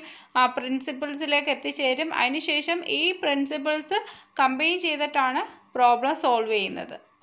അതാണ് പഠിച്ച തത്വങ്ങൾ ഉപയോഗിച്ച് പ്രശ്ന പരിഹരണം നടത്തുന്നു. അപ്പോൾ ഈ പ്രോബ്ലം സോൾവിങ് അല്ലെങ്കിൽ പ്രശ്ന പരിഹരണം എന്ന് പറയുന്നത് കൊഗ്നിറ്റീവ് ആസ്പെക്ട്സിൽ വരുന്നതാണോ? ബിഹേവിയറൽ ആസ്പെക്ട്സിൽ വരുന്നതാണോ? ആലോചിച്ച് നോക്കിക്കേ. വൈജ്ഞാനിക വശങ്ങളിൽ വരുന്നതാണോ? വ്യാവഹാരിക വശങ്ങളിൽ വരുന്നതാണോ? നമ്മൾ തത്വങ്ങൾ പഠിക്കുന്നത് പ്രിൻസിപ്പിൾസ് പഠിക്കുന്നത് പ്രശ്നം പരിഹരിക്കുന്നത് എല്ലാം നമ്മുടെ തല കൊണ്ടുള്ള ഒരു കളിയല്ലേ? അപ്പോൾ അതെല്ലാം തന്നെ കൊഗ്നിറ്റീവിൽ വരുന്നതാണ്. അല്ലെങ്കിൽ കൊഗ്നിറ്റീവ് ആസ്പെക്ട്സ് അല്ലെങ്കിൽ വൈജ്ഞാനിക വശങ്ങളിൽ വരുന്നതാണ്. അങ്ങനെ ആലോചിച്ച് വെച്ചിരുന്നാൽ മതി കേട്ടോ. അടുത്ത ചോദ്യം സ്ലോ ലേണേഴ്സിന് സ്യൂട്ടബിൾ ആയിട്ടുള്ള സ്ട്രാറ്റജി ഏതാണ്? താഴെ പറയുന്നതിൽ പഠനത്തിൽ പിന്നോക്കമായവർക്ക് അനുയോജ്യമായിട്ടുള്ള രീതി ഏതാണ്? അവർക്ക് ചെയ്യാൻ കഴിയുന്ന പ്രവർത്തനങ്ങൾ മാത്രം നൽകുക. ഫസ്റ്റ് ഓപ്ഷൻ തന്നെയാണ് കറക്റ്റ്. അടുത്ത ചോദ്യം. ഒബ്സർവേഷണൽ ലേണിംഗ് അല്ലെങ്കിൽ നിരീക്ഷണ പഠന സിദ്ധാന്തം. ആരാണ് ഊന്നൽ കൊടുത്തത് നമുക്കറിയാം. ആൽബർട്ട് ബന്ദൂരയാണ് ഓപ്ഷൻ സി. താഴെ പറയുന്നതിൽ ഓർമ്മയുടെ തന്ത്രം അല്ലാത്തത് ഏതാണ്? അല്ലെങ്കിൽ മെമ്മറി സ്ട്രാറ്റജിയിൽ ഉൾപ്പെടാത്തത് ഏതാണ്? ഒന്നാമത്തെ നിമോണിക്സ് നമ്മൾ മെമ്മറി പഠിച്ചപ്പോൾ പഠിച്ചതാണ് ഒരു മെമ്മറി ടെക്നിക്കാണ് നിമോണിക്സ് എന്ന് പറയുന്നത് അല്ലേ? അതിൽ തന്നെ വരുന്നതാണ് മെത്തേഡ് ഓഫ് ലോക്കെ അല്ലെങ്കിൽ ദൃശ്യവൽകൃത പഠനം. അടുത്ത എന്താണ്? വേർഡ് അസോസിയേഷൻ നമ്മൾ വേർഡ് അസോസിയേഷൻ ടെസ്റ്റൊക്കെ എവിടെയാണ് പഠിച്ചത്? പ്രൊജക്റ്റീവ് ടെസ്റ്റിലല്ലേ പഠിച്ചത്? അത് ഈ മെമ്മറിയായിട്ട് വല്ല കണക്ഷനും ഉണ്ടോ? ഇല്ല. അധിക പഠനം അല്ലെങ്കിൽ ഓവർ ലേണിംഗ് അത് നമ്മുടെ മെമ്മറിയിൽ വരുന്ന സംഭവമാണ് അല്ലേ? അപ്പം ഓപ്ഷൻ എയും ബിയും ഡിയും കറക്റ്റാണ് ഓപ്ഷൻ സി ആണ്. ഇവിടെ തെറ്റായിട്ടുള്ളത്. താഴെ കൊടുത്തിരിക്കുന്ന ഓപ്ഷന്റെ അകത്ത് ഗസ്റ്റാൾട്ട് സൈക്കോളജിയെ സംബന്ധിച്ച് ശരിയായിട്ടുള്ള പ്രസ്താവനയാണ് ചോദിച്ചിരിക്കുന്നത്. ഒന്നാമത്തെ ഓപ്ഷൻ നോക്കിയാൽ learning is a result of bonding between stimulus and response. ചോദകങ്ങളും പ്രതികരണങ്ങളും തമ്മിലുള്ള ബന്ധനത്തിന്റെ ഫലമാണ് പഠനം. ചോദകം പ്രതികരണം ഇതൊക്കെ നമ്മൾ പഠിച്ച എവിടെയാണ്? ബിഹേവിയറിസ്റ്റ് തിയറീസിലാണ് അല്ലേ? അല്ലെങ്കിൽ എന്താണ്? വ്യവഹാരവാദത്തിലാണ്. അപ്പോൾ അത് തെറ്റാണ്. Meaningful verbal learning is emphasised ഇത് അർത്ഥവത്തായ വാച്യ പഠനത്തിന് ഊന്നൽ നൽകുന്നു. മീനിങ് ഫുൾ വേർബ് ലേണിംഗ് ഇതുമായിട്ട് ബന്ധമില്ല. പരിപക്വനം അല്ലെങ്കിൽ മെച്ചുറേഷനെ കുറിച്ച് പറയുന്നു. പരിപക്വനത്തിന്റെ ഫലമാണ് പഠനം. അതും തെറ്റാണ്. ഇത് ഉൾക്കാഴ്ച പഠനത്തിന് ഊന്നൽ കൊടുക്കുന്നു. അല്ലേ? ഗസ്റ്റാൾട്ട് സൈക്കോളജി പഠിക്കുമ്പോൾ തന്നെ അവിടെ ഇമ്പോർട്ടന്റ് ആയിട്ട് നമ്മൾ പഠിക്കുന്നത് എന്താണ്? ഇൻസൈറ്റ് ലേണിംഗ് ആണ്. അല്ലെങ്കിൽ ഉൾക്കാഴ്ച പഠനമാണ്. അല്ലേ?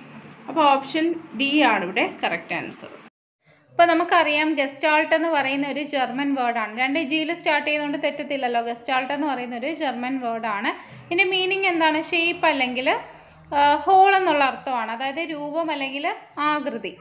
ഇതിൽ ഏറ്റവും ഇമ്പോർട്ടന്റ് ആയിട്ടുള്ളൊരു ആണ്. Whole is more important than parts ഇവിടെ സമഗ്ര രൂപത്തിനാണ് പ്രാധാന്യം കൊടുക്കുന്നത്. ഓരോ പാർട്സിനല്ല മൊത്തത്തിലുള്ള കാര്യത്തിനാണ്. എക്സാമ്പിൾ പറയാം. നമ്മൾ ഈ കാണുന്നത് ഒരു മരമാണ് അല്ലേ? അപ്പോൾ ഇതിന്റെ അകത്ത് ശിഖരങ്ങളുണ്ട്. ഇലയുണ്ട് തടിയുണ്ട് വേരുണ്ട്. നമ്മൾ ഓരോ പാർട്സ് പാർട്സ് ആയിട്ട് കാണാതെ മൊത്തത്തിൽ മരം എന്നുള്ള രീതിയിലാണ് പെർസീവ് ചെയ്യുന്നത് അല്ലേ? അങ്ങനെ നമ്മൾ മൊത്തത്തിൽ എടുക്കുക. അതാണ് ഈ ഒരു ഗസ്റ്റാൾട്ട് സൈക്കോളജി കൊണ്ട് ഉദ്ദേശിക്കുന്നത്. അതുപോലെ നമ്മുടെ ബോഡി നമ്മുടെ ബോഡിയിൽ ഒരുപാട് പാർട്സ് ഉണ്ട് അല്ലേ? കണ്ണുണ്ട് മൂക്കുണ്ട് ചെവിയുണ്ട് വൃക്കയുണ്ട് കരളുണ്ട്. അങ്ങനെ ഓരോന്ന് ഓരോന്നായിട്ട് എടുക്കാതെ മൊത്തത്തിൽ നമ്മൾ ഹ്യൂമൻ ബോഡി എന്നും പറഞ്ഞെടുക്കുന്നു അല്ലേ? മനുഷ്യ ശരീരം എന്ന് പറഞ്ഞെടുക്കുന്നു അപ്പോൾ ഗസ്റ്റാൾട്ട് സൈക്കോളജിയിൽ ഇത്രയും പറയുന്നുള്ളൂ. ഓരോ പാർട്സ് പാർട്സായിട്ട് നമ്മൾ എടുക്കാതെ മൊത്തത്തിൽ എടുക്കുക. അടുത്ത ഇമ്പോർട്ടന്റ് ആണ്. നമ്മുടെ മൂന്ന് ആൾക്കാർ ഗസ്റ്റാൾട്ട് സൈക്കോളജിസ്റ്റിൽ ഉൾപ്പെടുന്ന മൂന്ന് പേരാണ് മാക്സ് വേർത്തിമറും കോഫ്കയും കോളറും. അപ്പം മുമ്പ് ഇങ്ങനെ ചോദിച്ചിട്ടുണ്ട് താഴെ പറയുന്നതിൽ ഗസ്റ്റാൾട്ട് സൈക്കോളജിസ്റ്റിൽ ഉൾപ്പെടുന്നത് ഏത് ഉൾപ്പെടാത്തത് ഏത്? അപ്പോൾ ഇത് മൂന്നും പഠിച്ചു വെച്ചേക്കുക. ഇനി എടുത്ത് ചോദിക്കുവാണ് ആരാണ് ഇതിന്റെ ഫൗണ്ടർ ഗസ്റ്റാൾട്ട് സൈക്കോളജിയുടെ ഫൗണ്ടർ ആരാന്ന് ചോദിച്ചാൽ അത് വേർത്തിമറാണ്. ഇപ്പോൾ നമ്മുടെ ക്വസ്റ്റ്യൻസ് ഒക്കെ വളരെ ഡീപ്പായിട്ട് ചോദിക്കുന്നതുകൊണ്ട് വർത്തിമറിനെ കുറിച്ച് പഠിക്കുന്ന സമയത്ത് നമ്മൾ ഫൈവ് ഫിനോമിനൻ എന്താണെന്ന് അറിഞ്ഞിരിക്കണം. അപ്പോൾ ഫൈവ് ഫിനോമിനൻ വളരെ ഇമ്പോർട്ടന്റ് ആയിട്ടുള്ളൊരു ആണ് കേട്ടോ. അത് ആരുമായി ബന്ധപ്പെട്ടിരിക്കുന്നു എന്ന് ചോദിച്ചാൽ വർത്തിമറാണ് അപ്പോൾ ഈ ഫൈവ് ഫിനോമിന അദ്ദേഹം കണ്ടുപിടിക്കുന്നതെന്ന് വെച്ചാൽ അദ്ദേഹം ട്രെയിനിൽ യാത്ര ചെയ്യുന്ന സമയത്ത് ഒരു സ്റ്റേഷനിൽ ട്രെയിൻ നിർത്തിയിടുവാണ്. ആ സമയത്ത് സിഗ്നൽ ലൈറ്റുകൾ അദ്ദേഹം കണ്ടു. അപ്പോൾ സിഗ്നൽ ലൈറ്റുകളിൽ രണ്ട് മൂന്ന് ലൈറ്റുകൾ എന്ത് ചെയ്യുന്നു നിശ്ചിത ഇടവേളകളിൽ അണയുകയും കത്തിയൊക്കെ ചെയ്യുന്നതായിട്ട് കണ്ടു. അത് അദ്ദേഹത്തിന് ഒരു മൂവ്മെന്റ് ആയിട്ട് തോന്നി. ആ ലൈറ്റ് മൂവ് ചെയ്യുന്നതായിട്ട് തോന്നി. അപ്പം ഞാൻ എക്സാമ്പിൾ പറയുകയാണെങ്കിൽ നമ്മളൊക്കെ ബസ്സിൽ യാത്ര ചെയ്യുന്നതാണല്ലേ ഇപ്പോൾ ബസ്സിന്റെ ഫ്രണ്ടിൽ ഒരു ദേവിയുടെ ഫോട്ടോയും അതിന്റെ ചുറ്റും മിക്ക ബസ്സിലും കാണും. ഇങ്ങനെ ലൈറ്റുകൾ ഇങ്ങനെ ഒന്നെങ്കിൽ വട്ടത്തിലോ അല്ലെങ്കിൽ സ്ക്വയറിലോ ഇങ്ങനെ മിന്നി ഒരു നമുക്കൊരു മൂവ്മെന്റ് പോലെ ഇങ്ങനെ തോന്നും. അല്ലേ? കണ്ടിട്ടില്ലേ? ശ്രദ്ധിച്ചറിയാൻ പറ്റും. അതൊക്കെ ഫൈവ് ഫിനോമിനൻ എക്സാമ്പിൾസ് ആണ്. അപ്പോൾ നമ്മുടെ നിത്യജീവിതത്തിൽ കുറേ എക്സാമ്പിൾസ് ഇതുപോലെ ഉണ്ട്. അപ്പോൾ ശരി അടുത്ത നോക്കാം. അപ്പോൾ ഈ തിയറിയുടെ ഏറ്റവും പ്രധാനപ്പെട്ട ഘടകം അല്ലെങ്കിൽ മെയിൻ ഫാക്ടർ എന്ന് പറയുന്നത് എന്താണ്? ഡെവലപ്മെന്റ് ഓഫ് ഇൻസൈറ്റ് അല്ലെങ്കിൽ അന്തർദൃഷ്ടിയുടെ വികസനമാണ്. അടുത്ത എന്താണ്? An individual firstly identify the problem organise a perceptions and use insights to solve that problem ഇപ്പോൾ ഫസ്റ്റ് നമ്മൾ എന്തോ ചെയ്യുന്നു? ഒരു പ്രോബ്ലം ഐഡന്റിഫൈ ചെയ്യുന്നു അല്ലേ? നമ്മളവിടെ വാഴപ്പഴം എടുക്കുക എന്നുള്ളതാണ് ചിമ്പാൻസി അഭിമുഖീകരിച്ച പ്രശ്നം. അപ്പോൾ അത് നമ്മൾ എന്ത് ചെയ്യുന്നു? നമ്മുടെ പെർസെപ്ഷനെ ഓർഗനൈസ് ചെയ്യുന്നു. അതുപോലെ തന്നെ നമുക്ക് പെട്ടെന്നുണ്ടാകുന്ന ഒരു ഉൾക്കാഴ്ച കൊണ്ട് ആ ഒരു പ്രോബ്ലം നമ്മൾ സോൾവ് ചെയ്യുന്നു. ഇനി നമുക്ക് ചോദ്യം ചോദിക്കുന്നൊരു ഭാഗമാണ് ഈ ഗസ്റ്റാൾട്ട് ലോസ് ഓഫ് ലേണിംഗ് എന്ന് പറയുന്നത്. അപ്പോൾ നമുക്ക് ആ ലോസ് ഒക്കെ എന്തോ നോക്കാം. ആദ്യത്തേത് ലോ പ്രോക്സിമിറ്റി അല്ലെങ്കിൽ സാമീപ്യ നിയമം എന്ന് പറയും. അതായത് സമീപത്തുള്ളതിനെയെല്ലാം നമ്മൾ കൂട്ടമായിട്ട് കാണുന്നു. ഈ പിക്ചർ നോക്കിയേ നമുക്ക് അതിന്റെ അകത്ത് ആറ് ആരോകൾ കാണാം അല്ലേ? പക്ഷെ നമ്മളിതെങ്ങനെയാണ് കാണുന്നത്? മൂന്നെണ്ണം ഒന്നിച്ചിരിക്കുന്നത് ഒരു ഗ്രൂപ്പായിട്ട് എടുക്കുന്നു. അടുത്ത മൂന്നെണ്ണം ഒന്നിച്ചിരിക്കുന്ന ഒരു ഗ്രൂപ്പ്. അതായത് സമീപത്തുള്ളവയെ എന്ത് ചെയ്യുന്നു? കൂട്ടങ്ങളായിട്ട് കാണുന്നു. അതാണ് ലോ പ്രോക്സിമിറ്റി ഈ പിക്ചർ നോക്കിയാൽ എല്ലാം എന്താണ്? കുഞ്ഞു കുഞ്ഞു വൃത്തങ്ങൾ കുഞ്ഞു കുഞ്ഞു പൊട്ടുകളാണ് അല്ലേ? പക്ഷെ നമ്മളിത് എങ്ങനെയാണ് കാണുന്നത്? അടുത്തടുത്തിരിക്കുന്ന ഇതെല്ലാം കൂടെ ഒറ്റ ഗ്രൂപ്പാണ്. ഇത് മറ്റൊരു ഗ്രൂപ്പാണ്. ഇത് മറ്റൊരു ഗ്രൂപ്പാണ്. ഇങ്ങനെയല്ലേ കാണുന്നത്. അപ്പോൾ അതാണ് ലോ പ്രോക്സിമിറ്റി അടുത്തടുത്തുള്ളവയെ കൂട്ടങ്ങളായിട്ട് കാണപ്പെടുന്നു. അല്ലെങ്കിൽ elements that are closer to each other are perceived as part of the same configuration. അടുത്തേന്ന് പറയുന്നത് ലോ സിമിലാരിറ്റി അല്ലെങ്കിൽ സാമ്യത നിയമമാണ്. അപ്പോൾ അതിൽ ഒരേ രൂപസാദൃശ്യമുള്ളവയെ നമ്മൾ കൂട്ടങ്ങളായിട്ട് കാണുന്നു. ഇപ്പോൾ വൃത്തം മൂന്ന് വൃത്തങ്ങളാണ് എടുത്തിരിക്കുന്നത്. അതൊരു ഗ്രൂപ്പ്. ഇനി ത്രികോണമാണെങ്കിൽ അതൊരു ഗ്രൂപ്പ്. അല്ലെങ്കിൽ സ്ക്വയർ ആണെങ്കിൽ അതൊരു ഗ്രൂപ്പ്. അങ്ങനെ നമ്മൾ കാണുന്നു. അതിപ്പോൾ ഷേപ്പ് മാത്രമല്ല. ചിലപ്പോൾ സൈസ് ഒരുപോലെ ഉള്ളത് അല്ലെങ്കിൽ കളർ ഒരുപോലുള്ളത് അതിനെയൊക്കെ നമ്മൾ എന്ത് ചെയ്യുന്നു? ഒരേ ഗ്രൂപ്പായിട്ട് കാണുന്നു. അതാണ് ലോ സിമിലാരിറ്റി അടുത്തതെന്ന് പറയുന്നത് ലോ ഓഫ് കണ്ടിന്യൂറ്റി അല്ലെങ്കിൽ തുടർച്ചാ നിയമമാണ്. അപ്പോൾ ഈ ഒരു പിക്ചർ നോക്കിക്കഴിഞ്ഞാൽ ഇത് നമുക്കറിയാം ഓരോ സർക്കിൾസ് ആണ് അല്ലേ? അല്ലെങ്കിൽ കോൺസെൻട്രിക് സർക്കിൾസ് ആണ് അല്ലെങ്കിൽ ഏകകേന്ദ്ര വൃത്തങ്ങളാണ്. അപ്പോൾ ഇത് നമ്മൾ കാണുന്ന എങ്ങനെയാണ്? ഇങ്ങനെ ഒരു സ്പൈറലായിട്ട് കാണാൻ വേണ്ടിയിട്ടാണ് നമ്മുടെ മനസ്സിന് ഇഷ്ടം മനസ്സിലായ? ഒരു കണ്ടിന്യൂറ്റിയുടെ രീതിയിലാണ് നമ്മളിത് കാണുന്നത്. ഈ പിക്ചർ നോക്കിയേ ഈ പിക്ചറിന്റെ അകത്ത് രണ്ട് ആംഗിൾസ് തമ്മിൽ മീറ്റ് ചെയ്തിരിക്കുന്നതായിട്ടാണോ നമുക്ക് തോന്നുന്നത്? അല്ല രണ്ട് ക്രോസിങ് ലൈൻസ് ആയിട്ടാണല്ലേ തോന്നുന്നത്. അപ്പോൾ ഈ ഒരു രീതിയിൽ കാണുന്നതാണ് തുടർച്ചാ നിയമം എന്ന് പറയുന്നത്. അടുത്തത് ലോ ഓഫ് ക്ലോഷ്യർ ആണ്. അപ്പോൾ ഈ താഴെ തന്നിരിക്കുന്ന പിക്ചർ ഓരോന്നും നമുക്ക് തോന്നുന്ന എന്തായിട്ടാണ്? സ്ക്വയറും വൃത്തവും ത്രികോണവും ഒക്കെ ആയിട്ടാണ് അല്ലേ? പക്ഷെ അതിനൊക്കെ ഓരോ വിടവുകളില്ലേ? അപ്പോൾ നമ്മുടെ മനസ്സിനൊരു കഴിവുണ്ട്. ഈ വിടവുകളൊക്കെ നികത്തി അതിനൊരു പൂർണ ചിത്രമായിട്ട് കാണാൻ വേണ്ടിയിട്ട് സാധിക്കുന്നു. അതാണ് ലോ ഓഫ് ക്ലോഷ്യർ നെക്സ്റ്റ് എന്താണ്? Law of figure and ground അല്ലെങ്കിൽ രൂപ പശ്ചാത്തല നിയമമാണ്. ഒരു വസ്തുവിനെ അതിന്റെ പശ്ചാത്തലത്തിൽ നിന്ന് വിഭജിച്ചറിയുന്നു. പശ്ചാത്തലത്തിനനുസരിച്ച് ഭിന്ന ദൃശ്യങ്ങൾ കാണുന്നു. അതായത് ഈ ഒരു പിക്ചർ പലരും പല രീതിയിലാണ് കാണുന്നത്. ചിലർ കാണുന്നതെന്ന് വെച്ചാൽ ഈ രണ്ട് ഫേസുകൾ തമ്മിൽ ഇങ്ങനെ മുഖത്തോട് മുഖം നോക്കുന്നതായിട്ട് കാണാം. ചില ആൾക്കാർ കാണുന്ന ഈ ഫ്ലവർ വേസ് ആയിരിക്കും നടുക്കത്ത്. അപ്പോൾ ഇതാണ് രൂപ പശ്ചാത്തല നിയമത്തിൽ ഉദ്ദേശിക്കുന്നത്.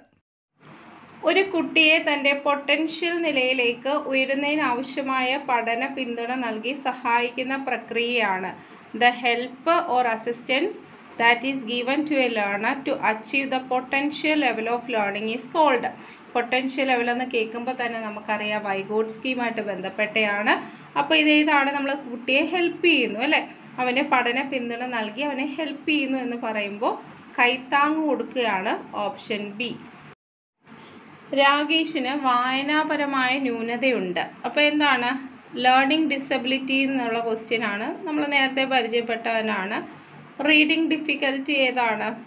ഡിസ്കാൽക്കുലിയ ഡിസ്ലെക്സിയ ഡിസ്ഗ്രാഫിയ ബുദ്ധിപരമായിട്ടുള്ള വെല്ലുവിളി. ഏതാണ്? ഡിസ്ലെക്സിയ ആണ് അല്ലേ? റീഡിംഗ് ഡിസോർഡർ ആണ് ചോദിച്ചിരിക്കുന്നത്. ഡിസ്ലെക്സിയാണ് ഓപ്ഷൻ ബി. സ്വന്തം വികാരങ്ങളെയും മറ്റുള്ളവരുടെ വികാരങ്ങളെയും മനസ്സിലാക്കാൻ കഴിവുള്ള ഒരു കുട്ടിയിലെ പ്രകടമായിരിക്കുന്നത്. അവന് സ്വന്തം ഇമോഷൻസ് തിരിച്ചറിയാൻ സാധിക്കുന്നു. മറ്റുള്ളവരുടെ ഇമോഷൻസ് മനസ്സിലാക്കാൻ സാധിക്കുന്നുണ്ടെങ്കിൽ എന്താണ് അവനിൽ പ്രകടമായിരിക്കുന്നത്. ഇമോഷണൽ ഇന്റലിജൻസ് ആണ് ഓപ്ഷൻ എ. വൈകാരിക ബുദ്ധി. താഴെ പറയുന്ന പാരിസ്ഥിതിക ഘടകങ്ങളിൽ ഏതാണ് കുട്ടിയുടെ സാമൂഹ്യവൽക്കരണത്തെ ബാധിക്കാത്തത്? Which of the following എൻവയോൺമെന്റൽ factors does not affect the socialisation of a child ഇപ്പോൾ ഒരു കുട്ടിയുടെ സോഷ്യൽ ഡെവലപ്മെന്റ് ആരംഭിക്കുന്നത് എപ്പോഴാണ്? കുട്ടി ജനിച്ചു കഴിഞ്ഞ് അവൻ മരിക്കുന്നത് വരെ എന്താണ് ആ ഒരു സോഷ്യൽ ഡെവലപ്മെന്റ് ഇങ്ങനെ നിലനിൽക്കും അല്ലേ? അപ്പോൾ ഏറ്റവും ആദ്യം അല്ലെങ്കിൽ പ്രൈമറി ഫാക്ടർ അല്ലെങ്കിൽ പ്രൈമറി ഏജൻസി എന്ന് പറയുന്നത് എപ്പോഴും ഫാമിലി തന്നെയാണ്. അല്ലേ? ആദ്യം അവൻ കാണുന്നത് എന്താണ്? അവന്റെ കുടുംബവും അവന്റെ ചുറ്റുപാടും കാര്യങ്ങളൊക്കെ കണ്ടാണ് അവന്റെ അച്ഛനും അമ്മയൊക്കെ അവനോട് നല്ലോണം ഇടപഴകി നന്നായിട്ട് സംസാരിക്കുകയൊക്കെ ചെയ്യുന്ന ഒരാളാണെന്നുണ്ടെങ്കിൽ തീർച്ചയായിട്ടും അവൻ പുറത്ത് ചെല്ലുമ്പോഴും എങ്ങനെ ആയിരിക്കും? എല്ലാവരുമായിട്ട് നല്ല രീതിയിൽ ഇടപഴകാൻ വേണ്ടിയിട്ട് ശ്രമിക്കും. അപ്പോൾ അതുപോലെ തന്നെ ഇതിന്റെ അകത്ത് വന്നിരിക്കുന്ന പിയർ ഗ്രൂപ്പ് ആയാലും സ്കൂളായാലും ഫാമിലി ആയാലും ഒക്കെ എന്താണ്? സോഷ്യലൈസേഷൻ ഫാക്ടേഴ്സിൽ ഉൾപ്പെടുന്നതാണ്. ഇതിൽ ഉൾപ്പെടാത്തത് ഇൻട്രസ്റ്റ് ആണ് ഓപ്ഷൻ ഡി വികാസവും പഠനവുമായി ബന്ധപ്പെട്ട രണ്ട് പ്രസ്താവനകളാണ് താഴെ കൊടുത്തിരിക്കുന്നത്. വായിച്ചിട്ട് കറക്റ്റായിട്ടുള്ള ആൻസർ എന്തോന്ന് പറയണം. Two statements related to development and learning are given below നമ്മൾ പി എസ് സിയുടെ ഇപ്പോഴത്തെ സ്റ്റേറ്റ്മെന്റ് ക്വസ്റ്റ്യൻ പോലത്തെ ഒരു ക്വസ്റ്റ്യൻ ആണേ. വികാസം എന്ന് പറയുന്നത് അല്ലെങ്കിൽ development is a prerequisite for learning അതായത് ഡെവലപ്മെന്റ് എന്ന് പറയുന്നത് നമ്മുടെ പഠനത്തിന് അനിവാര്യമാണ്. അത് കറക്റ്റാണ് വികാസവും പഠനവും ലേണിങ്ങും ഡെവലപ്മെന്റും തമ്മിൽ ബന്ധപ്പെട്ടിരിക്കുന്നു. അതും എന്താണ്? കറക്റ്റാണ് അപ്പോൾ ഓപ്ഷൻ എയും കറക്റ്റാണ് ബിയും കറക്റ്റാണ് ഇങ്ങോട്ട് താഴോട്ടുണ്ട് കേട്ടോ. പ്രസ്താവന ഒന്ന് ശരിയാണ് പ്രസ്താവന രണ്ട് ശരിയാണ് ഒന്നും രണ്ട് ശരിയാണ്. അങ്ങനെ ആയിരുന്നു ഓപ്ഷൻ എനിക്ക് ഇതിന്റെ അത് ഉൾപ്പെടുത്താൻ പറ്റിയില്ല. അപ്പോൾ ഇതിന്റെ അത് കറക്റ്റ് എന്താണ്? പ്രസ്താവന രണ്ട് പ്രസ്താവനയും കറക്റ്റാണ് ഇനി ചേരുംപടി ചേർക്കാനാണ്. മാച്ച് ദ ഫോളോയിങ് ആണ്. ഒന്നാമത്തേത് ജീവിത നൈപുണ്യം അല്ലെങ്കിൽ ലൈഫ് സ്കില്ല് അപ്പോൾ എന്താണ്? നമ്മൾ തീരുമാനം എടുക്കുന്നത് അല്ലേ? അല്ലെങ്കിൽ ഒരു ഡിസിഷൻ മേക്ക് ചെയ്യുന്നത് ഒരു ലൈഫ് സ്കില്ലാണ് അപ്പോൾ ഓപ്ഷൻ ഒന്നാമത്തത് എവിടെ പോകണം ഓപ്ഷൻ സിയിലോട്ട് പോവുക ഡിസിഷൻ മേക്കിംഗ് ഇനി രണ്ടാമത്തത് ചിന്തയെക്കുറിച്ചിട്ടുള്ള ചിന്ത. നമ്മൾ പഠിച്ചിട്ടുണ്ട് ചിന്തയെക്കുറിച്ചിട്ടുള്ള ചിന്തയാണ് മെറ്റാ കൊഗ്നിഷൻ എന്ന് പറയുന്നത് അല്ലേ? മെറ്റാ കൊഗ്നിഷൻ എന്ന് പറയുന്നത് എന്താണ്? ഇപ്പോഴേ ഞാനൊരു പാട്ട് മത്സരത്തിന് പോയിട്ട് വന്നു. എന്നിട്ട് ഞാനിരുന്ന് ചിന്തിക്കുവാണ്. ആ ഞാൻ എന്തൊക്കെയാണ് അവിടെ ചെയ്തത്? എവിടെയൊക്കെയാണ് ഞാൻ തെറ്റിച്ചത്? എന്തൊക്കെയാണ് അവിടെ ഞാൻ ശ്രദ്ധിക്കേണ്ടിയിരുന്നത്? എവിടെയൊക്കെ ഞാൻ നന്നാക്കി? ഇനി എന്തൊക്കെ ചെയ്താൽ എന്റെ പെർഫോമൻസ് ഇമ്പ്രൂവ് ചെയ്യാൻ വേണ്ടിയിട്ട് പറ്റും? ഇതാണ് മെറ്റാ കൊഗ്നിഷൻ അല്ലെങ്കിൽ ചിന്തയെക്കുറിച്ചിട്ടുള്ള ചിന്തയെന്ന് പറയുന്നത്. ഇത് തന്നെയാണ് എന്താ? റിഫ്ലക്റ്റീവ് പ്രാക്ടീസ് എന്ന് പറയുന്നത്. മനസ്സിലായോ? ഈ റിഫ്ലക്റ്റീവ് പരിശീലനം അല്ലെങ്കിൽ റിഫ്ലക്റ്റീവ് പരിശീ പ്രാക്ടീസ് എന്ന് പറയുന്നതും ഇത് തന്നെയാണ്. അതായത് ഇപ്പോൾ ഒരു കളിക്കാരൻ കളിച്ചിട്ട് വന്നിട്ട് ചിന്തിക്കുവാണ്. ഞാൻ എവിടെയൊക്കെയാണ് എനിക്ക് പിഴവ് പറ്റിയത്? എന്തൊക്കെയാണ് എനിക്ക് തിരുത്താനുള്ളത്? ഇനി എന്തൊക്കെ ചെയ്താൽ എനിക്ക് ബെറ്റർ ആവാം?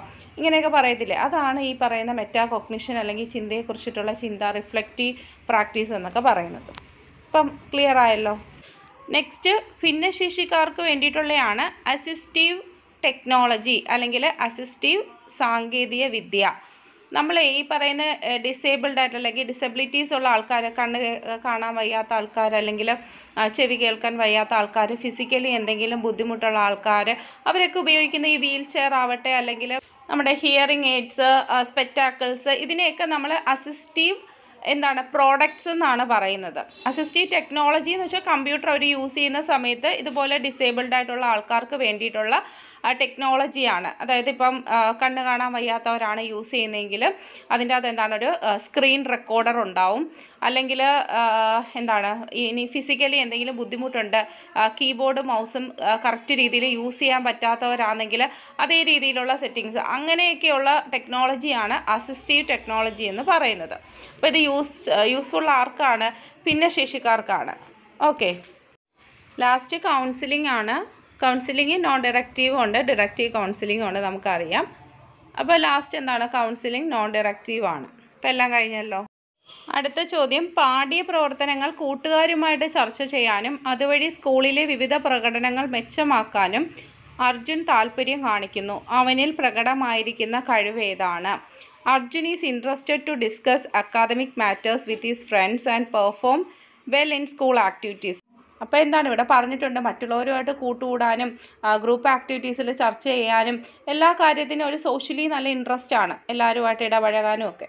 അപ്പോൾ അതെന്താണ്? ഇന്റർ പേഴ്സണൽ ഇന്റലിജൻസ് ആണ് കേട്ടോ. വ്യക്തിയാന്തര ബുദ്ധിയാണ്. ആന്തരിക വൈയക്തിക ബുദ്ധിയുണ്ട്. അല്ലെങ്കിൽ ഇൻട്രാ പേഴ്സണൽ ഇന്റലിജൻസ് ഉണ്ട്. രണ്ടും തമ്മിൽ തിരിഞ്ഞു പോകരുത്. ഇൻട്രാ എന്ന് പറയുമ്പോൾ അവനവനിലേക്ക് തന്നെ ഒതുങ്ങി കൂടാൻ വേണ്ടിയിട്ട് ശ്രമിക്കുകയാണ്. അവിടെ ഗ്രൂപ്പ് ആക്ടിവിറ്റീസിലോ അല്ലെങ്കിൽ കൂട്ടുകാരുമായിട്ടോ ഒന്നും ഇൻട്രാക്ട് ചെയ്യാനൊന്നും അവർക്ക് താല്പര്യം കാണത്തില്ല. അവർക്ക് എപ്പോഴും ഇങ്ങനെ ഒറ്റപ്പെട്ട് സഞ്ചരിക്കാനായിരിക്കും ഇഷ്ടം. മനസ്സിലായോ? അപ്പോൾ അത് കഴിഞ്ഞു. അടുത്ത ക്വസ്റ്റ്യൻ സ്വന്തം കൂട്ടുകാരുടെ വിജയങ്ങളെ ആഘോഷിക്കുകയും അതിൽ സംതൃപ്തി കണ്ടെത്തുകയും ചെയ്യുന്ന ഒരു കുട്ടി ഉപയോഗപ്പെടുത്തുന്ന സമായോജന തന്ത്രം അല്ലെങ്കിൽ ഡിഫൻസ് മെക്കാനിസം ഏതാണ്? ഏതാണ്? സ്വന്തം കൂട്ടുകാരുടെ വിജയങ്ങളെ ആഘോഷിക്കുകയും അതിൽ സംതൃപ്തി കണ്ടെത്തുകയും ചെയ്യുന്നത് താതാത്മീകരണം അല്ലെങ്കിൽ ഐഡന്റിഫിക്കേഷനാണ് ഓപ്ഷൻ ഡി ശാസ്ത്ര വിഷയങ്ങളിലെ ഫോർമുലകളും സമവാക്യങ്ങളും വിശകലനം ചെയ്യുന്നതിന് രേണു വളരെ ബുദ്ധിമുട്ടുന്നു.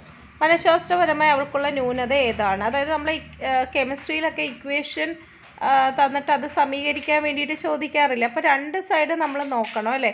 രണ്ട് രീതിയിലും തിങ്ക് ചെയ്യാൻ വേണ്ടിയിട്ട് നമുക്ക് സാധിക്കണം. അപ്പോൾ അതേതാണ്? റിവേഴ്സിബിൾ തിങ്കിങ് ആണ് ഓപ്ഷൻ ഡി പ്രത്യാവർത്തന ചിന്തയെന്ന് പറയും മലയാളത്തിൽ and educational and pedagogical environment that provides the opportunity to question and analyse the relationship between theory and practice is known as സിദ്ധാന്തങ്ങളും അവയുടെ പ്രായോഗികതയും തമ്മിലുള്ള ബന്ധത്തെ ചോദ്യം ചെയ്യാനും വിശകലനം ചെയ്യാനും അവസരമൊരുക്കുന്ന പഠന അധ്യാപന സാഹചര്യം പ്രാവർത്തികമാക്കുന്നതിനെ പറയുന്ന പേരെന്താണ്? ഏതാണ്? ക്രിട്ടിക്കൽ പെഡഗോജിയാണ് ഓപ്ഷൻ എ വിമർശനാത്മക ബോധനശാസ്ത്രം.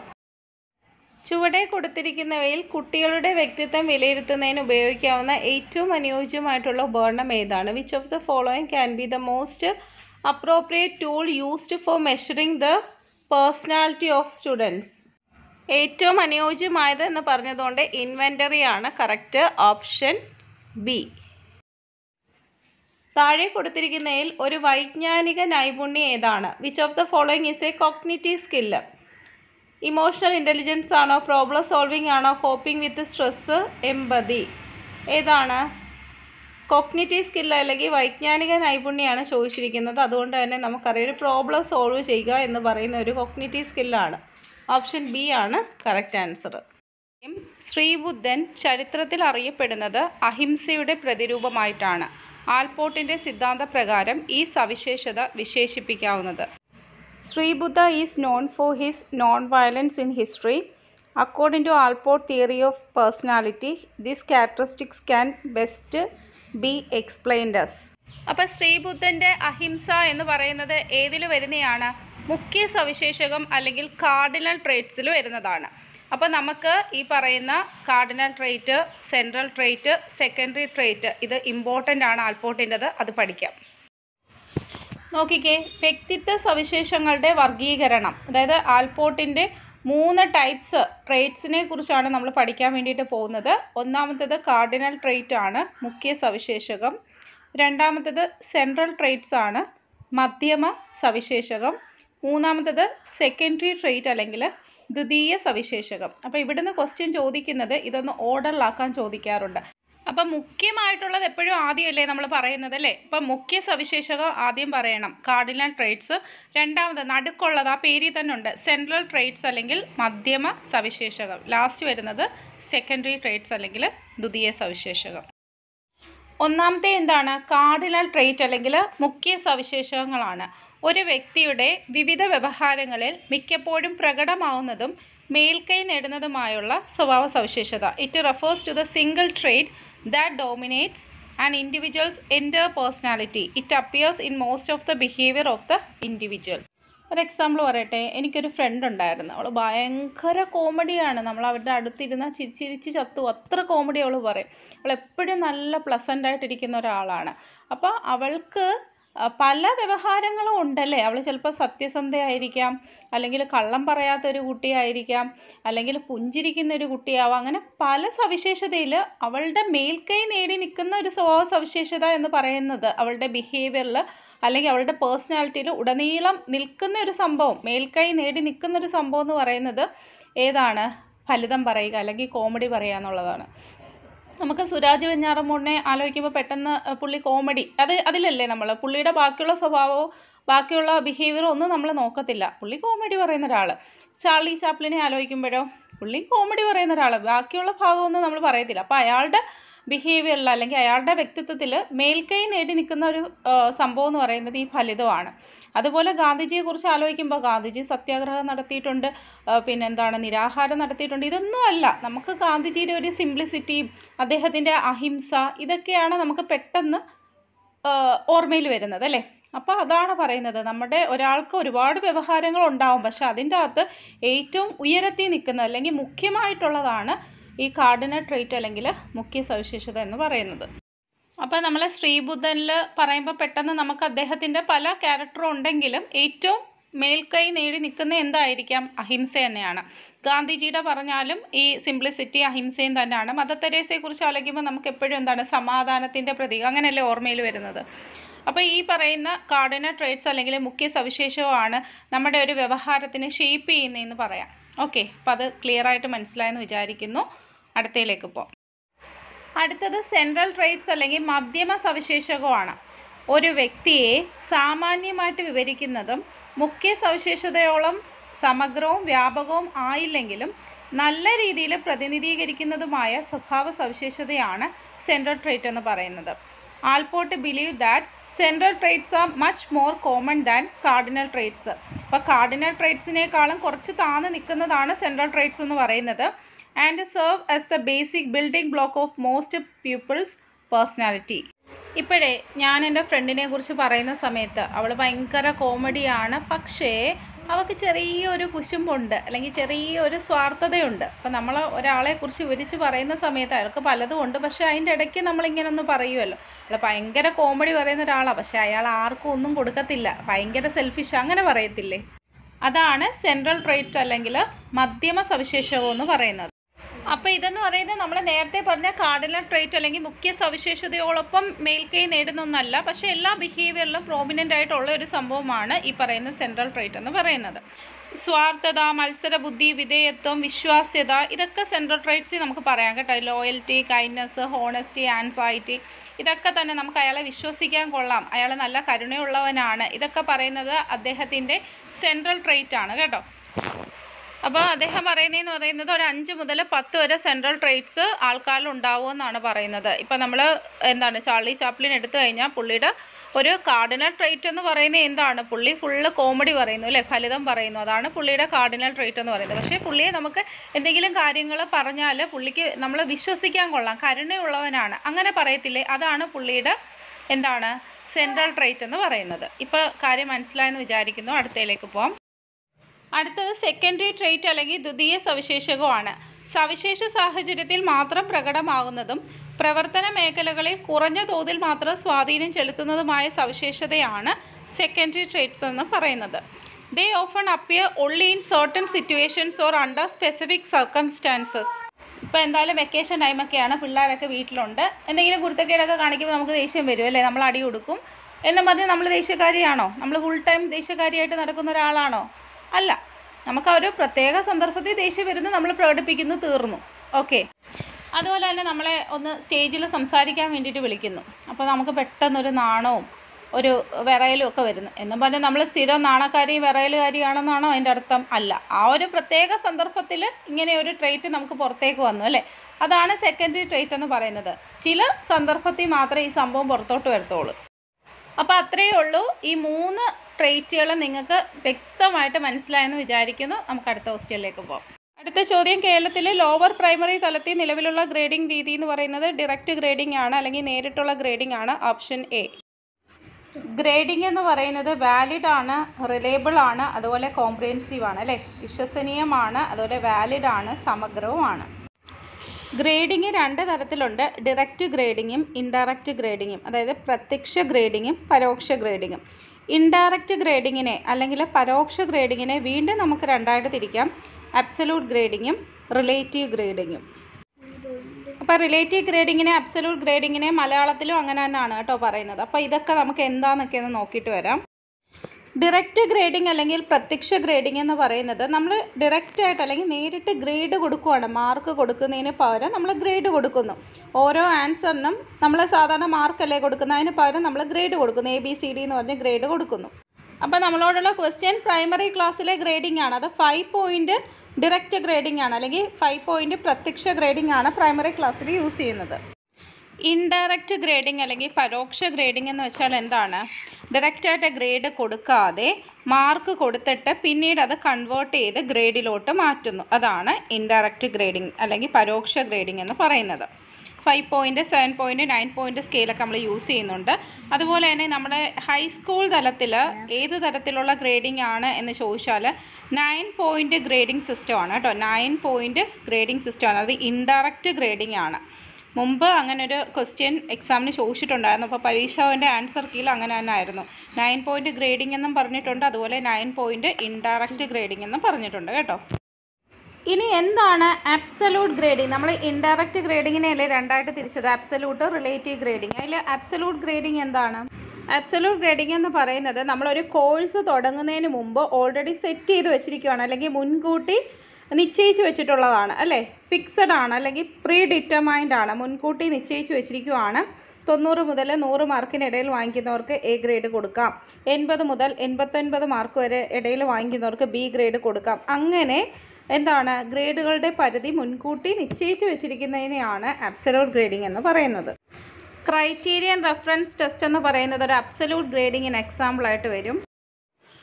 അടുത്തത് റിലേറ്റീവ് ഗ്രേഡിംഗ് ആണ്. നമ്മൾ ഇൻഡയറക്റ്റ് ഗ്രേഡിങ്ങിനെയാണ് രണ്ടായിട്ട് ഡിവൈഡ് ചെയ്തത്. അബ്സലൂട്ട് ഗ്രേഡിങ്ങും റിലേറ്റീവ് ഗ്രേഡിങ്ങും അപ്പോൾ റിലേറ്റീവ് ഗ്രേഡിംഗ് എന്ന് പറയുന്നത് ഇൻഡയറക്റ്റ് ഗ്രേഡിങ്ങിന്റെ ആണ് ഓർത്തേക്കണം. ഇവിടെ എന്താ നടക്കുന്നത്? ടീച്ചർ കുട്ടികളുടെ പ്രകടനത്തെ ബാക്കിയുള്ള കുട്ടികളുമായിട്ട് താരതമ്യം ചെയ്തതിന് ശേഷമാണ് ഇവിടെ ഗ്രേഡ് കൊടുക്കുന്നത്. Teacher to interpret the result of an evaluation and deciding and assigning grades based on student performance as compared to the others in the class ക്ലാസ്സിലെ മറ്റുള്ളവരുമായിട്ട് താരതമ്യപ്പെടുത്തി കുട്ടികളുടെ പ്രകടനത്തെ അടിസ്ഥാനമാക്കി ഗ്രേഡുകൾ തീരുമാനിക്കുന്നു. അപ്പോൾ ടീച്ചർ എക്സാം ഇടുന്നു. എക്സാമിന് ശേഷം ആ ക്ലാസ്സിൽ പത്ത് കുട്ടികളെ അതായത് ടോപ്പ് മാർക്ക് വാങ്ങിച്ച പത്ത് കുട്ടികളെ എടുക്കുന്നു. ആ കുട്ടികൾക്ക് എ ഗ്രേഡ് കൊടുക്കുന്നു. അതിന്റെ താഴെ മാർക്ക് വാങ്ങിക്കുന്ന ഇരുപത്തഞ്ച് കുട്ടികളെ എടുത്ത് ബി ഗ്രേഡ് കൊടുക്കുന്നു. അതിന്റെ താഴെ വരുന്ന മുപ്പത് കുട്ടികൾക്ക് സി ഗ്രേഡ് കൊടുക്കുന്നു. അതിന്റെ താഴെ വരുന്ന കുട്ടികൾക്ക് എന്ത് കൊടുക്കുന്നു? ഡി ഗ്രേഡ് കൊടുക്കുന്നു. ബാക്കിയുള്ള പരാജയപ്പെട്ട കുട്ടികൾക്ക് ഇ ഗ്രേഡ് അല്ലെങ്കിൽ എഫ് ഗ്രേഡ് കൊടുക്കുന്നു. അപ്പോൾ ഇതാണ് സംഭവം. അപ്പോൾ ഇതെല്ലാം തന്നെ നമ്മൾ ഇന്ന് ഈ വീഡിയോയിൽ പറഞ്ഞ കാര്യങ്ങളൊക്കെ തന്നെ പ്രീവിയസ് ആയിട്ട് ചോദിച്ച ഭാഗത്തു നിന്നാണ്. നമ്മൾ വലിച്ചു വാരി ഒന്നും പഠിക്കുന്നില്ല. ഇമ്പോർട്ടന്റ് ആയിട്ടുള്ള കാര്യങ്ങൾ മാത്രമേ നമ്മൾ പഠിക്കത്തുള്ളൂ. കേട്ടോ? അപ്പോൾ ഇതെല്ലാം തന്നെ ഒരു പോയിന്റ് പോലും ഒഴിവാക്കാതെ അങ്ങ് പഠിച്ചേക്കണം. അപ്പോൾ നമുക്ക് അടുത്ത ക്ലാസ്സിൽ അടുത്ത ക്വസ്റ്റ്യൻസുമായിട്ട് കാണാം. ലൈക്ക് ചെയ്യാനും ഷെയർ ചെയ്യാനും കമന്റ് ചെയ്യാനും മറക്കരുത്. അപ്പോൾ അടുത്ത ക്ലാസ്സിൽ കാണാം. താങ്ക് രണ്ടാമത്തെ ക്വസ്റ്റ്യൻ താഴെ പറയുന്നതിൽ കൂട്ടത്തിൽ പെടാത്തത് കണ്ടുപിടിക്കുക. Odd one out of the following is അപ്പോൾ നോക്കിക്കേ Rorschach ink blot test Rorschach മഷിയൊപ്പ് പരീക്ഷ തീമാറ്റിക് അപ്പർസെപ്ഷൻ ടെസ്റ്റ് അല്ലെങ്കിൽ TAT word association test cumulative record അപ്പോൾ ഇതിന്റെ അകത്ത് കൂട്ടത്തിൽ പെടാത്ത നമുക്കറിയാം സഞ്ചിത രേഖ അല്ലെങ്കിൽ ക്യുമുലേറ്റീവ് റെക്കോർഡാണ് ബാക്കിയുള്ളതെല്ലാം പ്രൊജക്റ്റീവ് ടെസ്റ്റിൽ വരുന്നതാണ്. നമ്മൾ പേഴ്സണാലിറ്റി അസസ് ചെയ്യാൻ വേണ്ടിയിട്ടാണ് objective method subjective method projective method എന്ന് പറഞ്ഞ് മൂന്നായിട്ട് തിരിച്ചിട്ടുണ്ട് അല്ലേ? അതിൽ പ്രൊജക്റ്റീവ് മെത്തേഡിൽ വരുന്നതാണ് ഈ പറയുന്ന sentence completion test child apperception test thematic apperception test Rorschach ink blot test picture association test word association test ഇത്രയും കാര്യം ഒന്ന് പഠിച്ചു വെച്ചേക്കാം. വ്യക്തിത്വവുമായിട്ട് ബന്ധപ്പെട്ട് ആത്മബോധം ആദർശാത്മക അഹം യാഥാർത്ഥ്യാധിഷ്ഠിത അഹം എന്നീ ആശയങ്ങൾ മുന്നോട്ട് വെച്ചത് ആരാണ്? Who proposed the idea such self concept ideal self and real self in connection with personality ഇത് മുന്നോട്ട് വെച്ചത് കാൾ റോജേഴ്സ് ആണ് ഓപ്ഷൻ എ നമുക്ക് കാൾ റോജേഴ്സിന്റെ സെൽഫ് തിയറി അല്ലെങ്കിൽ ആത്മാവബോധ സിദ്ധാന്തത്തെ പറ്റി നോക്കാം. ഇവിടെ രോഗിയെ കേന്ദ്രീകരിച്ചിട്ടുള്ള ചികിത്സ രോഗിയെ കേന്ദ്രീകരിച്ചുള്ള ചികിത്സ എന്ന ആശയത്തിൽ അധിഷ്ഠിതമായ ആത്മാവബോധ സിദ്ധാന്തം അല്ലെങ്കിൽ സെൽഫ് തിയറിക്ക് രൂപം നൽകി. അല്ലെങ്കിൽ പേഷ്യൻ സെന്റേർഡ് കെയർ എന്നാണ് കേട്ടോ. വ്യക്തിത്വ ഘടന അല്ലെങ്കിൽ പേഴ്സണാലിറ്റി സ്ട്രക്ചറിനെ അദ്ദേഹം മൂന്നായിട്ട് തിരിക്കുന്നു. ജൈവവസ്ഥ ആത്മാവബോധം ആദർശാത്മകമായ ആത്മാവബോധം. The organism the self the ideal self the organism അല്ലെങ്കിൽ ജൈവവസ്ഥ എന്ന് പറയുന്നത് നമ്മൾ കുറേ കാര്യങ്ങൾ ബോധത്തോടെ ചെയ്യും. കുറേ കാര്യങ്ങൾ അൺകോൺഷ്യസ് ആയിട്ട് ചെയ്യല്ലേ? കോൺഷ്യസ് ആയിട്ട് ചെയ്യുന്ന കാര്യമുണ്ട് അൺകോൺഷ്യസ് ആയിട്ട് ചെയ്യുന്ന കാര്യമുണ്ട്. ഇതിന്റെ രണ്ടിന്റെയും കൂടെ ആകെ തുകയാണ് നമ്മൾ ദി ഓർഗാനിസം അല്ലെങ്കിൽ ജൈവവസ്ഥ എന്ന് പറയുന്നത്. മനസ്സിലായോ? ഒരു വ്യക്തിക്ക് തന്നെ പറ്റി തന്നെ ഒരുപാട് ധാരണകൾ ഉണ്ടാവും അല്ലേ? അതിനെയാണ് ദി സെൽഫ് അല്ലെങ്കിൽ ആത്മാവബോധം എന്ന് പറയുന്നത്. A person's perception of himself. അടുത്തത് ഒരു വ്യക്തി താൻ എങ്ങനെയാവണം അല്ലെങ്കിൽ എങ്ങനെയായി തീരണം എന്ന് ചിന്തിക്കില്ലേ? അതിനെയാണ് ആദർശാത്മകമായ ആത്മാവബോധനം അല്ലെങ്കിൽ ദി ഐഡിയൽ സെൽഫ് എന്ന് പറയുന്നത്. Whatever the person wants to be അപ്പോൾ ദി സെൽഫും ദി ഐഡിയൽ സെൽഫും വളരെ ഇമ്പോർട്ടന്റ് ആണ്. ദി സെൽഫ് എന്ന് പറയുന്നത് വ്യക്തിക്ക് തന്നെ പറ്റിയിട്ടുള്ള ധാരണയാണ്. താൻ ഇപ്പോൾ എന്താണ് ഏത് ലെവലിലാണെന്ന് വ്യക്തിക്ക് അറിയാം. ആ ഒരു ധാരണയാണ് ദി സെൽഫ് എന്ന് പറയുന്നത്. ഐഡിയൽ സെൽഫ് എന്ന് പറയുന്നത് നമുക്ക് പല ആഗ്രഹങ്ങളുണ്ടല്ലോ. ഇങ്ങനെ ആയി തീരണം അങ്ങനെ ആയി തീരണം ഭാവിയിൽ ഇന്ന ഇന്ന കാര്യങ്ങൾ ചെയ്യണം. അതൊക്കെയാണ് ദി ഐഡിയൽ സെൽഫ് എന്ന് പറയുന്നത്. അപ്പോൾ ഈ പറഞ്ഞ ദി സെൽഫും ദി ഐഡിയൽ സെൽഫ് അതായത് ആത്മാവബോധവും ആദർശാത്മകമായ ആത്മാവബോധവും തമ്മിൽ പൊരുത്തക്കേടുകൾ ഉണ്ടാകുമ്പോൾ അത് നമ്മുടെ വ്യക്തിത്വത്തിൽ വൈകല്യങ്ങൾ ഉണ്ടാക്കും അല്ലെങ്കിൽ പേഴ്സണാലിറ്റി ഡിസോർഡറിലേക്ക് മാറാം. എന്ന് പറഞ്ഞത് ആരാണ് എന്ന് ചോദിച്ചിട്ടുണ്ട് കേട്ടോ. കാൾ റോജോസ് ആണ്. ഇത് മുമ്പ് യു പിക്കോ എൽ പിക്കോ ചോദിച്ചൊരു പ്രീവിയസ് ക്വസ്റ്റ്യൻ ആണ്. ഇവിടെ കാണിച്ചിരിക്കുന്ന പിക്ചർ എന്ന് പറയുന്നത് പഠന വക്രം അല്ലെങ്കിൽ ലേണിംഗ് കർവാണ് അറിയാമല്ലോ അപ്പോൾ ഇതൊരു സ്ട്രെയിറ്റ് ലൈൻ കർവാന്ന് നമുക്കറിയാം. ഇത് കോൺസ്റ്റന്റ് ആണ് അല്ലേ? സ്ഥിരമാണ് ഇതിന്റെ പുരോഗതിക്ക് ഒരു വ്യത്യാസവും ഇല്ല. ഇങ്ങനെ കണ്ടിന്യൂസ് ആയിട്ട് തുടർച്ചയായിട്ട് കൂടി കൂടിക്കൊണ്ടിരിക്കുവാണ്. അപ്പോൾ ഇതൊക്കെ നമുക്കറിയാം. ഈ ഒരു ക്വസ്റ്റ്യന്റെ ഓപ്ഷൻസ് വായിച്ച് നോക്കിയാൽ നമുക്ക് രണ്ട് ആൻസർ ശരിയായിട്ട് കിട്ടും. ഒന്നെന്ന് പറയുന്നത് പഠനത്തിന്റെ പുരോഗതി തുടർച്ചയായിട്ട് കൂടിക്കൊണ്ടിരിക്കുന്നു. രണ്ടാമത്തത് പഠന പുരോഗതി സ്ഥിരമാണ്. അപ്പോൾ രണ്ട് ആൻസർ വന്നതുകൊണ്ട് പരീക്ഷ ഭവൻ ഈ ക്വസ്റ്റ്യൻ ക്യാൻസൽ ചെയ്തു. നമുക്ക് എന്തായാലും ലേണിംഗ് കർവ് നോക്കാം. ലേണിംഗ് കർവ് അല്ലെങ്കിൽ പഠന വക്രം എന്ന് പറയുന്നത് കുട്ടിക്ക് എത്രത്തോളം ലേണിംഗ് പ്രോഗ്രസ് അല്ലെങ്കിൽ അവന്റെ പഠന പുരോഗതിയുടെ വ്യത്യാസം മനസ്സിലാക്കാൻ വേണ്ടിയിട്ടാണ്. എത്രത്തോളം അവൻ ലേണിങ്ങിൽ ഇമ്പ്രൂവ്മെന്റ് ഉണ്ടായി ആ ഒരു പ്രോഗ്രസ് മനസ്സിലാക്കാൻ വേണ്ടിയിട്ടുള്ള ഗ്രാഫിക്കൽ റെപ്രസെന്റേഷനാണ് ലേണിംഗ് കർവ് അല്ലെങ്കിൽ പഠന വക്രം എന്ന് പറയുന്നത്. അപ്പോൾ നാല് തരത്തിലുള്ള പഠന വക്രത്തെക്കുറിച്ചാണ് നമ്മൾ പഠിക്കുന്നത്. ഇമ്പോർട്ടന്റ് ആണ്. ഒന്നാമത്തേത് സ്ട്രെയിറ്റ് ലൈൻ കർവ് അല്ലെങ്കിൽ ഋജുരേഖ വക്രം. രണ്ടാമത്തേത് ഉന്മധ്യ വക്രം അല്ലെങ്കിൽ കോൺവെക്സ് കർവ് നദമധ്യ വക്രം അല്ലെങ്കിൽ കോൺകേവ് കർവ് സമ്മിശ്ര വക്രം മിക്സഡ് കർവ്. ഒന്നാമത്തത് ഋജുരേഖ വക്രം അല്ലെങ്കിൽ സ്ട്രെയിറ്റ് ലൈൻ കർവ് ആണ് ആ പേര് പോലെ തന്നെ പഠന പുരോഗതി ഒരേ നിരക്കിൽ തന്നെ പോവുക. പഠിച്ചുകൊണ്ടിരിക്കുന്ന കുട്ടിയാണെങ്കിൽ പഠിച്ചുകൊണ്ട് തന്നെ ഇരിക്കുന്നു. അവന്റെ പുരോഗതിയിൽ മാറ്റമൊന്നുമില്ല. പഠിച്ചുകൊണ്ട് തന്നെ പോവുകയാണ്. അതാണ് സ്ട്രെയിറ്റ് ലൈൻ കർവ് അല്ലെങ്കിൽ ഋജുരേഖ വക്രം എന്തോ പറയും uniform rate of progress in learning രണ്ടാമത്തേത് കോൺവെക്സ് കേവ് അല്ലെങ്കിൽ ഉന്മധ്യവഗ്രം എന്ന് വെച്ചാൽ എന്താണ്? ആ ആദ്യമൊക്കെ ഭയങ്കര പഠിക്കാൻ വേണ്ടിയിട്ട് ഇൻട്രസ്റ്റ് ആണ് മിടുക്കിയായിട്ട് പഠിക്കുന്ന ഒരു കുട്ടി. പിന്നെ ക്രമേണ ക്രമേണ ക്രമേണ എന്ത് ചെയ്യുന്നു? പഠിത്തത്തിന്റെ പുരോഗതി മന്ദഗതിയിലാവുന്നു. അതാണ് കോൺവെക്സ് കർവ് അല്ലെങ്കിൽ ഉന്മധ്യ വക്രം എന്ന് പറയുന്നത്. ഇതിന് മറ്റൊരു പേര് കൂടെ ഉണ്ട്. നെഗറ്റീവ്ലി ആക്സിലറേറ്റഡ് ലേണിംഗ് കർവ് അല്ലെങ്കിൽ ഋണത്വരണ പഠനവക്രം. മനസ്സിലായോ? ഋണതോരണ പഠനവക്രം എന്നറിയപ്പെടുന്നത് ഉന്മധ്യ വക്രം എന്ന് ഓർത്ത് വെച്ചേക്കാം അടുത്തത് നതമധ്യ വക്രം അല്ലെങ്കിൽ കോൺകേവ് കർവാണ് നമ്മൾ നേരത്തെ പറഞ്ഞ കോൺവെക്സ് കർവിന്റെ ജസ്റ്റ് ഓപ്പോസിറ്റ് ആണ്. അതായത് തുടക്കത്തിൽ കുട്ടി എന്ത് ചെയ്യുന്നു? ഉളപ്പിയൊക്കെ നടക്കുന്നു പഠിക്കുന്നില്ല. ഓണപരീക്ഷയ്ക്കൊക്കെ മാർക്ക് കുറവാണ്. അതിനുശേഷം പിന്നീട് എന്ത് ചെയ്യുന്നു? അവൻ പഠിക്കുന്നു അല്ലേ?